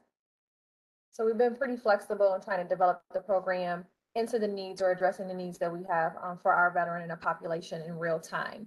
When I initially started with the HUD Vash program, we were literally one program um, under one supervisor. And we just realized that that just wasn't effective for the area that we're covering. This HUD Vash program in the Detroit VA covers um, five different counties. So These counties um, in distance could range from 30 minutes to two and a half, three hours, depending on travel, depending on weather, depending on that time of the year, other elements that may impact um, travel and distance. So we, right now, what we have is a structure where there's a program manager, three separate teams, three separate supervisors, and then three team leads, each assigned to those teams. Each team also has two um, dedicated social workers who are what we call our engagement team or engagement workers, where they are meeting the veterans where they are. When those veterans are referred to the HUD-VASH program, they are the ones that are boots on the ground, ensuring that they have the documentation required in order to complete the MSHDA application. We work with the Michigan State Housing Authority, ensuring that the PHA has all documentation in order to move forward with a briefing. Ideally, when a veteran is referred to the HUD Vash program, we want to make a decision regarding um, eligibility admission within seven days. Ideally, we have an application set into our housing agent's office within a week. And then that allows the housing agent's office some additional time to review. And we're having briefings twice per month to ensure that a veteran that comes through within two weeks, that veteran is going to have a voucher. Within that process, that engagement social worker is meeting with the veteran, providing them with three to four viable housing options. What we like to see is that by the time a veteran is scheduled for that briefing with our housing agent's office, that they've already selected housing. That way, when they attend the briefing, we're able to complete landlord packet, rafter packet, submit that to landlord, housing agent's office, and kind of get started with the inspection process and keys in hand. Once a veteran has completely gone through that process to keys in hand, that veteran is then transitioned to another social worker within the team to then connect that veteran with ongoing resources. When a veteran first enters into our program, we know we're, you know, we are dealing with those challenges where a veteran may have medical issues that are unaddressed, may have substance abuse issues that are unaddressed. We are literally connecting them with services at that point. But then once they're housed, those services will continue with the social worker that continues that ongoing case management. What's really great about our team is that we also have one peer support that is assigned to each team, which allows us to still use those empowerment, teaching skills, life skills, those one-on-one that peer supports can reach that we can't usually reach um, as social workers too, because there's just a, a connection that these veterans have with peer support that sometimes we're just not able to reach. Across the board that are not necessarily assigned to each team, we also have two psychiatrists, we have an occupational therapist, we have a nurse, and we have um, a SUD therapist, social worker that's dedicated to providing those services to the veteran. We also have a psychologist and we are in the process of hiring a second psychologist as well. So as this program continues to grow, we continue to, you know, put in place those entities, those programs that will further support the veterans that we're working with. Our structure right now is set up again, covering five different counties. Nine hundred and twelve vouchers are provided to our area. Next slide.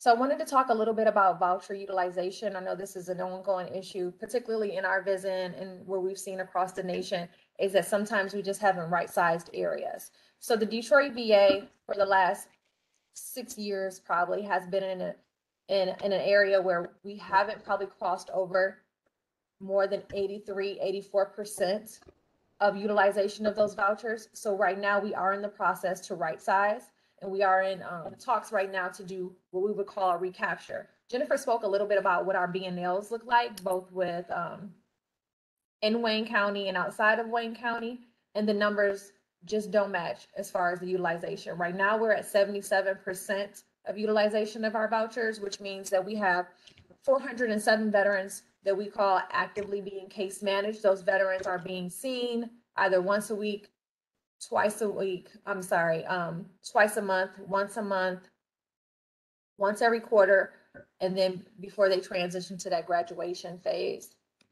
If a veteran gets to that phase where they've gone, um, over into graduation and the aftercare, and they're no longer in need of the ongoing case management services that are provided, then they're allowed to continue to utilize that subsidy. And that portion of that program for us, we have 265 veterans. What we did find is that a veteran who may have um, discharged or you know met their goals and no longer needed case management a few years ago that may not be the same for them more recently so what we experienced um, in detroit is a number of veterans who were losing their housing who didn't necessarily um, need the ongoing case management but may have had issues with paperwork may have had issues with engaging with their landlord issues with um, completing proper documentation overall for the housing agent's office. And what we never want to see is a veteran who then transitions back into a homeless status because they haven't been able to complete documentation. So what we've done now is assign two staff members per team that focus solely on those engagement cases. So then we're following up with those veterans once every six months. And if it's ever determined that the veteran is in greater need of those services, then we can transition the veteran back into our team and continue that ongoing case management with those veterans it has been, you know, a tremendous portion portion of our program. Like I mentioned, we've had a number of veterans speaking to our PHAs. We work with two PHAs, I should state that as well too, that paperwork is an ongoing issue, recertification. So we're meeting those veterans, whether that's going to be through telehealth, whether or not they're coming on station, whether we're meeting them in the community, ensuring that we can keep those vouchers in their hands and keep that roof over their heads during that process, even if they are in the engagement phase, I'm sorry, graduation phase. Currently and usually we have about 63 veterans with vouchers in hand that are searching for housing.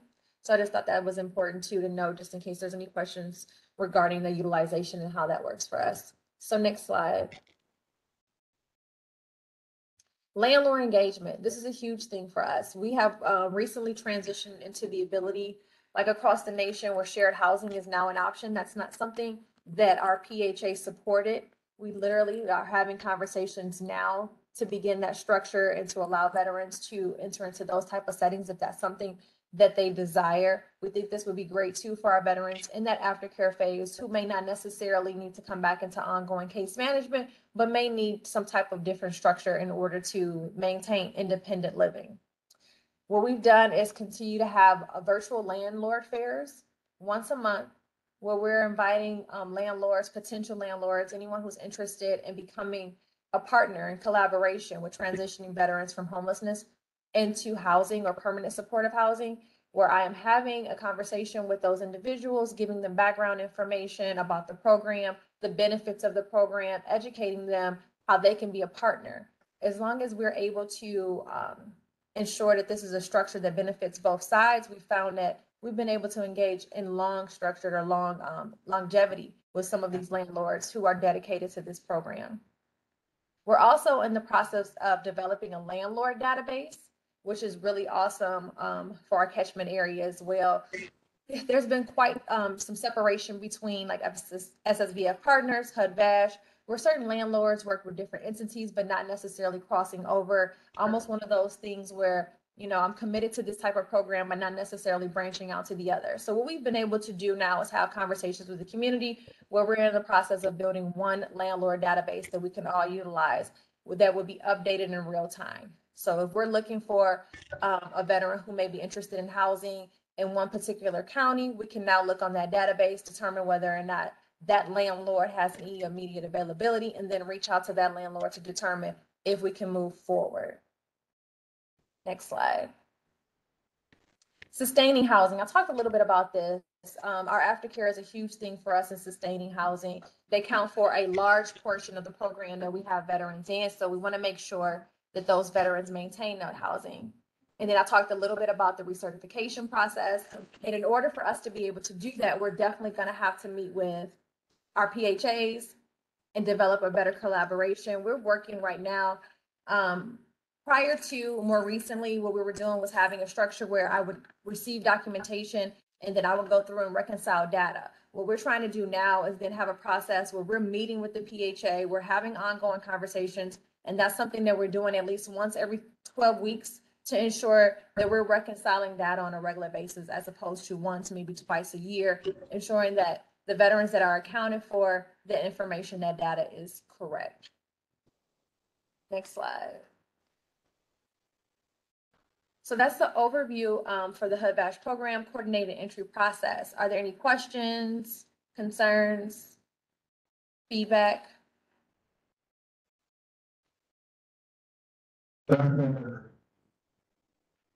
Hello, thank you so much for taking your time to present to our group. I really appreciate it. Um, just a couple quick questions. First, can you tell us what the FMR uh, percent about uh, that you allow for advanced vouchers? Yeah, we heard earlier that DC goes up to hundred seventy-five percent of fair market rate for rent. So we've been able to go, um, it's been able, more recently, we went up to one eighty of, um, so, and that's a huge thing too. That's a really great question because market rate is, was a large concern for our area, just making sure that that not only is the voucher affordable, but it's within market rate for veterans. Thank you, that's extremely helpful. The And it's second been, question ext- I- and I'll add this too, it's been really extremely helpful to be able to admit veterans into our program that are hundred percent service connected, whereas that's something that was not an option before. So we knew we had a number of veterans who met the criteria for case management services, but didn't necessarily meet the income requirement. So we weren't able to provide them with these wraparound services, which is awesome because we're meeting them in the community with these services where they don't necessarily have to come into the hospital. So it was really hard to turn away veterans who we knew could use this support on an ongoing basis. But because they were hundred percent service connected, that's something that we weren't able to do. So right now, with that increase, that is something that we've been able to engage with veterans. That's great, thank you. And then the last question is the um, landlord relations staff person, is that a VA staff person or is that contracted out to an outside agency? I heard the first part of the question, but I didn't hear the entire question. Could you repeat it one more time, please? Sure, so sorry. Um, the landlord engagement functions, Mhm. the person who does that or people who do that, is that a VA staff person or do you contract that function out? So that's a VA staff person. And I will add to what we've done as well, uh, we've added what we call a landlord line too. So it's a direct connection to the VA hospital where landlords who are interested, potential landlords who may not have worked with our program before, can leave a message, inquire about the program. Then they're followed up with by a VA staff member and invited to a landlord fair to become better educated, what we call an information session. That landlord line is also used for active landlords. So if a veteran is having, um, or if a landlord is having a concern or needs assistance regarding a tenant issue, a housing issue, they can also leave a message as well. And a VA staff member will follow up with them, very specific to that veteran that they're renting to. That's great, thank you so much. Okay, Chantel, thank you very much. And thanks, oh, I'm sorry, excuse me. Mr. Montgomery. Hi, Chantel. Uh, I heard you talk about the people the kind of aftercare and the support that you need to provide for people who um, leave the program, who don't sustain the housing. I'm wondering if you have any idea of what percentage of the people you place who are veterans leave the housing? You know, we're actually pulling that data now. That's something, I don't know, Jennifer, do we have the numbers on that yet? That's something that we were actively working on less than thirty days ago to, so we would um, have a better understanding of what that recidivism number is. Sure. Do you- do you just have a general idea, like a rough idea? For example, I was recently in a city where Mhm. Percent of the people they place in housing dropped out of the housing. So is it there or is it less or more? I didn't hear the percentage number that you indicated. You just don't have a number? I didn't hear the number you said, but I would estimate that our number is probably about eight percent. Okay. Thank you so much, Chantel. Oh, no problem. Okay. Chantel and Jennifer, thank you very much for your time. We appreciate it. Great information, will be very useful for us. Thank you.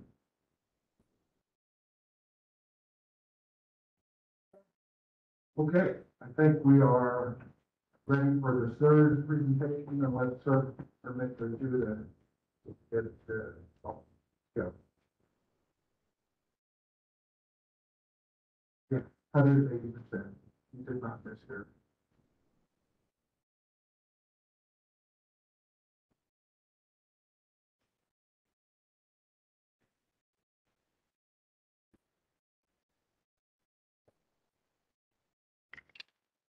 It's pretty hot, so if anyone's breath, you want to get a water, excuse me, I'm get some speakers here. If you want to get a water orange juice, uh, do I need this? Can you hear me without it? They won't hear me? Oh, right. So does anyone want to like take two minutes to get yourself water, orange juice, or stretch or anything like that? Let's make them do that, John, and they won't be so cranky. They have to all afternoon. See, it doesn't to hear. The crankiness does apply to the chair. I get cranky too.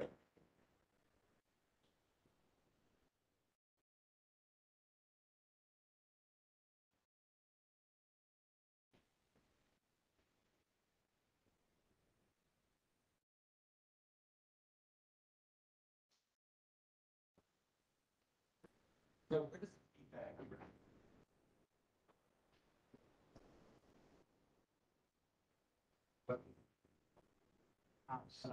So without mine, uh, if I use a different mic.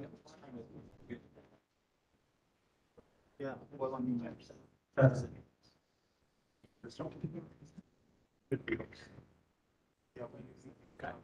All right, does this mic can, and this camera can pick you up. Feedback on this one, let's feedback on this one. I'll move this over here, so it's gonna be facing you. All right, good, thank you.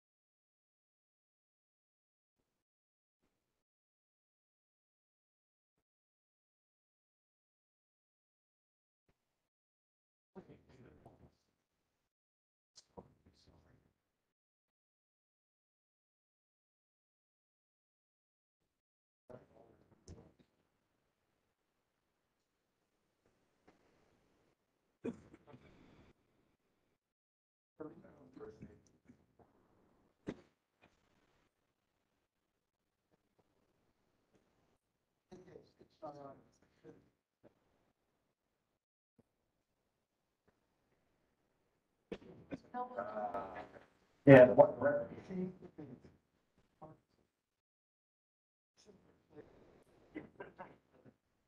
All right, so I'm gonna get started. Everybody has their couple minutes to cool off and get some water, some juice, or whatever. All right, I'm gonna start off by introducing myself because I'm fairly new here. I've been here all of a few weeks. Um, I'm, I'm a pacer, so I hope that doesn't, I'm hot. All right, so my background is I've been doing this work with, I've been working with the homeless since the late eighties. I was working in a community drop-in center place called Madden Community, um, Columbia Community Services, University Community Services, it's now something else. And I ran a, a drop-in center for homeless mentally ill persons for three. And many years later, here I am. I think one of the great things that's happened since the late eighties, when I started getting involved in this, is that we actually know what to do now. I mean, we have evidence-based interventions that work. Uh, they've been proven again and again. Uh, we, we know how to implement them. And we know the resources that are required. And incredibly, and I say this incredibly because I've been doing this since the late eighties, we actually have the resources to follow. That's something I think anyone I see with gray hair uh, will tell you we never expected to happen. But it's a moving target. So what always happens is we've figured out how to solve homelessness. It's always in the rearview mirror, always changing. So that we always have to change too. So everything I'm telling you today, and a lot of this is not going to be news to anyone here, um, but it, but we have to be always prepared to evolve. And that has to be based on the data we see. And there's two forms of data. I mean, we're all comfortable with seeing the numbers, right? The dashboard, the Darrell show us. Those are nice, it's nice, nice eye candy. It helps us create decisions. But we also have to call the providers. That's our early warning system. They're the first ones who are going to tell us when something's off or something's working. Because by the time we see the data, it be months, years after that. So we want to be responding to things that are happening in real time, we need to use qualitative data in addition to quantitative data. So that's some of what I want to talk about today and how we frame our response. So the response isn't just what we learned five years ago. And COVID obviously has changed a whole lot. It's changed the market. It's changed the people we serve. And it's traumatized a lot of people. I wouldn't suspect people in this room too. Uh, but particularly it's traumatized, you've heard it, I think, in some of the public comments, from people who all of a sudden couldn't get services because of lockdowns, uh, because of all the changes that happen in society. It really tremendous stress. So let's go, oh, and I introduced folks already, so again, slide. So the four themes I want to talk about today. Um, I've been here all three weeks. I am, full disclosure, I am no expert on geology. I'm just repeating to you some of the things I've heard from staff here, from our technical assistance folks, and also drawing on some of my own knowledge, uh, of course, you know, knowing what the evidence-based practices are, and some of the things that, that have been done in the field that work. So that's sort of a conglomeration of different things. So there are four things I think we need to do to be successful. First, we have to have a clearly articulated mission and priorities. That sounds simple, right? I guarantee you it's not. And a mission is more than just preventing homelessness. It, it is a- an understanding by stakeholders, that includes our staff, as well as external folks. What does it take for us to get there? What are the components of that mission? And what, what's it gonna look like when we get there? So everybody has the same understanding, because otherwise everyone's off, I mean, we have staff who work incredibly hard. And, and one of the things I can't stress enough is how many talented people I've seen here who are working incredibly hard. Uh, but, but it's like, you know, the dribble and hate, and how do we make progress? And then everything has to be in for it to work. So our, a big part of that is communication. So we need to be transparent. Everybody has to understand what the mission is, or we are not going to achieve the mission. Um, and, and that requires communication, with external stakeholders. So we have PHAs, LAHSA, we have our, all our funded grantees. Everyone understands what we're trying to do, because they can't help us if they don't understand what we're trying to do. And our staff can't be successful if they're empowered to pursue things that advance the mission. And they only can advance mission if they understand the mission. We need improved capacity, and I, I think sometimes we get hung up. I don't know, I think it's on before, but it isn't before, we get hung up on how many staff, so we see seventy-five percent FTE, and it's terrible. It's not good. The reality is though, LA can still be expected, no matter what we do. We just got offered, uh, the homeless program office gave us ten percent bump on salaries last year. You're gonna do it again this year. That's great. That helps. But it's not just staff. Capacity talks about how we integrate services, how we make them more efficient, how we use all our partners, all the folks who run them. Uh, That's capacity. It's not simple seventy-five percent, here's the bar chart. And finally, fourth team, I want to talk about staff support. I mean, we can't have demoralized staff because they feel like no matter what they do, it's interpreted as failure. No matter what they do, can be in submission, we're not making the goal. And they just feel like every day is another crisis. Every day is another, we got to respond, so and so, why we didn't do this and that. And these people are working very hard. Ninety percent of them. And we want to support them. We want them to feel valued. And there are a number of steps we can do to do that. I mean, the pay thing is part it, but that's only a small part. Basically. Okay, our clearly articulated mission, the very first thing we must do, it's just like coming into an ER. The medical center, when someone comes into the ER, isn't worried necessarily about, you know, some secondary chronic health problem, yes, that contributes. But they're worried about saving your life. You're in the ER, you're having a heart attack. That is the focus. After they work on your heart attack, you know, then maybe we can talk about your backpack. So when we have veterans coming to us, unsheltered veterans, veterans in the street, we're being traumatized every day. Every day, we leave them out there, the chance that they will have a serious, um, result, you know, comorbid, uh, some morbid result, some, uh, potentially they can die. Uh, certainly not good for health, physical or mental. So we've got to get people off the street. That's the first priority. So one of the things we've made a commitment on over the past, uh, we've been, of course, CCARE is a great example of that. We are working now on something where we can have an on-demand system for every day. So we can pick up the phone, and it's not just known to handle outreach work, but it's known throughout the community. The phone numbers are blazing on our website where you can call because you know a homeless veteran who needs help, and we can get them access same day shelter. Doesn't mean same day CTRS. I think people get confused sometimes, they hear CTRS, that's our emergency health program. It's a component.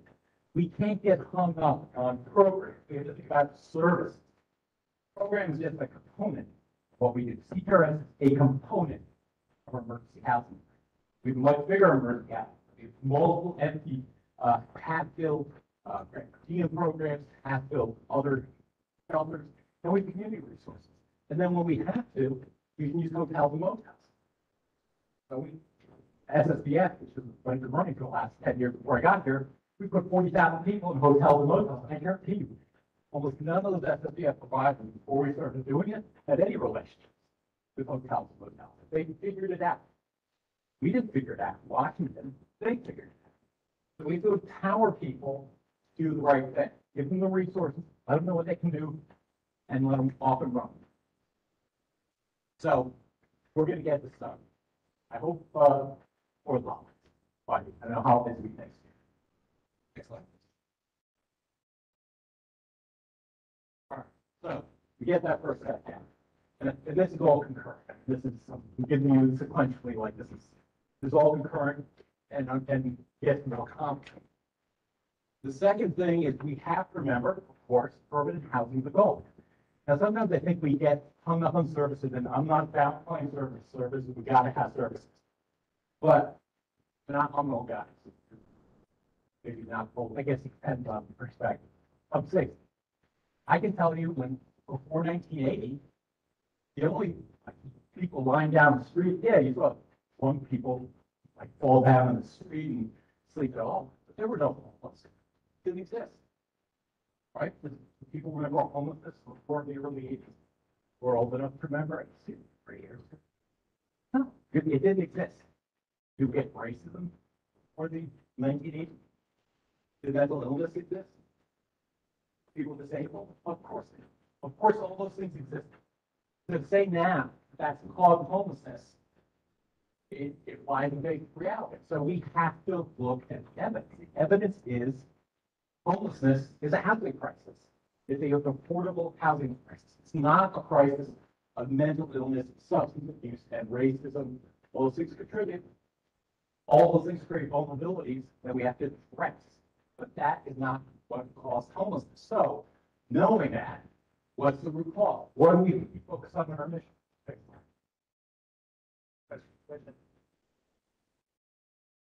Continue with that. Josh um, to continue with this theme, can't have emergency rooms full of people forever. So That's why you get them permanent support housing. Why, is it trying to answer this question, just a question I'm gonna put out there? You've had people in the CRS program now for whatever, a year, in some tiny houses. Why haven't all of those people been housed by now? I just, it continues to blow my mind.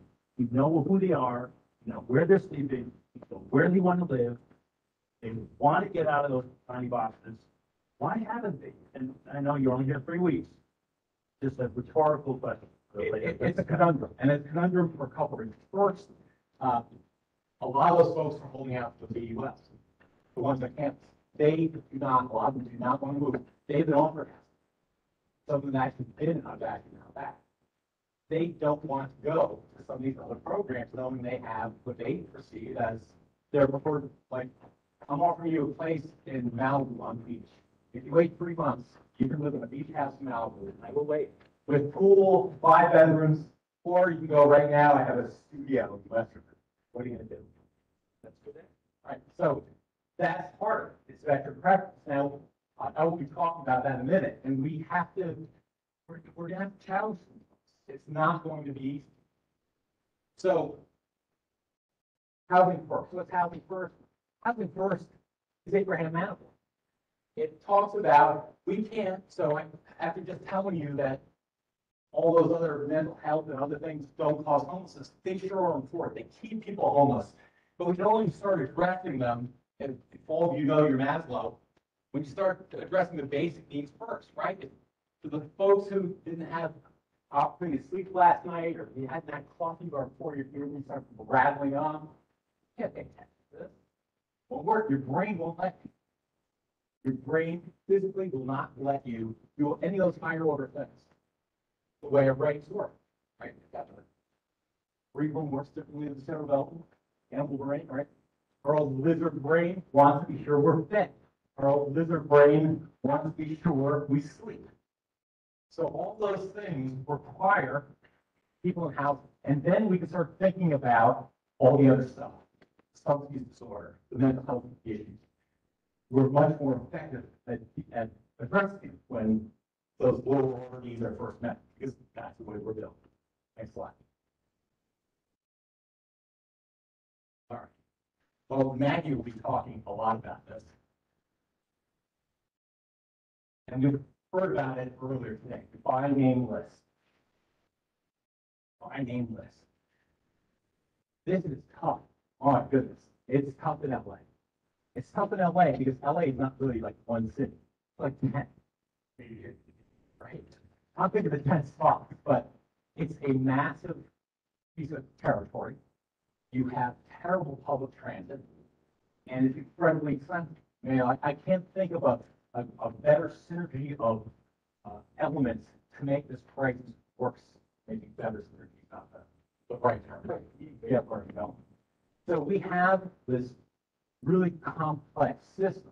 So we have to break it down. We can't think of LA one city. We have to think of it, and then has been thought of it as in terms of the SPAs, but it still has to be unified. It has to be a unified plan with enough local variability that each SPA can do what's appropriate for that local area, but tied together to a bigger plan. Again, Maggie, we talked about before, but the BNL will be, and we're talking about this now, it's not just accumulating the number of veterans uh, and figuring out who's getting assigned services and who isn't but we need to use a health, health framework case conferencing. Um, one of the speakers, I, I don't remember which one we heard on the audio, talked about progressive engagement. So there are a lot of things we don't know when we initially sign someone to a online, right? It's usually just simple screening. Someone gets assigned, guess what? A month later, you find out a whole lot more. The person's in better shape, worse shape, who knows? But you find out a lot more over time, and that evaluation needs to evolve. The assessment evolves. At that point, you may use that name list to change the way your case conference and serve that veteran. Uh, and then we we have a responsibility to make sure we're regularly reviewing these finding lists. It can't just be two people in a room. And I know Maggie just works her heart out on this along with LAHSA. You know, essentially two people in a room filling out lists and lists and sticking them on, I don't know, what's up in Excel, I don't even know honestly. But filling out lists of lots of things. This needs to be a dynamic process. We need to have lots of eyes on this. That way, when you case conference it, you have a number of people who know the people on this volume list and can manage them and make adjustments. It's a dynamic process. Next one. So first, I have to tip my hat, Pat Keith, who was set up the visual website, that was genius. Um, And provided a real lift at a critical time for GLA. So DEMPS was a, a huge boost, but it, it's a short term, it's like an emergency, and that, that's exactly what DEMPS is, of course, for emergency. We need something that's sustainable. So what's sustainable? Uh, Yeah, define DEMPS. Oh. Let me let Keith talk about that. He's the expert. Sure, emergency management personnel system, did I get it right? medical personnel system.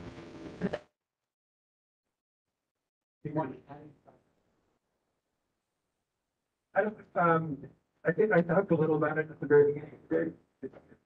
Clinicians are, are all around the country are, are on a list, able to be deployed, it's typically done in response to hurricanes, other kinds of natural disasters. In this case, we use the emergency, homeless emergency of the state of California uh, to do this. And I think you're, you're making this point, but importantly, in that office, the one thing it's not supposed to do is be a pure fill-in for vacant staff.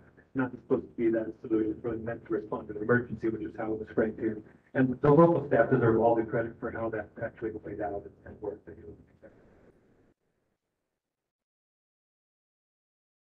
So we build capacity, I talked about that a little bit, um, you know, we're getting more money from HPL. There's a salary survey going on right now, trying to make salaries more competitive. But the resources are not infinite. I mean, we can do some things to try to uh, tame staff. I think there's also uh, more aggressive use of trying to improve peers. Uh, we know veterans, like among with lived experience, to connect with other veterans. Have success sometimes where, where trade professionals can't. So using a real mix of staff, we think creatively how to increase capacity, uh, staffing is all important. Um, and also now, I think more, and and again, you heard one of the speakers talk about it, thinking of SSVF and HUD-VASH as a single service. So traditionally, we've had these two sort of stove type programs, um, that honestly, running SSVF, I can tell you, we didn't, you know, there, there was not a great uh, brotherhood between SSVF and HUD-VASH. I frequently heard HUD-VASH disparage SSVF, I frequently heard rightly disparage HUD-VASH. But that can't happen, doesn't work, um, to, to have these kinds of artificial barriers. And we need these services to collaborate, part because their, their resources are so complementary. Right now, SSVF has strengths in housing navigation. We have all sorts of incentives and landlords and consumers. And those consumer incentives, I think, are, are probably the least understood part of what can now offer, and maybe one of the most important things you can do. Because if you're a veteran, and you at least have a community, if you're in CRS, a community, and there may be some things to do. What if I offer you an apartment, which you, think is great, but you're moving into an apartment that's a bed, it's kitchen utensils, and that's it. I don't, when I come home at night, I like to put on TV. Um, or, uh, maybe turn on the stereo, right? That's part of what coming home means. So a consumer incentive allows our veterans who are moving into that housing to be able to put on a TV because we're gonna buy them a flat screen TV for the grantee.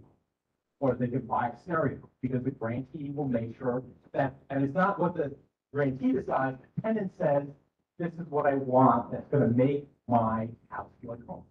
Course, I'll give you legal no violence, but, you know, beyond some broad restrictions, um, we want to create a, better living experience for tenants. So that's an important sentence.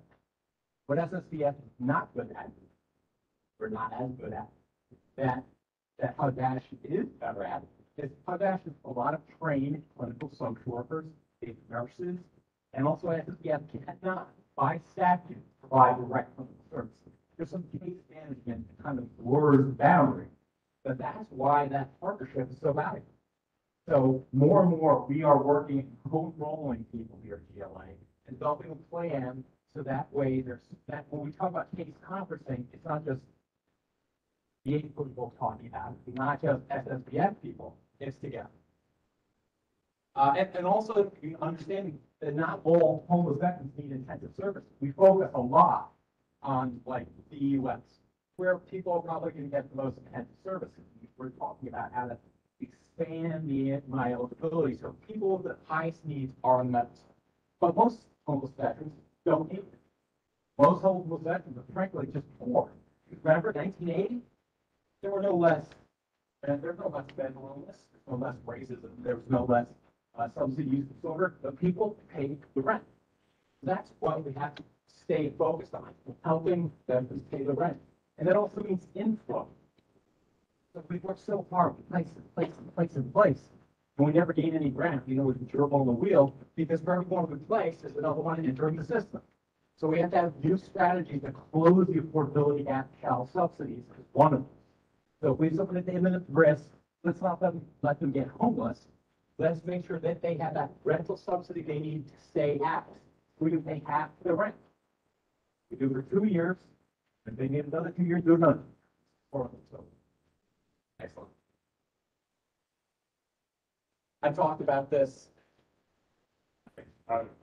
Excellent. These are just, I'm not gonna read these numbers. It just shows you the impact of them. Um, you know, the, the- it has a meaningful impact. It allowed us to do a bunch of things uh, that are really time consuming, that take clinical staff offline. So brings them back online and allows them to be more focused in their work, frankly. Providing direct support to people we're trying to house. Slide. All right, so how do we build capacity? So we've talked a lot about these units. These buildings are gonna be great. But how, how many units is it? hundred and seventy, well, in January? Hundred seventy, I think. What was the pit count in Los Angeles COC? Was it hundred and seventy something? A little more? Yeah, it was like thirty-five hundred. So this is a teeny part of the solution.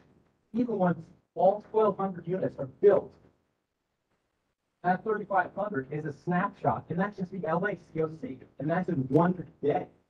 Typically, we know that a pit count, you can triple it to get a real sense of homelessness in a particular area. So, Los Angeles homelessness veterans last year was probably closer to ten thousand.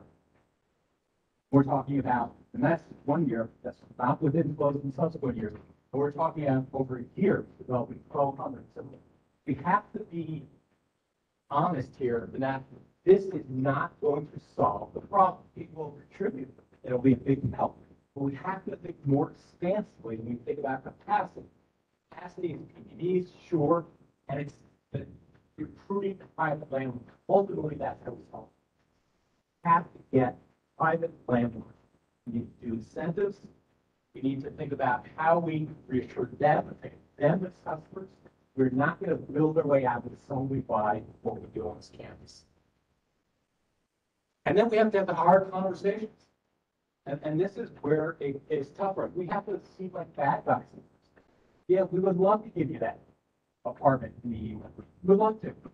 But there's only 170 apartments and you're, part- you don't you don't fit the criteria, for whatever reason, we have to come up with criteria for disclosure, it's not settled yet.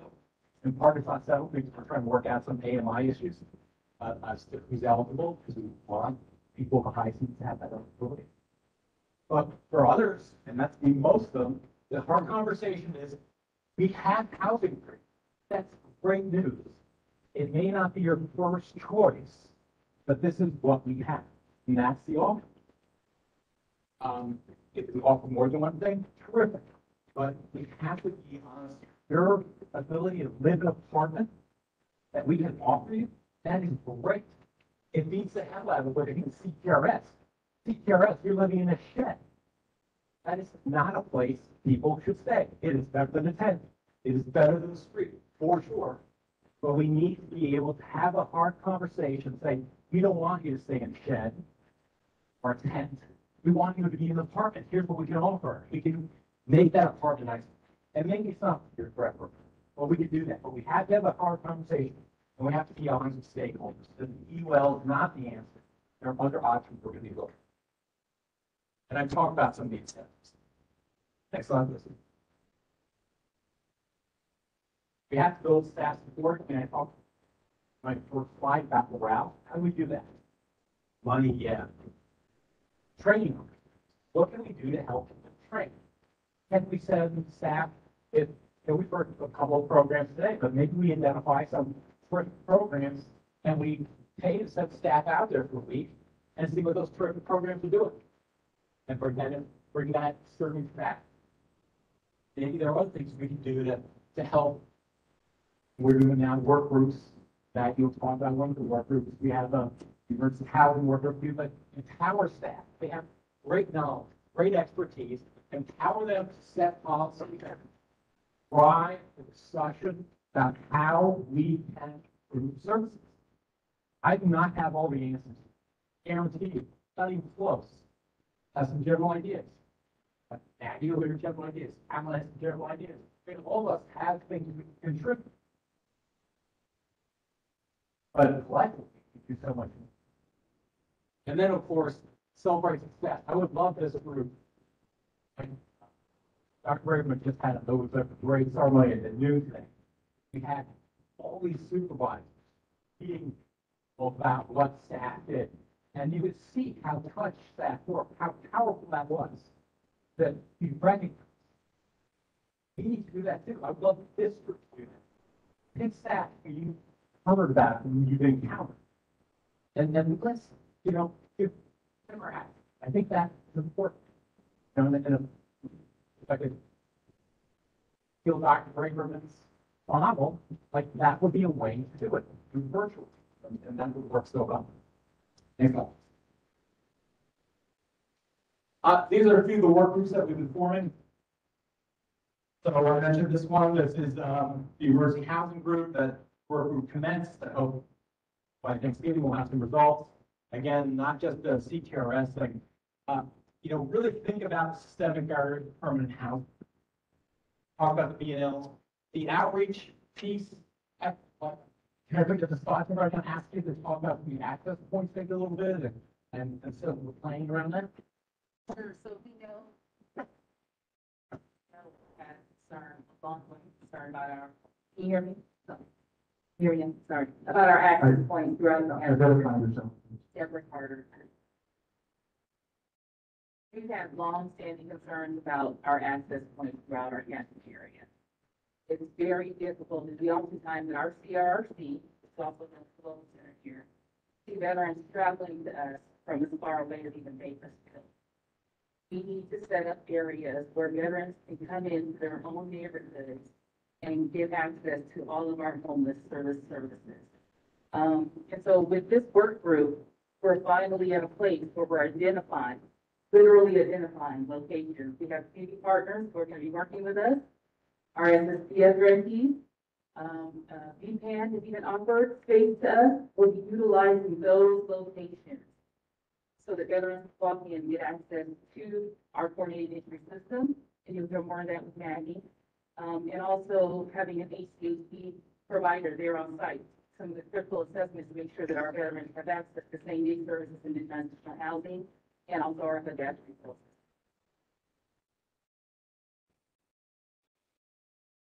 And then uh, a third, or there are actually two others, Maggie, we talked about the, the other work, um, is HUD-VASH coordination. I've talked about that some already, but we, we started on that a few weeks ago. Um, that was actually one of the first meetings I, I stepped in on. Our TA folks have been working on that, uh, even before I got here with SSVF. We had wanted to embed housing navigators the HUD team.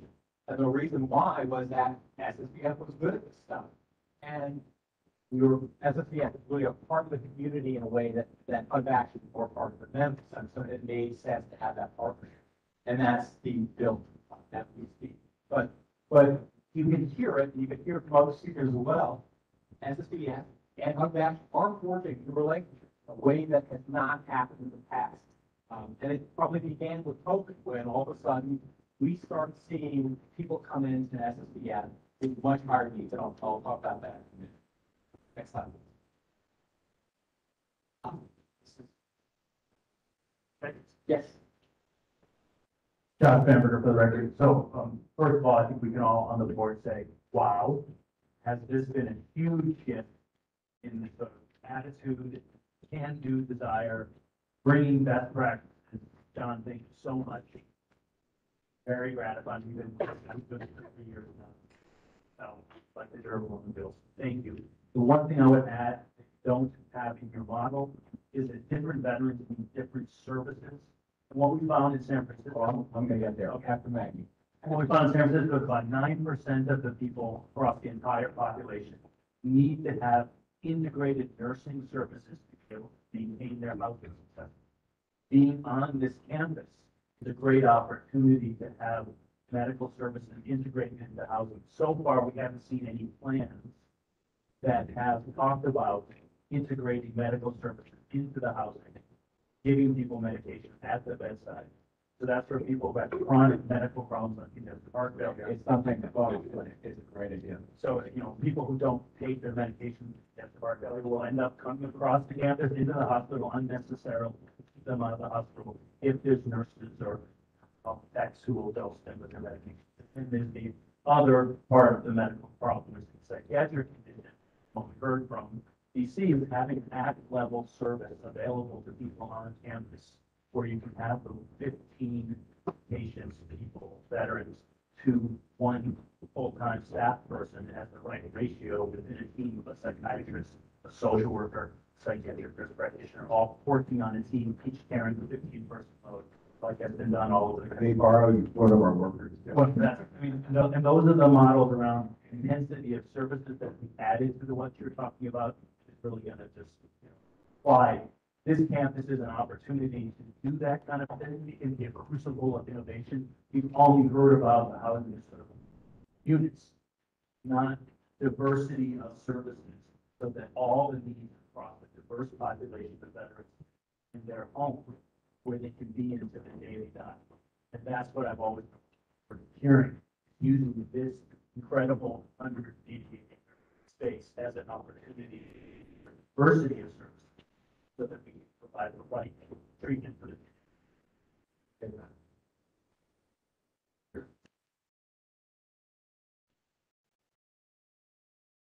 Hi, everyone. My name is Maggie Lowe, and I'm a coordinator entry specialist here with GLA. And I'm going to give you guys a background of what CES looks like here in LA County and an overview of sort of the CES design work that we're working. So um, in 2013, the Housing and Urban Development HUD required that all communities develop a coordinated entry system, uh, which would include all homeless individuals, including our veterans. And um, which the CES system will allow us to prioritize the most vulnerable individuals with the limited resources we have in our communities. So prior to the creation of the coordinated entry system, individuals who have the best case managers, the best advocates, those are the ones that got linked to housing resources uh, quickly and most efficiently. And so with the coordinated entry system, the idea that we'd be able to effectively meet all the needs of our vulnerable uh, homeless uh, individuals in our community uh, while uh, as quickly as possible with the resources that best match um, what they're. Uh, so our coordinated entry system uses HMIS, the Homeless Management Information System. And so all homeless service providers use HMIS. Uh, they, and so all of the uh, information in our reporting and entry system utilizes HMIS as a database to house all of our information for our participants. And that's going to be important, uh, because our findings was derived from HMIS data. Next slide, please.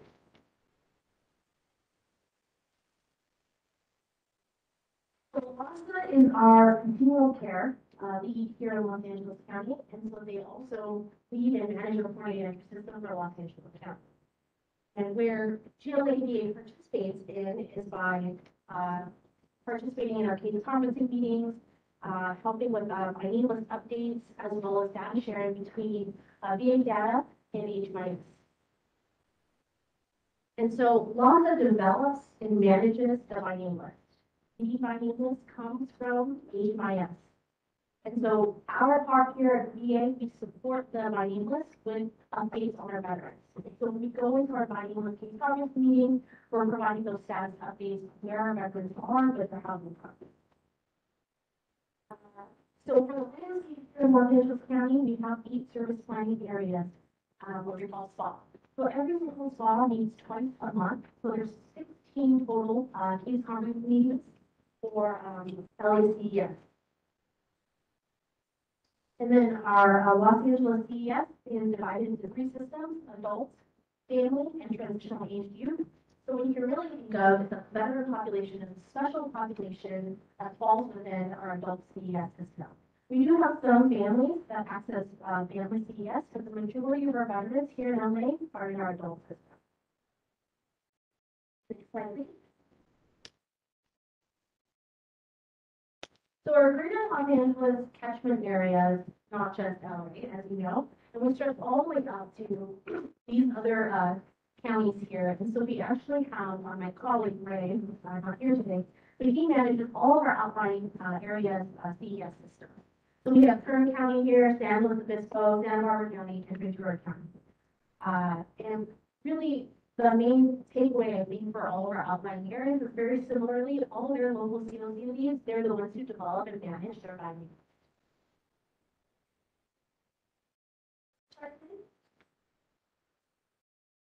So currently, this is how we are able to connect veterans to resources in LA County.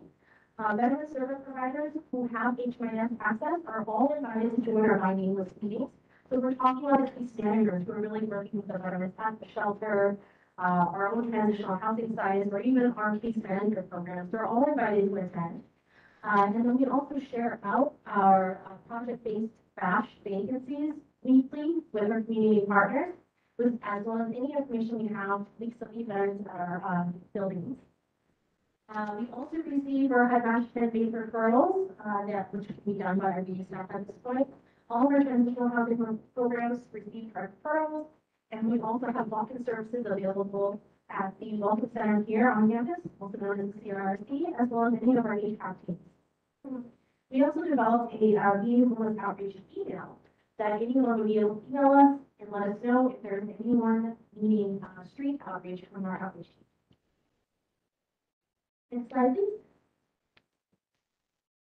So here we're gonna really take a look at our guiding principles for our new CES design. We're really trying to refine our current CES system.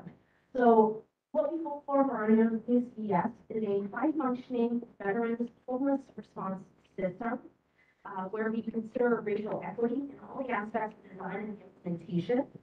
We want to increase the utilization of HUD maximize all of our veteran housing resources. And of course, we also want to make sure that we're data-driven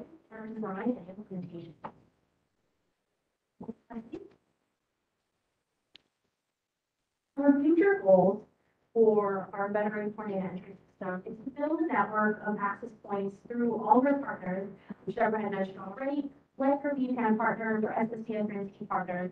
And the hope is that, uh, where we can and where there's space available, we co-locate with some of our own VA outreach staff. So that anyone, anywhere, in any of the spots could log in and receive services. Um, we're also increasing our capacity for HMIS, and we're looking into having more VA staff trained in uh, HMIS so that they can access that database that our current uh, CES system uses. We're also going to have our by name list of the centralized tool for outreaching and accessing our veteran housing resources. Right now, our mailing list is sort of existing in parallel to our current system, but in the future, we really want it to be front and center of our uh, new coordinated entry system. So this would mean, uh, part of that plan too, of making the by name list a centralized tool, uh, we also want to hire VA matchers who be dedicated to matching veterans to appropriate housing resources, like our project-based buildings, or maybe in the future, a transitional housing site. Uh, we've also decided as a collective group for this new CES design that we want to prioritize veterans who are fifty-five and older, households with minor children, uh, anyone experiencing domestic violence, and then also case transfers from SSVF. So those case transfers from SSVF for veterans who might already be enrolled in the SSVF services, and then we're finding out that they might need, uh, more clinical case management that SSVF provides. So we want to ensure that we, uh, take those transfers from our SSVF partners in a timely fashion and be able to provide those support.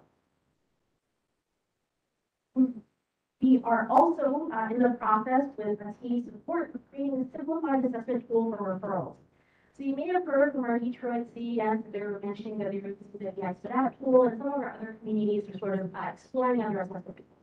So that's where we are at here in LA. We uh, are not using the VI anymore for a lot of reasons that I won't go into right now. We want to look at a better uh, assessment tool for our veterans, and that's being developed uh, with support with uh, TAs as well as looking at process. So yeah, so we're moving away from the VI here for our uh. Thank you so much. I had a question. Is there any part of your goal to remove UCLA or Brentwood School off the VA? And is there also any part of the goal to stop charging uh, homeless and disabled veterans market value rent to live in one bedroom, what I would call a slum, and the private developers or step up on second pays the same to rent the whole building as their landlord? Is there any goal to get off any private interest off the VA and to stop charging homeless and disabled veterans rent on the 900 plus acres that was deeded to them to be their home in 1888? Is that part of your goal by chance?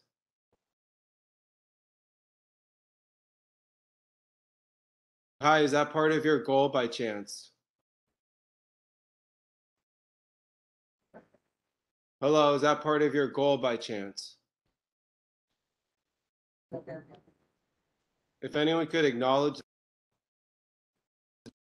could anyone hear what I just said?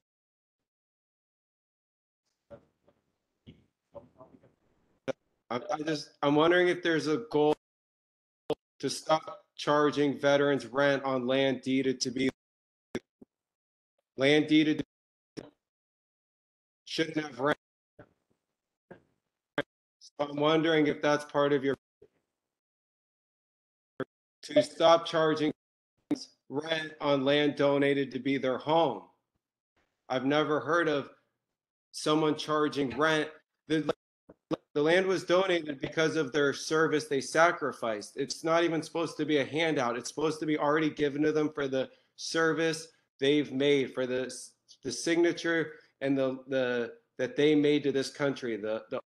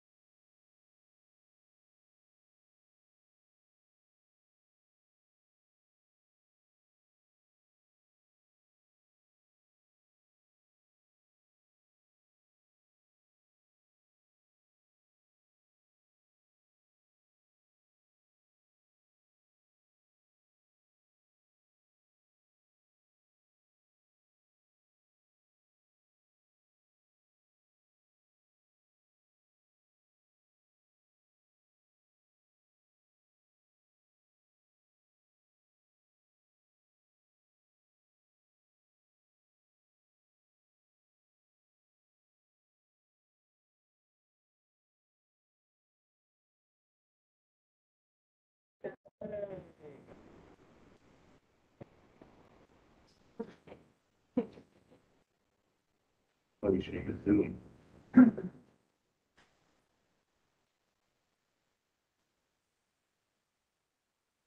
Yeah.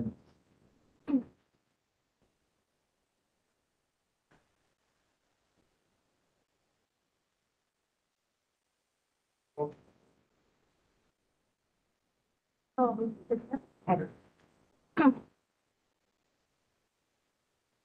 I think Sure, happy to, oh, can you hear me? There we go. Okay, so this looks wonderful. I love a good, a well-produced slide that's clear, a well-produced deck that's clear and, uh, tells us where we're at, where we're gonna go. Uh, and it's great for LA. I'm wondering, this, this larger VA, like, is this kind of across the whole ecosystem or is this just for here? Like, we have a lot of homes in San Diego also, there's homes better, kind of all over the place, so like, is this just happening here, or is it happening coordinated throughout the whole VA? That's a great question. It is local here in GLA because the LA COC falls under, uh, here. San Diego, our San California. It does, I just, I, I guess, I guess I'm wondering if there's a, uh, understanding that every community continuum of care, every area has continuum of care. in the system. Uh, and LA is most acute, I'm wondering if we're able to take the, the lessons that we learned here and use the power of the federal government to help encourage those places to do, to operate together in a more So Sean, that's part of why we're bringing all the homeless coordinators to DC next week, that, I'm not sure if we've got the exact same position for them. But and Diaz is telling us is coming and they're coming. So, um, our, our ultimate goal, as we're looking at housing the thirty-eight thousand across, is to share best practices and, um, identify areas that we can all improve across. You know, our focus right now for this today is on GLA, but please know that throughout all of VA, we are, with the leadership of Monica Diaz and the secretary with the goal that he set, we are doing everything we can to share best practices, and we're gonna have our first post-COVID, I can't do post-COVID, our first, uh, together since COVID, um, in DC, and so we're, and that's the start, nothing just one and done. So we are definitely wanting to take all the great ideas that are here, um, and also get some additional ones. That's our ultimate goal. Wonderful, thank you. Thank you for, uh, this is a big problem. Thank you. Dr. Harris, just, just a quick addition, and that's the VA homeless program policy is that every VAMC participate in the local coordinated entry system. Some are more well-developed than others. Um, you heard from two that are well-developed today, Detroit and DC, of why they were contacting people then. What is unique about LA, right, to my knowledge, is that creating a specific one for veterans. That, that piece is different and unique, and that, that piece, as it's solidified and perfected, is something we would want to advance elsewhere where it's needed.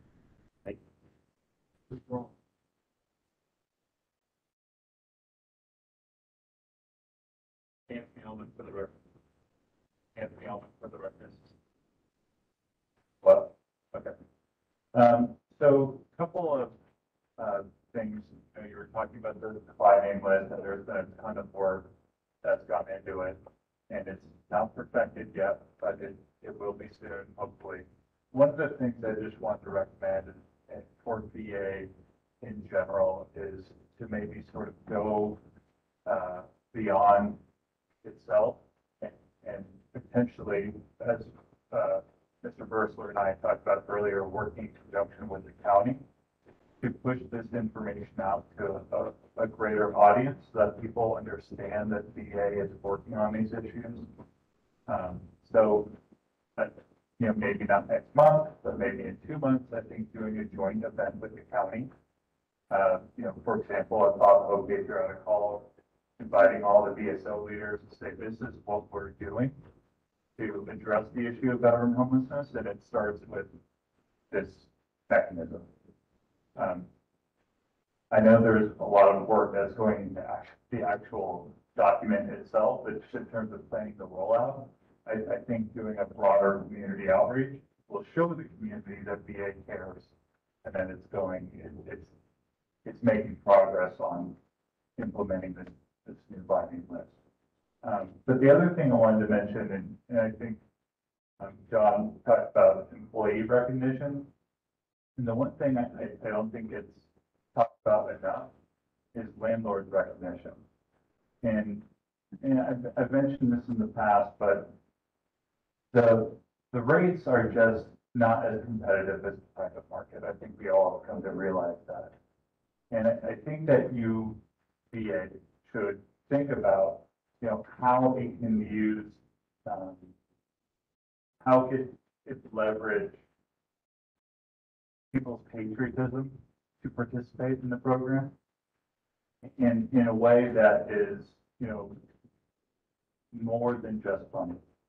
You know, and, and, and what I think about is, for example, the DoD ESGR program, where they physically award a company for being a great employer to a guard or reserve, um, guard and reservist each year, like they, they, they get an award. The eagle is like literally this big. And the CEO can go put it on his I love me wall, think I'm such a great American, right? And, and I think, I think VA needs to adopt that model to recruit landlords. And, and because money is just not enough. Even if we are successful in increasing the FMR, it's still not enough in LA. And so we need to use another tactic. Um, ESGR, ev- every year they have an award ceremony and they award small businesses, they award large corporations. Um, there's a website for it, DOD has a website for it. And, and, you know, ultimately, what, what, what would that look like? For example, the president has a State of the Union speech and, you know, every, he goes to everyone and says, hey, look at this person, they're so great. And then he says, you know, hey, this landlord has helped house seven veterans in Los Angeles. What a great American. All you landlords out there, go to va.gov backslash landlord. And, and, I mean, so I just wanted to throw it out there because we were talking about recognition. Um, doesn't cost anything. I mean, a piece of metal maybe costs, you know, fifty dollars, but the, the value it brings, and then, and what's the end goal? He tells, or she, for that matter, tells their landlord buddies, uh, look how great I am, because I help better. And that'll get around. I, I, I think, I don't know, you know, Jim, I, I would, maybe, maybe your I love me wall is too full. I've got about. You hear me? Yeah, good. I've got about four or five awards, but it doesn't help if, if, um, veterans are acting up and they're, um, putting, obviously, we also have a responsibility to every resident. And if the, the veterans are screwing it up for everybody else. So, yeah, I, I, I, don't, I, you know, a frustration I had last week, this may be unfair, but uh, a friend of mine who's in the business said, hey, how can, I want to do some VASH. Uh, maybe wants to do some VASH in L- LA. So I went to the VA website, looked up L- LA, the phone number on the VA website, and it was somebody from Walmart trying to sell me a gift certificate. And so then I went to the the website. And I looked for half an hour to try to find any landlord information, how a landlord could sign up. And there was nothing I could find. So I, I emailed and I heard ten days later. So if we want to, you know, if we want to engage landlords, we should make it easy for them to. Yeah, and, and, and, um, just, um, never mind, I lost, I lost my train of thought, but, but, um, the other thing I, I would say is there's a lack of trust in government within LA because of how Los Angeles Housing Department has treated owners. It's getting better. But I'd like you guys to guess, if you miss a, a payment, the, the city of Los Angeles, for your day late, much they guess what the penalty is, what percentage is? Anybody want to guess? Two hundred percent. Even if they lose the man. And if you want something else from the city, like Corinth hasn't paid them down, they, we had them come back for our twenty-year-old invoice. They said we owed, and we never had, um, any notification of it, and that was about five hundred percent penalty.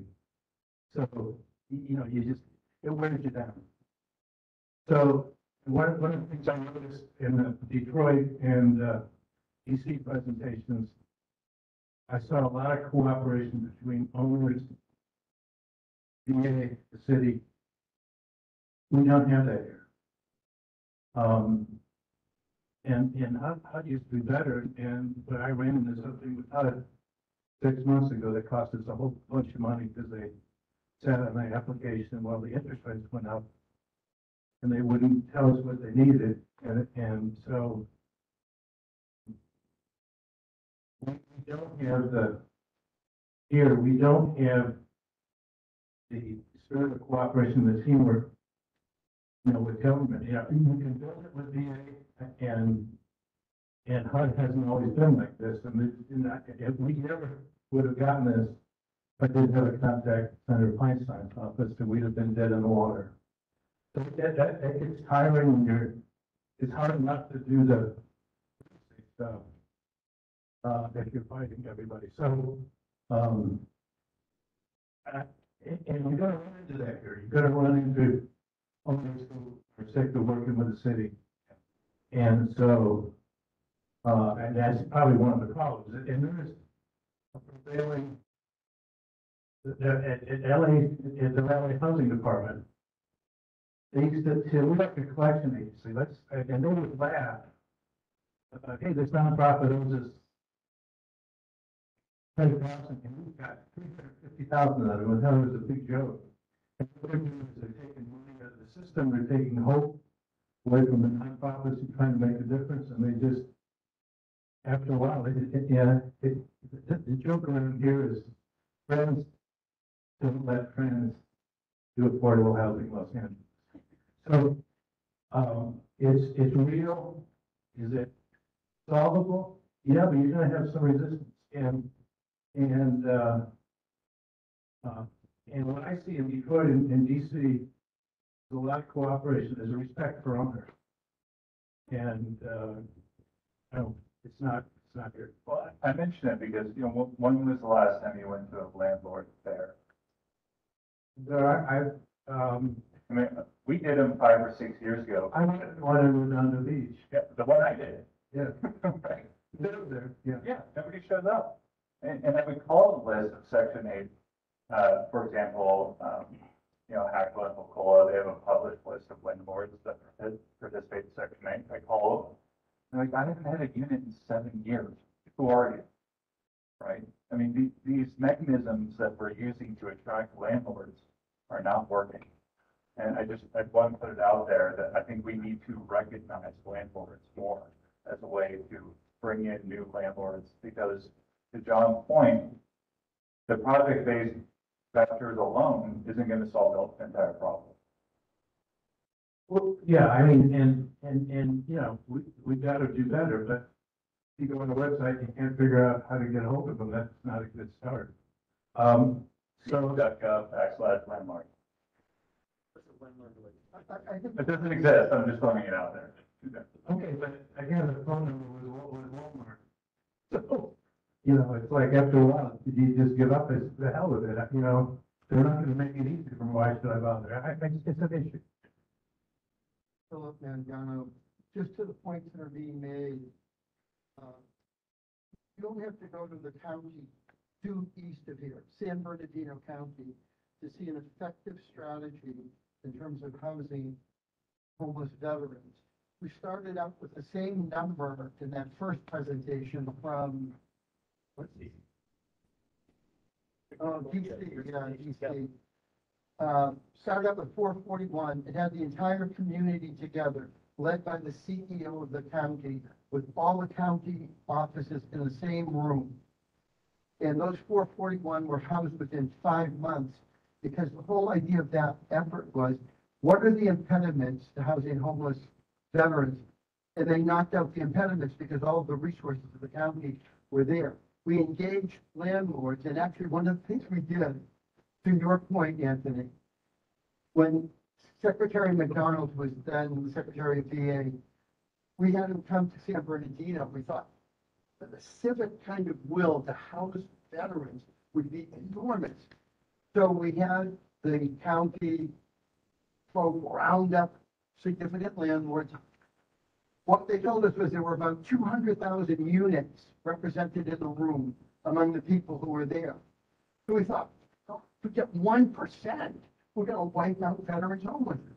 So everyone, so the presentations were made, Secretary McDonald made a very compelling, uh, presentation, the CEO of the county made a compelling, every single person in that room among the land, they were nodding. They were ready to go. They wanted to do it.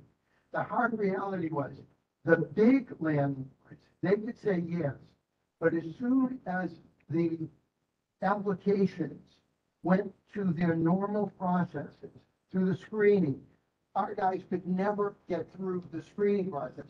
So we got zero units from the big landlords, but we did get a few units from the smaller landlords. Getting a few units from the smaller landlords and housing church and all of the inducements, that is not going to scale the units that are necessary to get this job done. It's the scaling of units that will make a difference. And one of the things that you brought up, Andy, about talking about the county, I would say, let's see, where's the greatest action in the country on scaling units? Oh, that would be in California, the state of California, driving a Homekey initiative, which is eager to partner. There'll be another opportunity to partner with the state of California tomorrow.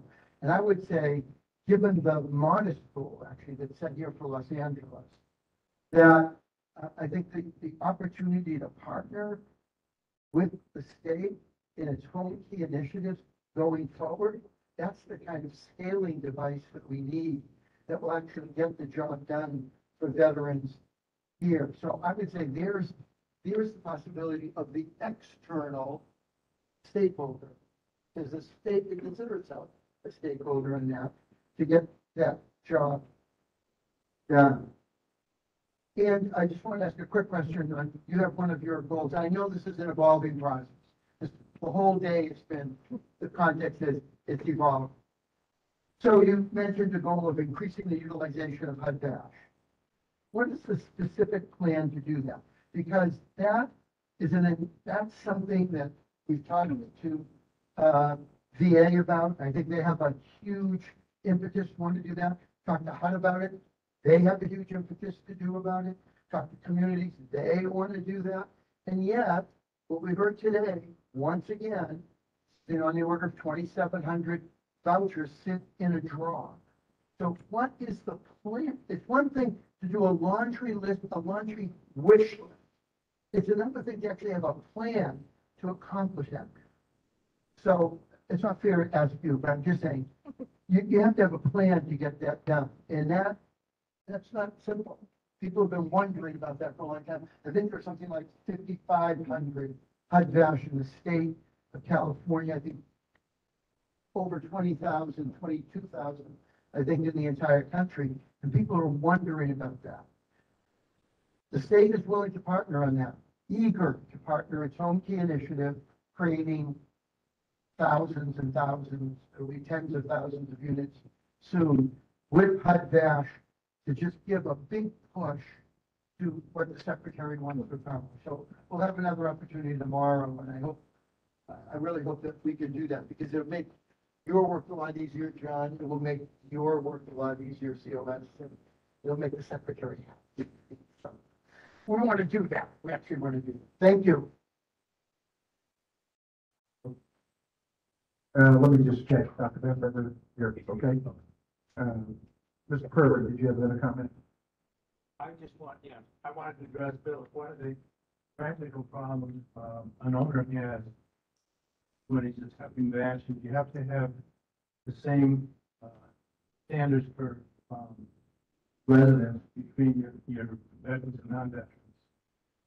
And there's a risk of violating fair housing laws if you make a, uh, a choice outside of your normal standards. So that is an issue.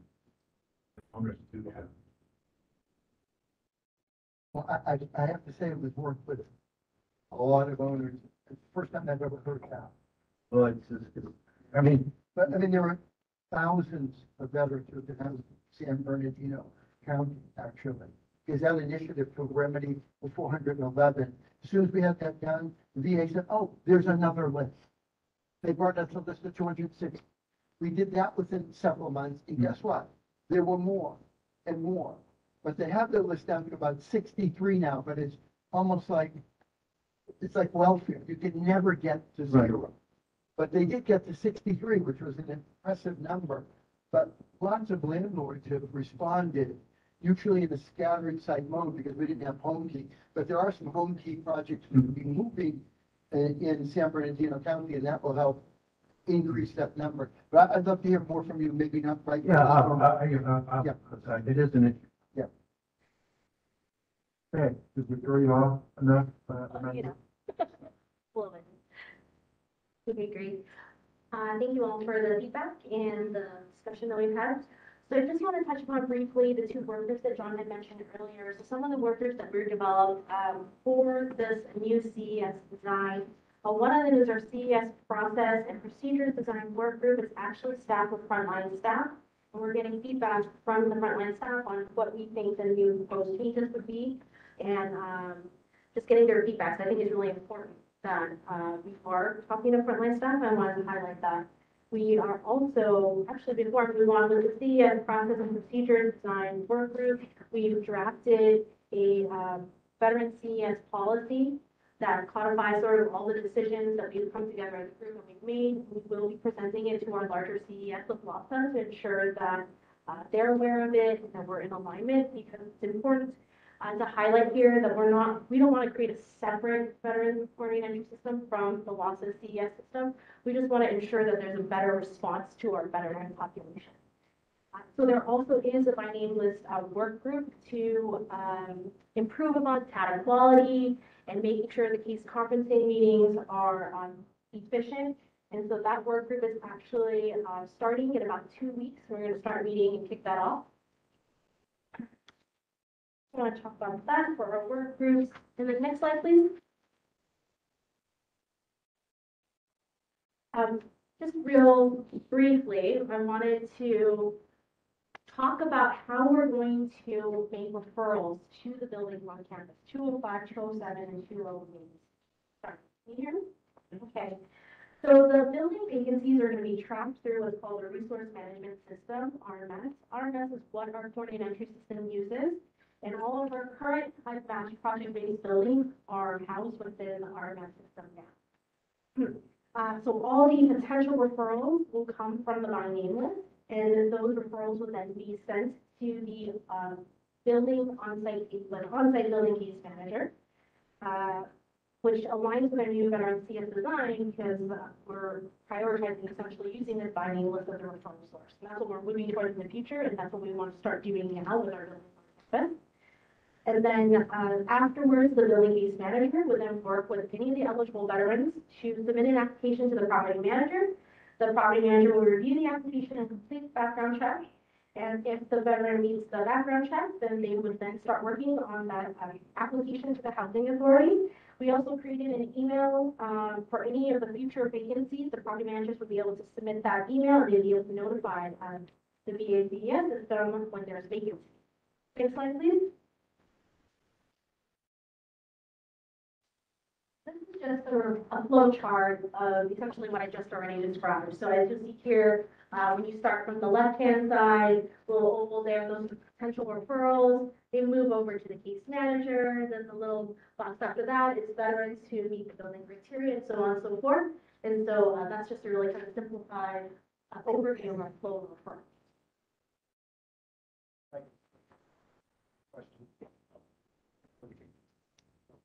Oh, yeah. Oh, oh, you're, that's, that's.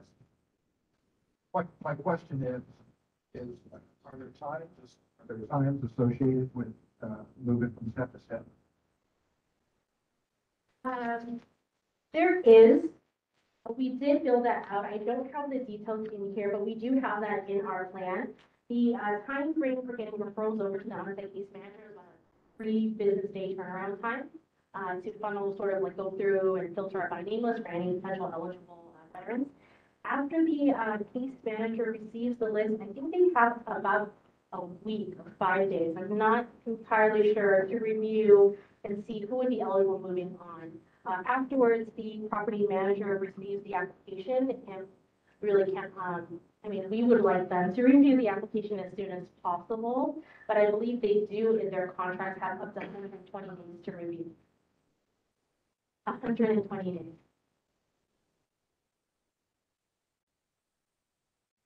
So if that's true, you must be working on building the list already for buildings, right? That's correct. So has some of this already happened? Are there already veterans who've been cleared and then somehow you're keeping track of those veterans? that Are they living in a specific place so that they can access the permanent housing? We haven't gotten so far quite yet. Where we're at right now, the buildings have started submitting their, um, their units to the RMS system. We know generally what the criteria is for the veterans, and we're looking at that. When they're, all the units are actually in our RMS system, then they'll be ready, uh, to start receiving referrals. That's when we'll start doing that, um, actually sending them names, but I believe, and I can't speak for the buildings, but they also need to have their on-site case manager ready to receive, like onboarded, ready to receive referrals. So if it's a hundred, when are we anticipating these buildings being? End of December? So, uh, so a hundred and twenty days, that's thirty and a hundred, that's four months. So we're in October, November, December, January to complete that. So that would be a concern, right? That we won't have sufficient, we know this is coming online, we won't have sufficient veterans to populate, which you know is already an issue in Los Angeles. The housing authorities complain, they have vacancies, no referrals. Providers have units available for veterans, the referrals aren't there. So I think there is a legitimate concern about the process in filling those units and, and, and even potentially alienating others who have been waiting for referrals. Suddenly if you'll see those buildings filled, and they'll still be with vacant units, losing money in them. So I just think any way that you could expedite that would be, I think, a very good thing. John for the record. Um, Maggie, so I think it's really important that the criteria as to who's getting prioritized, prioritized to housing on the campus is clear and transparent. Um, so you haven't mentioned that yet. You haven't said what the individual characteristics of people who will be selected from the pool of all the people looking for housing, who are gonna be prioritized. And I realize, I, I, I assume you haven't said that because you don't have that handed to you yet. Um, and I think that's really important, uh, that you have that soon and that you make everyone in the community know what that is. So that there isn't the thought that someone who knows somebody is getting a, a special dispensation. Secondly, I, I ran a program of fifteen hundred units. And I would be able to select from a group of many people who needed housing, who I would put into the Windsor, or who I'd put into the Amherst, or who I'd put in. I could make that selection without violating fair housing rules, but then the landlord had to take whoever I gave. So that's where fair housing happens, but the selection as to who gets prioritized in different buildings can be done on the medical side of things. And I think deciding who you think would best benefit the system from living in these new twelve hundred units or the first hundred and twenty-five would be really important. Again, making that clear, transparent, and getting community input from that, I think would be a really important part of the process. And I look forward, can you tell us, John, or Maggie, can you tell us when you might have that criteria available to us that we can observe it and give you feedback on it? At a certain point, we're gonna have to pull the trigger. What we're hoping on, I know Keith has been working on this as well, is that we can get some clarity on the AMI piece. Right now, there are a group of hundred percent service connected veterans who would love to get into that EUL that won't qualify. So we don't want to announce criteria that would exclude them. Um, but we might end up being forced into that situation because we can't wait, as Phil pointed out, the clock is ticking. We can't wait much longer. So we're gonna give us a little bit more time and see if we can work it out. If not, we're gonna have some unhappy folks, understandably, and justifiably, would be happy to Go ahead, just, uh, I, I know this is a tough question for Keith, but a lot of this is predicated on a CES specifically for veterans, and we heard about that. Is there any sense of a timeline for that being developed? Right, uh, Keith Harris Maggie's actually a good person to ask that. What we know is it won't be developed in time to determine entry into the first three buildings. Gonna, that, that decision's gonna have to be made outside of the CES that's being said. So more than four months. Yes, We're not gonna wait. no, no, we have to, we have to develop different from populating these first three buildings. But I, I think this is really a top tier issue. 100% Every deal, you know, for the VCOEB, we are, uh, uh, community engagement board. We really need, we are responsible to the community to be able to bring this criteria to the community. That's, up- we have to do that and we can't, uh, push, we can't like go on the accelerator to you. So it's a little bit of a, uh, conversational, but we need to get, we need to get this. Yeah. So- There's, uh, John, you may, we plan to speak to this, but I will just say there, there's active discussion underway between all the different parties here, the planning office, the operators of all three buildings, OEM and the EUL office, SERS, communications, everybody's in the midst of this discussion, right? And I also want to, first, before we move on, I, I, I mean, you could just see what an incredible job Maggie's done with this. Essentially, almost by herself.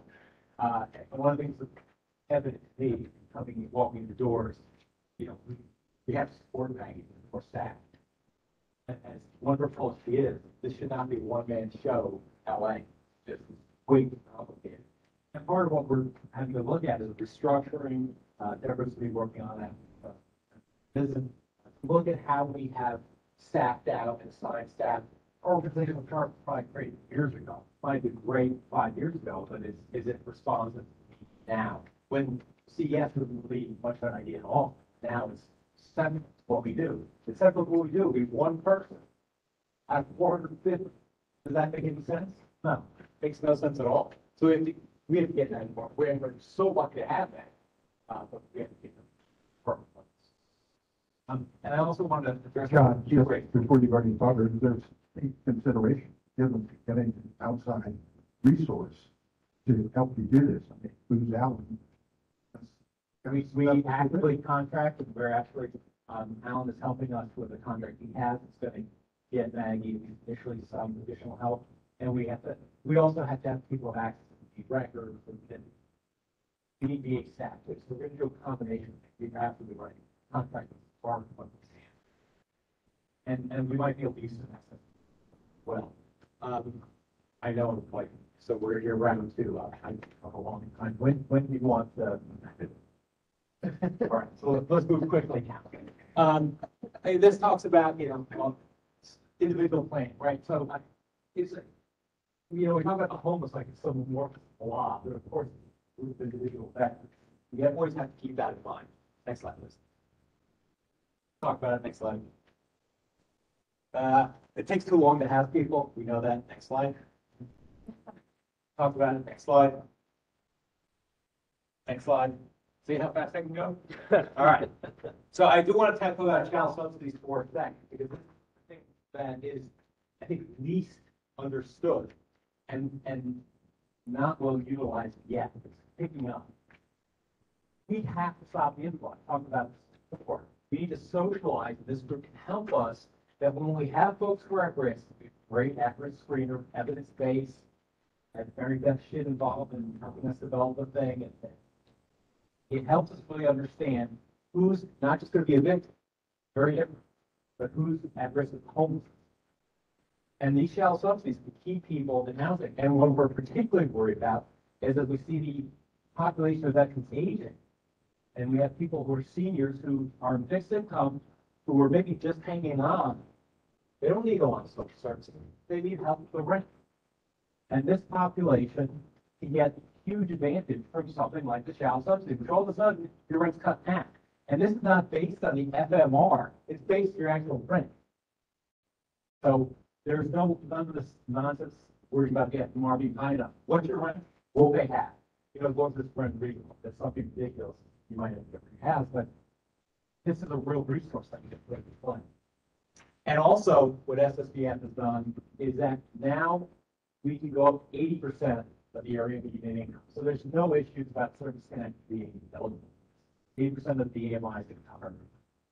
Next slide. talked about, someone else talked about this with veterans. Next slide. Next slide, one more. John, do you have another forty minutes, so. Oh, well, I thought we were pushing, so I. Oh, we were to wrap up Somebody quickly. joined us for physiological meltdown. Oh, okay. Okay, sorry, I, I don't know, we want to get through quick. All right, so, well, we're almost at the end now. So one of the things I did want to highlight here is this is what, this is FY nineteen, FY twenty. Pre-COVID, COVID. And this is what happened, not just for this SSVF data, but this is a nationwide phenomenon. And what we see is that people coming into services, and I talked about the trauma earlier of COVID, and here it is. 50% of the people prior to uh, COVID came into SSVF with cardiovascular disease. A year later, it was 61%. Major depressive disorder was 35. A year later, 56 substances over 46, year later, 59, shockingly, PTSD didn't change. But it shows you the impact that COVID had. And a couple of reasons. One, the obvious dislocation, but a byproduct of us opening up hotels and motels to veterans was that we had people coming in from encampments, people who had never wanted service because as wonderful a program as GPD or HCHV contract residential care is, if you like your privacy, you want to drink, you don't want to go to those programs. I'd rather stay in the street and drink, that's a choice, or my abandoned or my car, or whatever. Or I just don't want all those people around me who are gonna make rancid comments, or steal from me, or whatever the issues are. So the trauma of taking an abandoned or living in your car or on the street is less traumatic than coming to them to one of these programs. But now all of a sudden, we're saying, we're gonna give you a hotel room, in privacy, TV, you lock the door. That sounds pretty good. We forty thousand people nationwide come into these hotels and motels. That's just, that's, yeah, I don't even know what the numbers are, like, in Atlanta, of course, yeah. Right. Ricky, got other resources, uh, uh, medical centers had to, so that's just part of it. So we've seen that there are people, if we provide the right resource, we can engage. That was the right resource. That goes back to your question, Bill. Why can't we get people in, and this, is I don't have an answer, I'm posing this rhetorically, why can't we get people to PVD? So we have, I had a call with, uh, Aqua a couple weeks ago. We have a PVD called Western. What's? Oh, uh, project-based action, sorry. The acronym. Um, so project-based action, uh, the entire buildings for veterans, I think it's sixty units, something like that. So it's, it's about sixty units. And we filled, I think, forty after a year. Twenty open units in affordable housing, we can't fill it. Why? Well, we've sent them tons of referrals. We still can't fill it. Why? Our veterans don't want to go. They say it's too much drug use in the community, it's near, um, big room. And they don't want to go in. I mean, we'll keep sending them and we'll, we'll try to get, settle it and say, yes, we recognize this is not your number one choice, and this is a hard message, it's not your number one choice. But it's better to be in the street, it's safe, it's services, but this is the challenge. And we have to, something we really have to work on. Um, and, and Deborah's leading it up right now. We want to fill that building because exactly what he said, Phil, is exactly what's happening. So HACLA says, you can't fill this building, our other financiers want to pull out. So we have other PPDs, other project-based programs. They're, they're wanting out, they want to be released from their veteran commitment because they can't afford it. They're gonna go broke. It's a real challenge. And I don't know what, I don't know how it's gonna get resolved. I'm hoping we're trying to push, get this thing built at Western, but there's gonna be a domino effect, you know? Uh, and, and some real concern.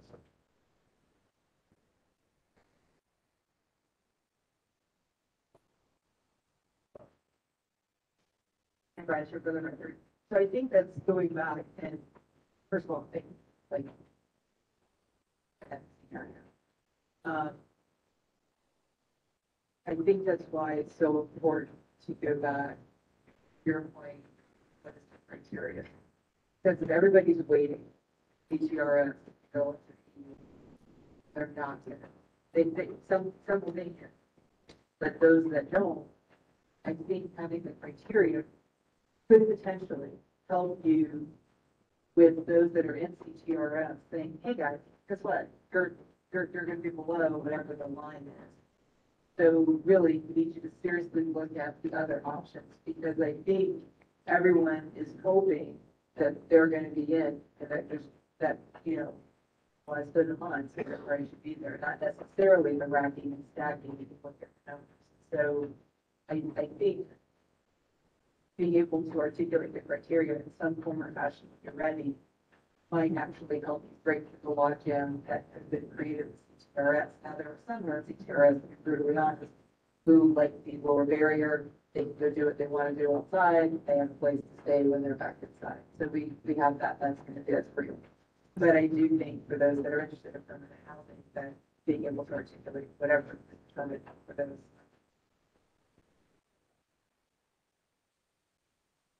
Yeah, that's a perfect point. Breaks the weight gain. So we have uh, one of our last ten hotels in San Francisco, 450 for the Sheltering Place Hotel. It's closing on November 30th. And all of the farming. Many of them are not being. So what we have done in this strategy across the country is we offer people three different apartment options. And we tell them that they have to choose one of those three. And if they don't, then they go to the bottom of the list and they're on the list. And if they don't take this now, they're not going to be able to some people still won't take it, but I think it's quite fair to give people three decent options and know what the consequences of those choices are, and then move along. And, and that's part of what we're gonna have to do, and I'll get into it in just a moment. We're gonna have to start delivering some unpopular truths.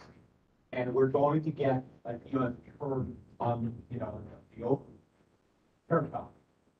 We are going to get some pushback. We're gonna tell people, you can't stay in CTRS anymore. This is not permanent housing. This is temporary housing. We wanna have a, an idea that this is, I would like to think sixty days, maybe more than that, if we have to have individual languages. But should, someone shouldn't be living in a shed for sixty days when we have permanent housing. And if that's their choice, well, then maybe we need to look at another housing option other than a shed. And they can go into a congregate or another environment, um, where we can open up that resource for somebody else. So we have to parents second, and it's, it's as simple as I can make it. Um, otherwise, we're accepting that people can tell us they're gonna stay in CTRS and live in a shed for. I, I do want to talk to that issue, because I think there are some things that I'm thinking about. But I did want to tell you, and I think this will make you that on your shallow subsidy, there's no one who's the king of shallow subsidy more than, of course, Dennis Culhane. Now, I know you've worked with him. And he'll be here in Los Angeles. He's going to be at the Schwarzenegger Institute, um, starting, I think, tomorrow even. And he'll be here for six or seven weeks. And as you know, he's not only the king of shallow subsidy, but he- all of his recent work has been on homeless adults in their aging, and I know you just alluded to that. So I do think there's some interaction that could happen with Dennis on these issues. He's been thinking about, he's been interacting with lots of communities, including Los Angeles. about these. So I think there, you know, the, the troop, maybe a troop has arrived to help you in that regard. Then on the choice issue, what's interesting is we've been incredibly creative on landlords, with landlords, offering them many incentives to take homeless people. So it may be the time to get incredibly creative with homeless people. What would make them go into a unit that maybe this, maybe the package in the unit could be, or maybe there's something that they could be given to with that. So maybe it's a bigger television, maybe it's some other kind of accoutrement. Oh, that's why we have to we recognize, you know, vendors don't want to go into an apartment that's barren. you and I wouldn't want to open them. So the consumer incentive is meant, so that way if, you, you, if we're offering a Western, which we recognize is not your first choice out, we appreciate that. But it's gonna be better than living in a shed, and we'll make sure you have something like a big screen TV with cable. So that way you can watch some shows, you get home, relax, feel good about it. Is it your first choice? No, but we don't want you living in a shed. My point is simply, we do a good job incenting landlords, and we offer them all kinds of things. Triple the, the security deposit, all manner of things. That same creativity, that same entrepreneurial needs to be directed at the customer, the consumer, to get the customer to respond. And we know that by offering and offering, and offering, and finally coming to a threshold where we make, that could impact lots of veterans, because there are some veterans, a cohort of veterans who are accepting it. So the point is just being, instead of just, even what Josh said, you know, you get three choices. You gotta choose one of these, or you're at the bottom of the line, as opposed to, here are some incentives you go. This is what your apartment's gonna look like.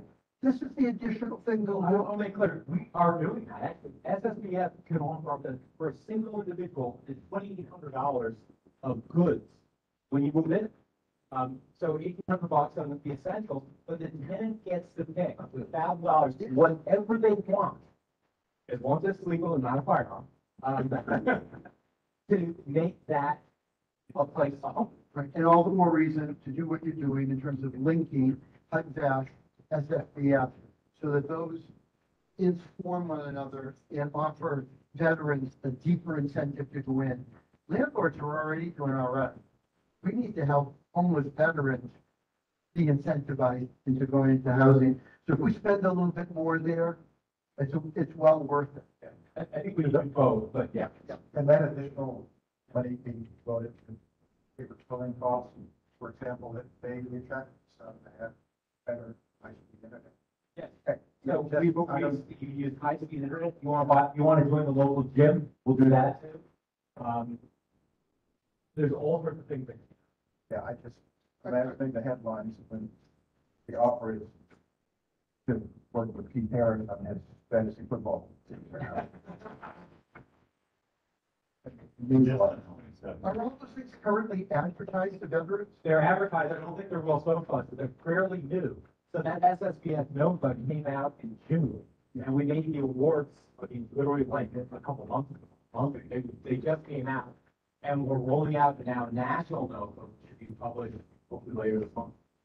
I just think you, you've got such a great opportunity to experiment on incenting the customer. And I think you should just go for it and see what happens. Oh, I mean, SSVF's all about it. one long experiment. It's evolving. It's evolving. We're all- I didn't, I think you're making this clear, but this is unique to SSVF funding. It is not something that sort of across the home improvement budget could be done, but that's what's so important about SSVF is the flexibility. Uh, next.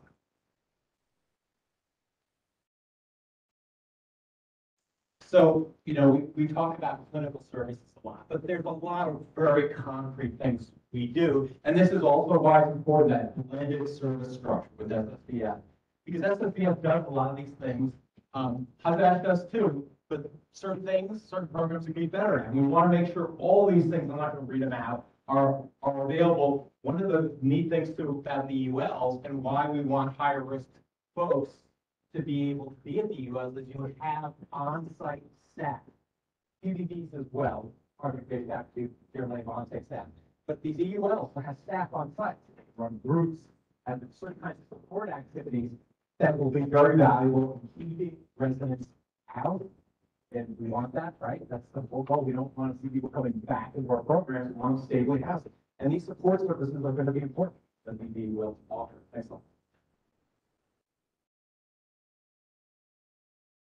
I think this is my last slide. So I, I talked about, um, know, it's a long day, it's a long day. I love the sound of my own voice, so I need to.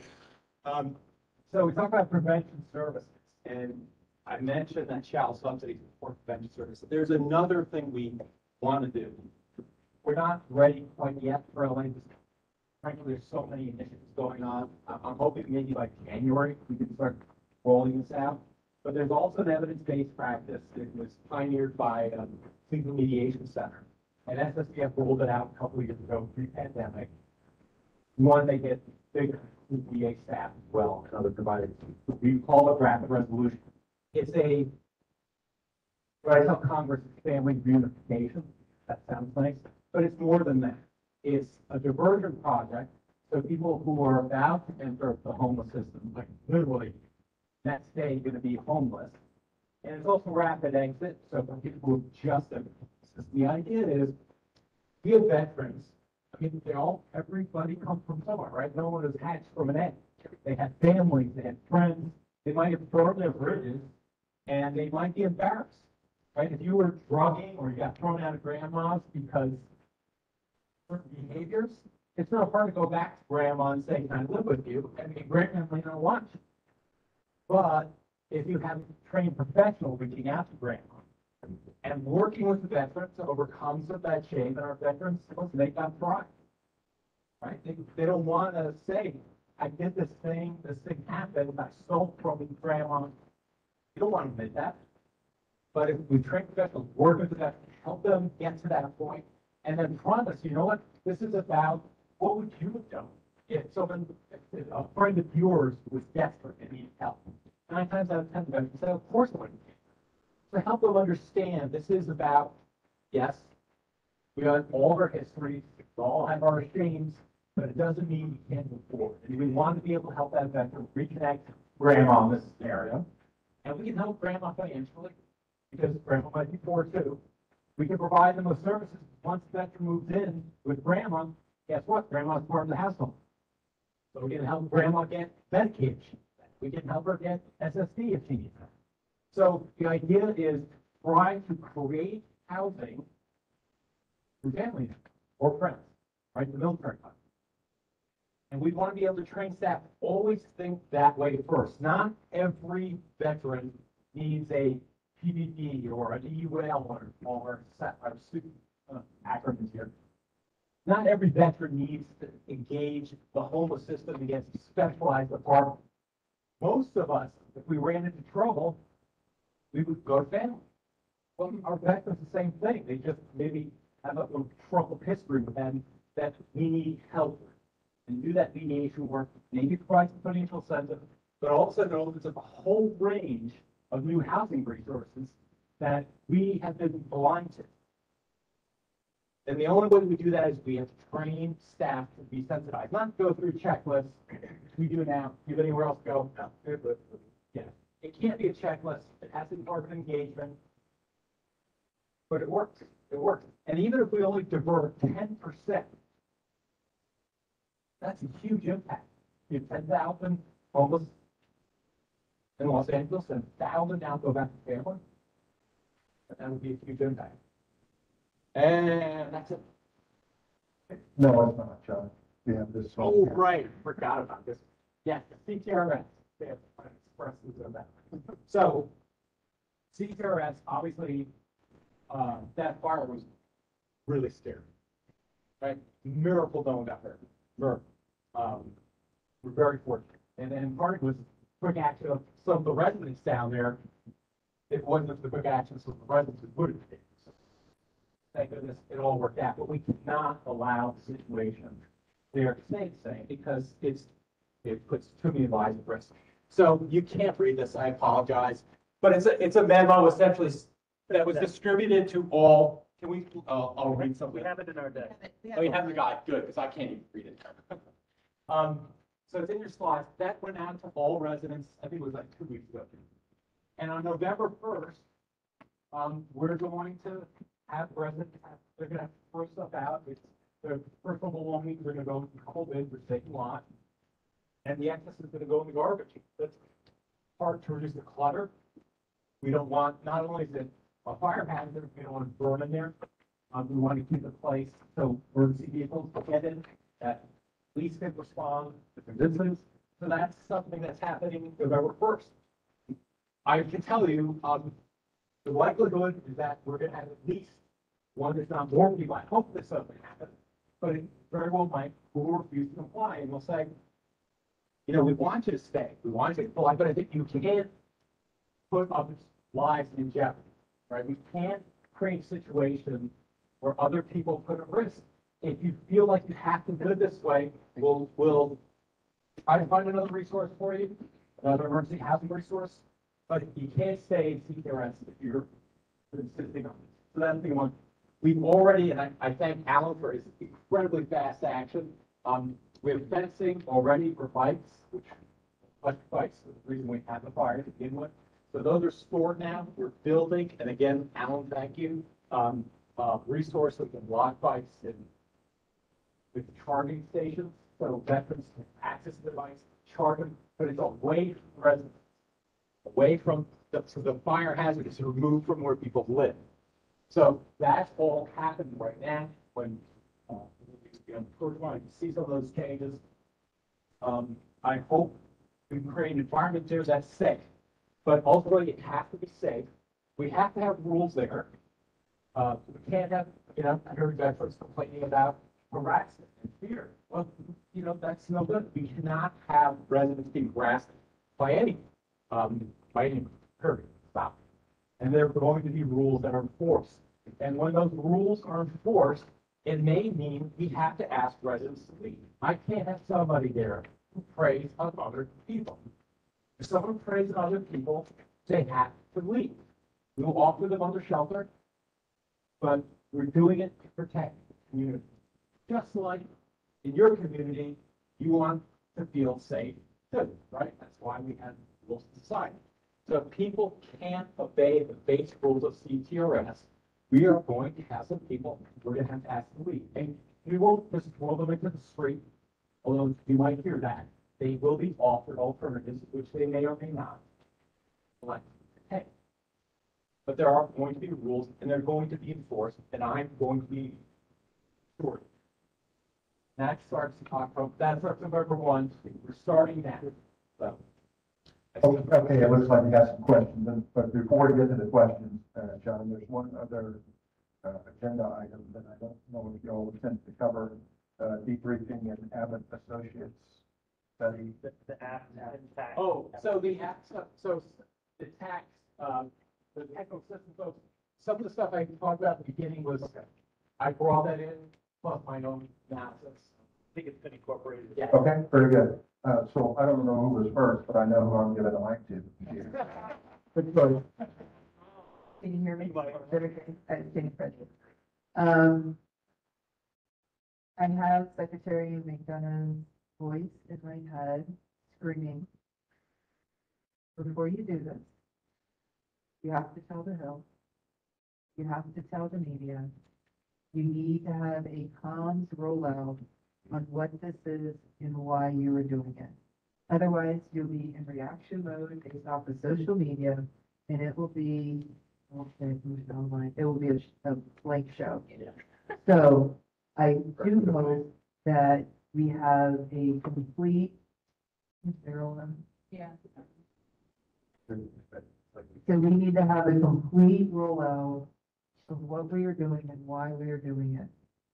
And, you know, we have a, a, a very scary, and I completely agree with you, when I heard about the fire, I was just so blessed, quite frankly, that, and, and thank goodness to the veterans that were down there and our, and the responses of our staff, and no one died. So we got lucky, and we'll, kind of able to do that again. So people, I think will understand the why. But we cannot just think, well, we did a memo on August, October fifth, and that's it. You- You have to communicate, communicate, communicate, communicate. Wait a minute. I think it's that gentleman.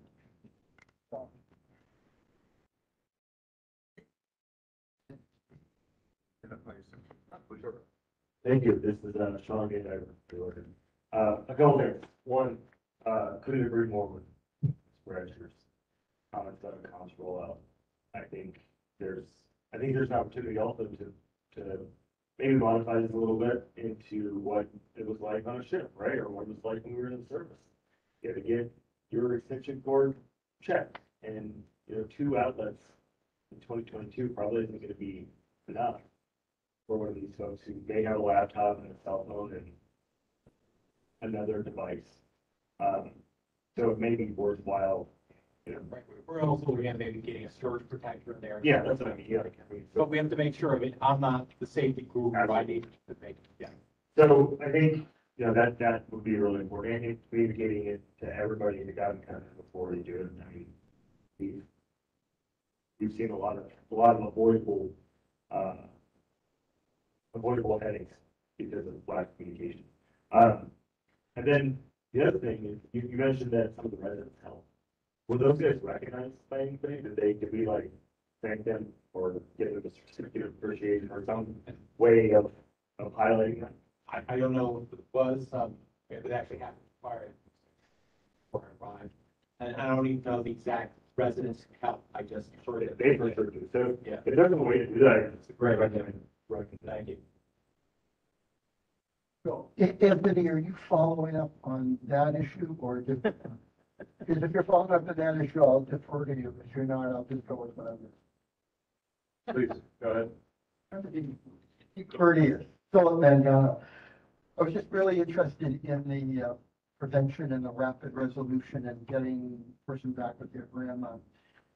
Is there a rental subsidy involved in that? And The reason I ask is, you may know, in Europe and in several cities in the United States, one of the things that's being done is people are being offered eight hundred dollars, and they can take that eight hundred dollars, and it's eight hundred dollars a month, to get housing, which you can't get housing, which is the eight hundred dollars, but the theory is, and it's working, is that if you go to a friend who maybe would take you in, but if it's eight hundred dollars a month, they would take you in. Or you go to grandma, eight hundred dollars could make that difference. So I know that that's one of the initiatives that's making an impact places like New York and Seattle, and then in several places in Europe. So I'm just wondering if that's part of this. So, yes, money can be part of it, although what Cleveland Mediation found actually was that the money was secondary. It was more the engagement, comp mediation that made the difference. Um, the, the money would help, particularly if, again, grandma was poor, if there are issues in there. So it has to be an assessment done, they certainly have flexibility in prices. Then, then I would say, apart from that, this is an idea for other circumstances. It's an eight hundred dollar subsidy that you can then take to people who you're related to, friends, family, and get some housing, and it's just working, and again, Dennis would be happy to tell you all about it. If you have the, the article, you have the study, I'd love to see it. Say it again. Do you have like the study, or you you mentioned there Dennis will have all.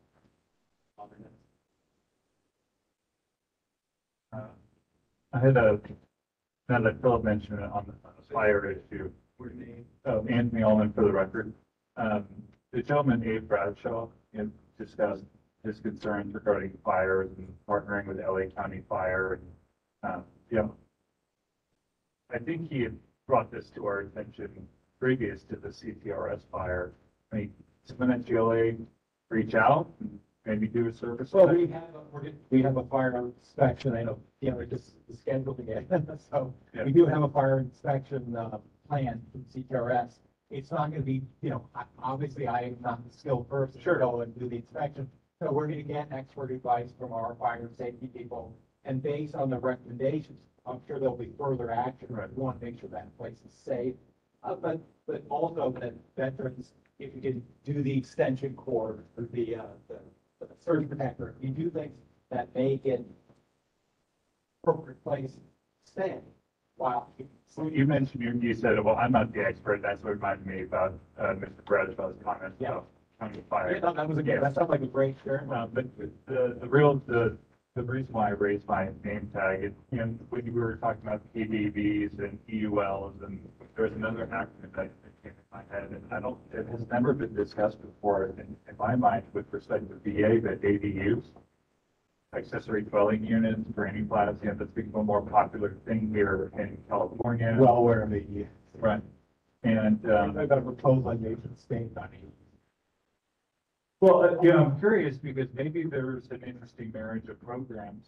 And this is not a GLA issue. I would, I would, I would punt this to, to the national folks, but, um, you know, there's a VA home loan program, which is an amazing program. and had allowed a lot of veterans to become homeowners.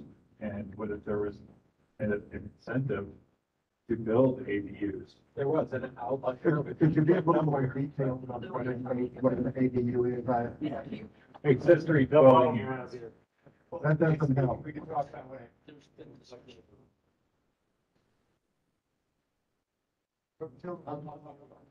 Yeah. Well, I, I, I mentioned just because, you know, why not, right? I mean, it is, has this been explored nationally? I mean, you seem to know something more. With the state of California, The state of California has unique rules. Sure. Right. I, yes. I still don't Uh, know. So when you, if you're a homeowner, you can build a small unit in your backyard and rent. You can essentially create housing, it doesn't have to go through any zoning, nothing. And if you can incentivize, um, uh, homeowners to do that by assuring them that you're gonna pay fine. Create all sorts of housing. It's, it's state cover capital costs, we could have SSVF come in guarantee So the, the reason why I mentioned the state of California is offering a lot of incentives, especially for low income individuals to build ADUs. They'll pay thirty, forty thousand dollars, right? But if, if we have a pool of veteran homeowners through the VA home loan program, could they be incentivized to develop an accessory dwelling unit? Uh, and rent it to a homeless veteran? That, some, somehow that doesn't follow the, if it's, they have a low income person, they have acreage their lot. Well, they, they could, they could have inherited the home, you know, they. Well, of course. Yeah, so, if you have a, a high income, then they're- oh, well, That's really a memory of the, the highest.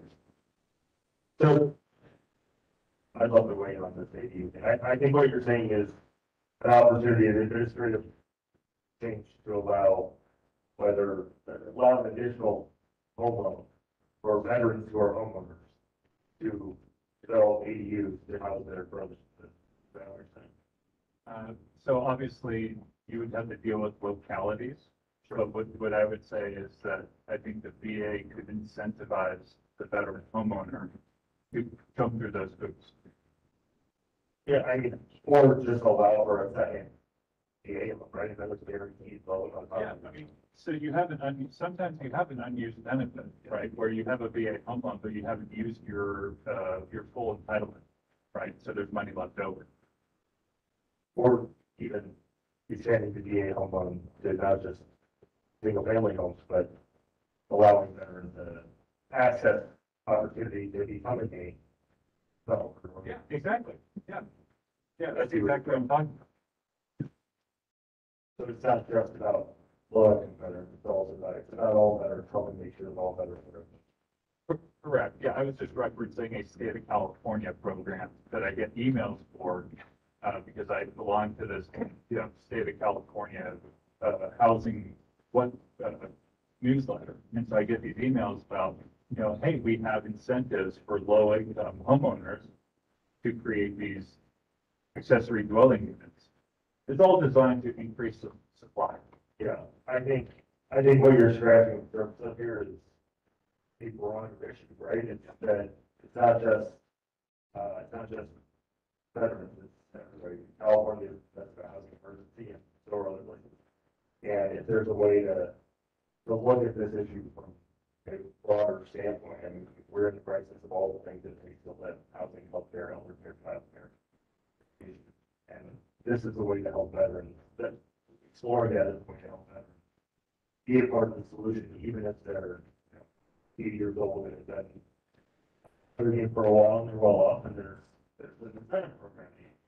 Come back. Yes. So didn't we just say earlier today that there's plenty of housing out there? I mean, this may be a good idea, but. There is not plenty of housing.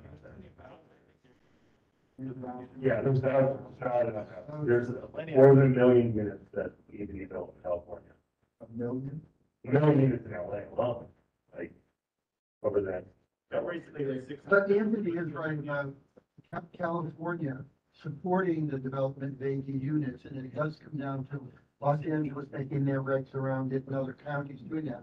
But it's being incentivized and you can get money actually to do that. Um, you want to think about the family caregiver program? Is that another way to get people linked back up to their families?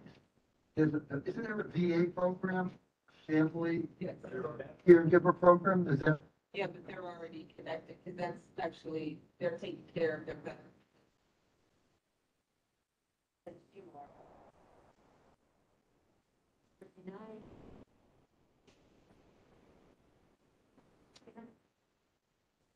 School those for hundred percent.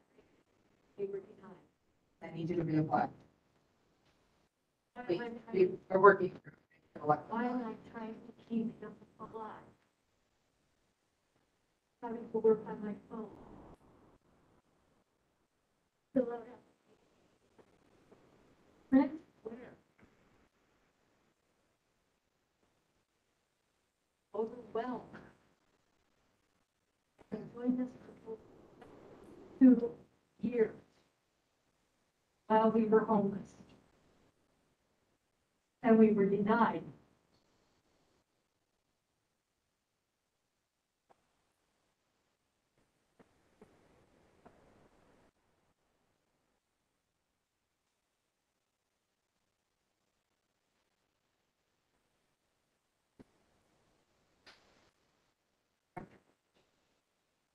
Please, please. Please. Okay. We're at the uh, point in the agenda which it says wrap it up for today. Yep. Um, start time tomorrow, uh, eight thirty for the check-in, nine AM, we'll- get started. And, um, we'll probably pick right up with the, uh, with veterans chiefs out on during the, the CTRS. So, uh, it's been a good day. Um, We've had some really great presentations. We've had some excellent discussions. Uh, frankly, you can feel, uh, the energy, uh, that was, uh, present. Uh, I'm sort of filled with optimism that we're on, a- on a good track here. Uh, We need to understand that, uh, that it's, it's going to take a little more time. And that this first tranche of buildings delivered, uh, as the chief said, uh, we understand where we'll be when that happens. Uh, and, and make sure that we're transparent, that everybody knows uh, what's gonna happen, why it happened, criteria were, were, are, all of those things. And, and again, that it's being further refined as, as we go along. And, and that won't be an easy task to, uh, try to get that done, but it, it absolutely has to be. Uh, and during our discussions later, uh, this afternoon, I think were excellent as well. So, uh, after a good start today, we'll look forward to more of the same tomorrow, uh, with a little more of the emphasis on building and delivery product. And then we'll welcome the folks, uh, from the West LA Collective, uh, to do that. So I'll offer my, uh, to the chief, see has comments to add on. Thank you so much. This has been a really good day, um, very informative. I am so appreciative of, um, a great conversation and to see the, the, the progress, um, and just the education alone was just really super helpful. Um, the math problem that we have before us, I, I, I crystallized today in a way that I was not fully aware. And so, um, you know, I think as we look at not just the master plan, but how we're also going to help all the veterans that are, that we're dealing with, um, is just massive. And so I'm, I'm just really appreciative and and even the clarity on the pit count. but The pragmatism, like, that I'm doing the pit count here in particular. Um, so just thank you. I'm looking forward to tomorrow. I'm looking forward to my first CTRS. And I just appreciate everyone's attention and focus and, uh, just solid day. So thank you so much. Um, Thank you, sir. uh, Thank you, ma'am. I want to echo, but also thank the uh, public comment participants. It's always incredibly uh, important for us to get the voice of, the voice of the veteran and their family. The concerns, hear you, the recommendations, we hear you, and the compliments, you know, on the care that you're receiving here at GLA. We also hear you, so thank you, and we'll look forward to more public comment uh, next quarter, in the next quarter meeting. Dr. Harris. Keith Harris, the only thing I'll add is, it's, it's obvious being in the room, but so pleased with, with John and Kim, with Deborah, that you're bringing to coordinate and the, the leadership and the energy right now is, is really exciting, is exactly what we need. I appreciate it. Thank you very much. I certainly concur with the chief and with the general that today's discussions were substantive and I think really create a trajectory for the work that we have to do. I think there's still more work that we have to do in terms of rooting all of this in the the customer and the consumer.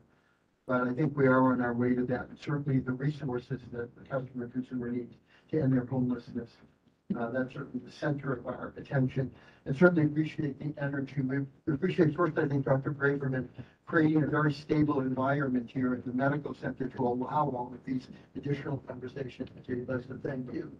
And then John, was so, so refreshing, um, to have your energy and your knowledge.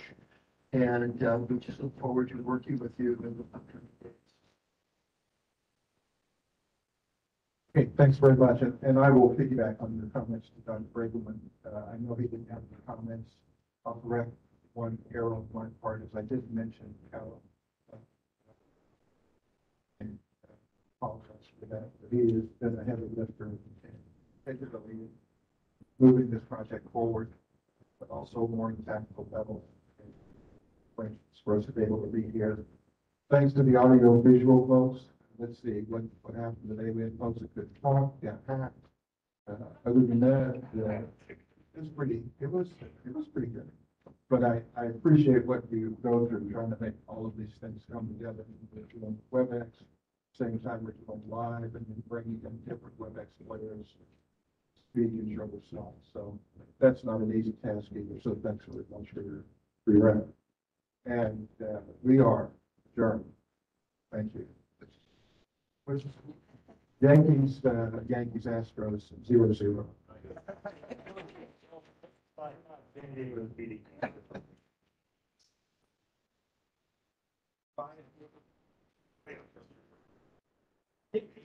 We already won.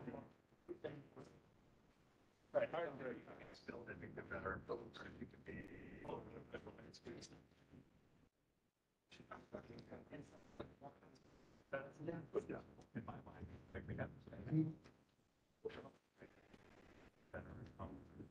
it's about asking capital, right?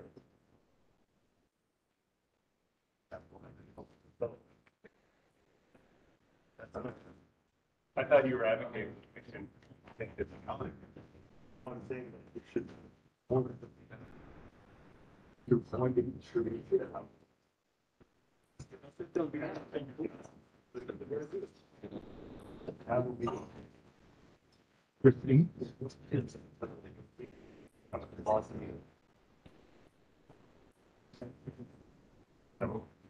Yeah, I mean, well, the acronyms are coming out of.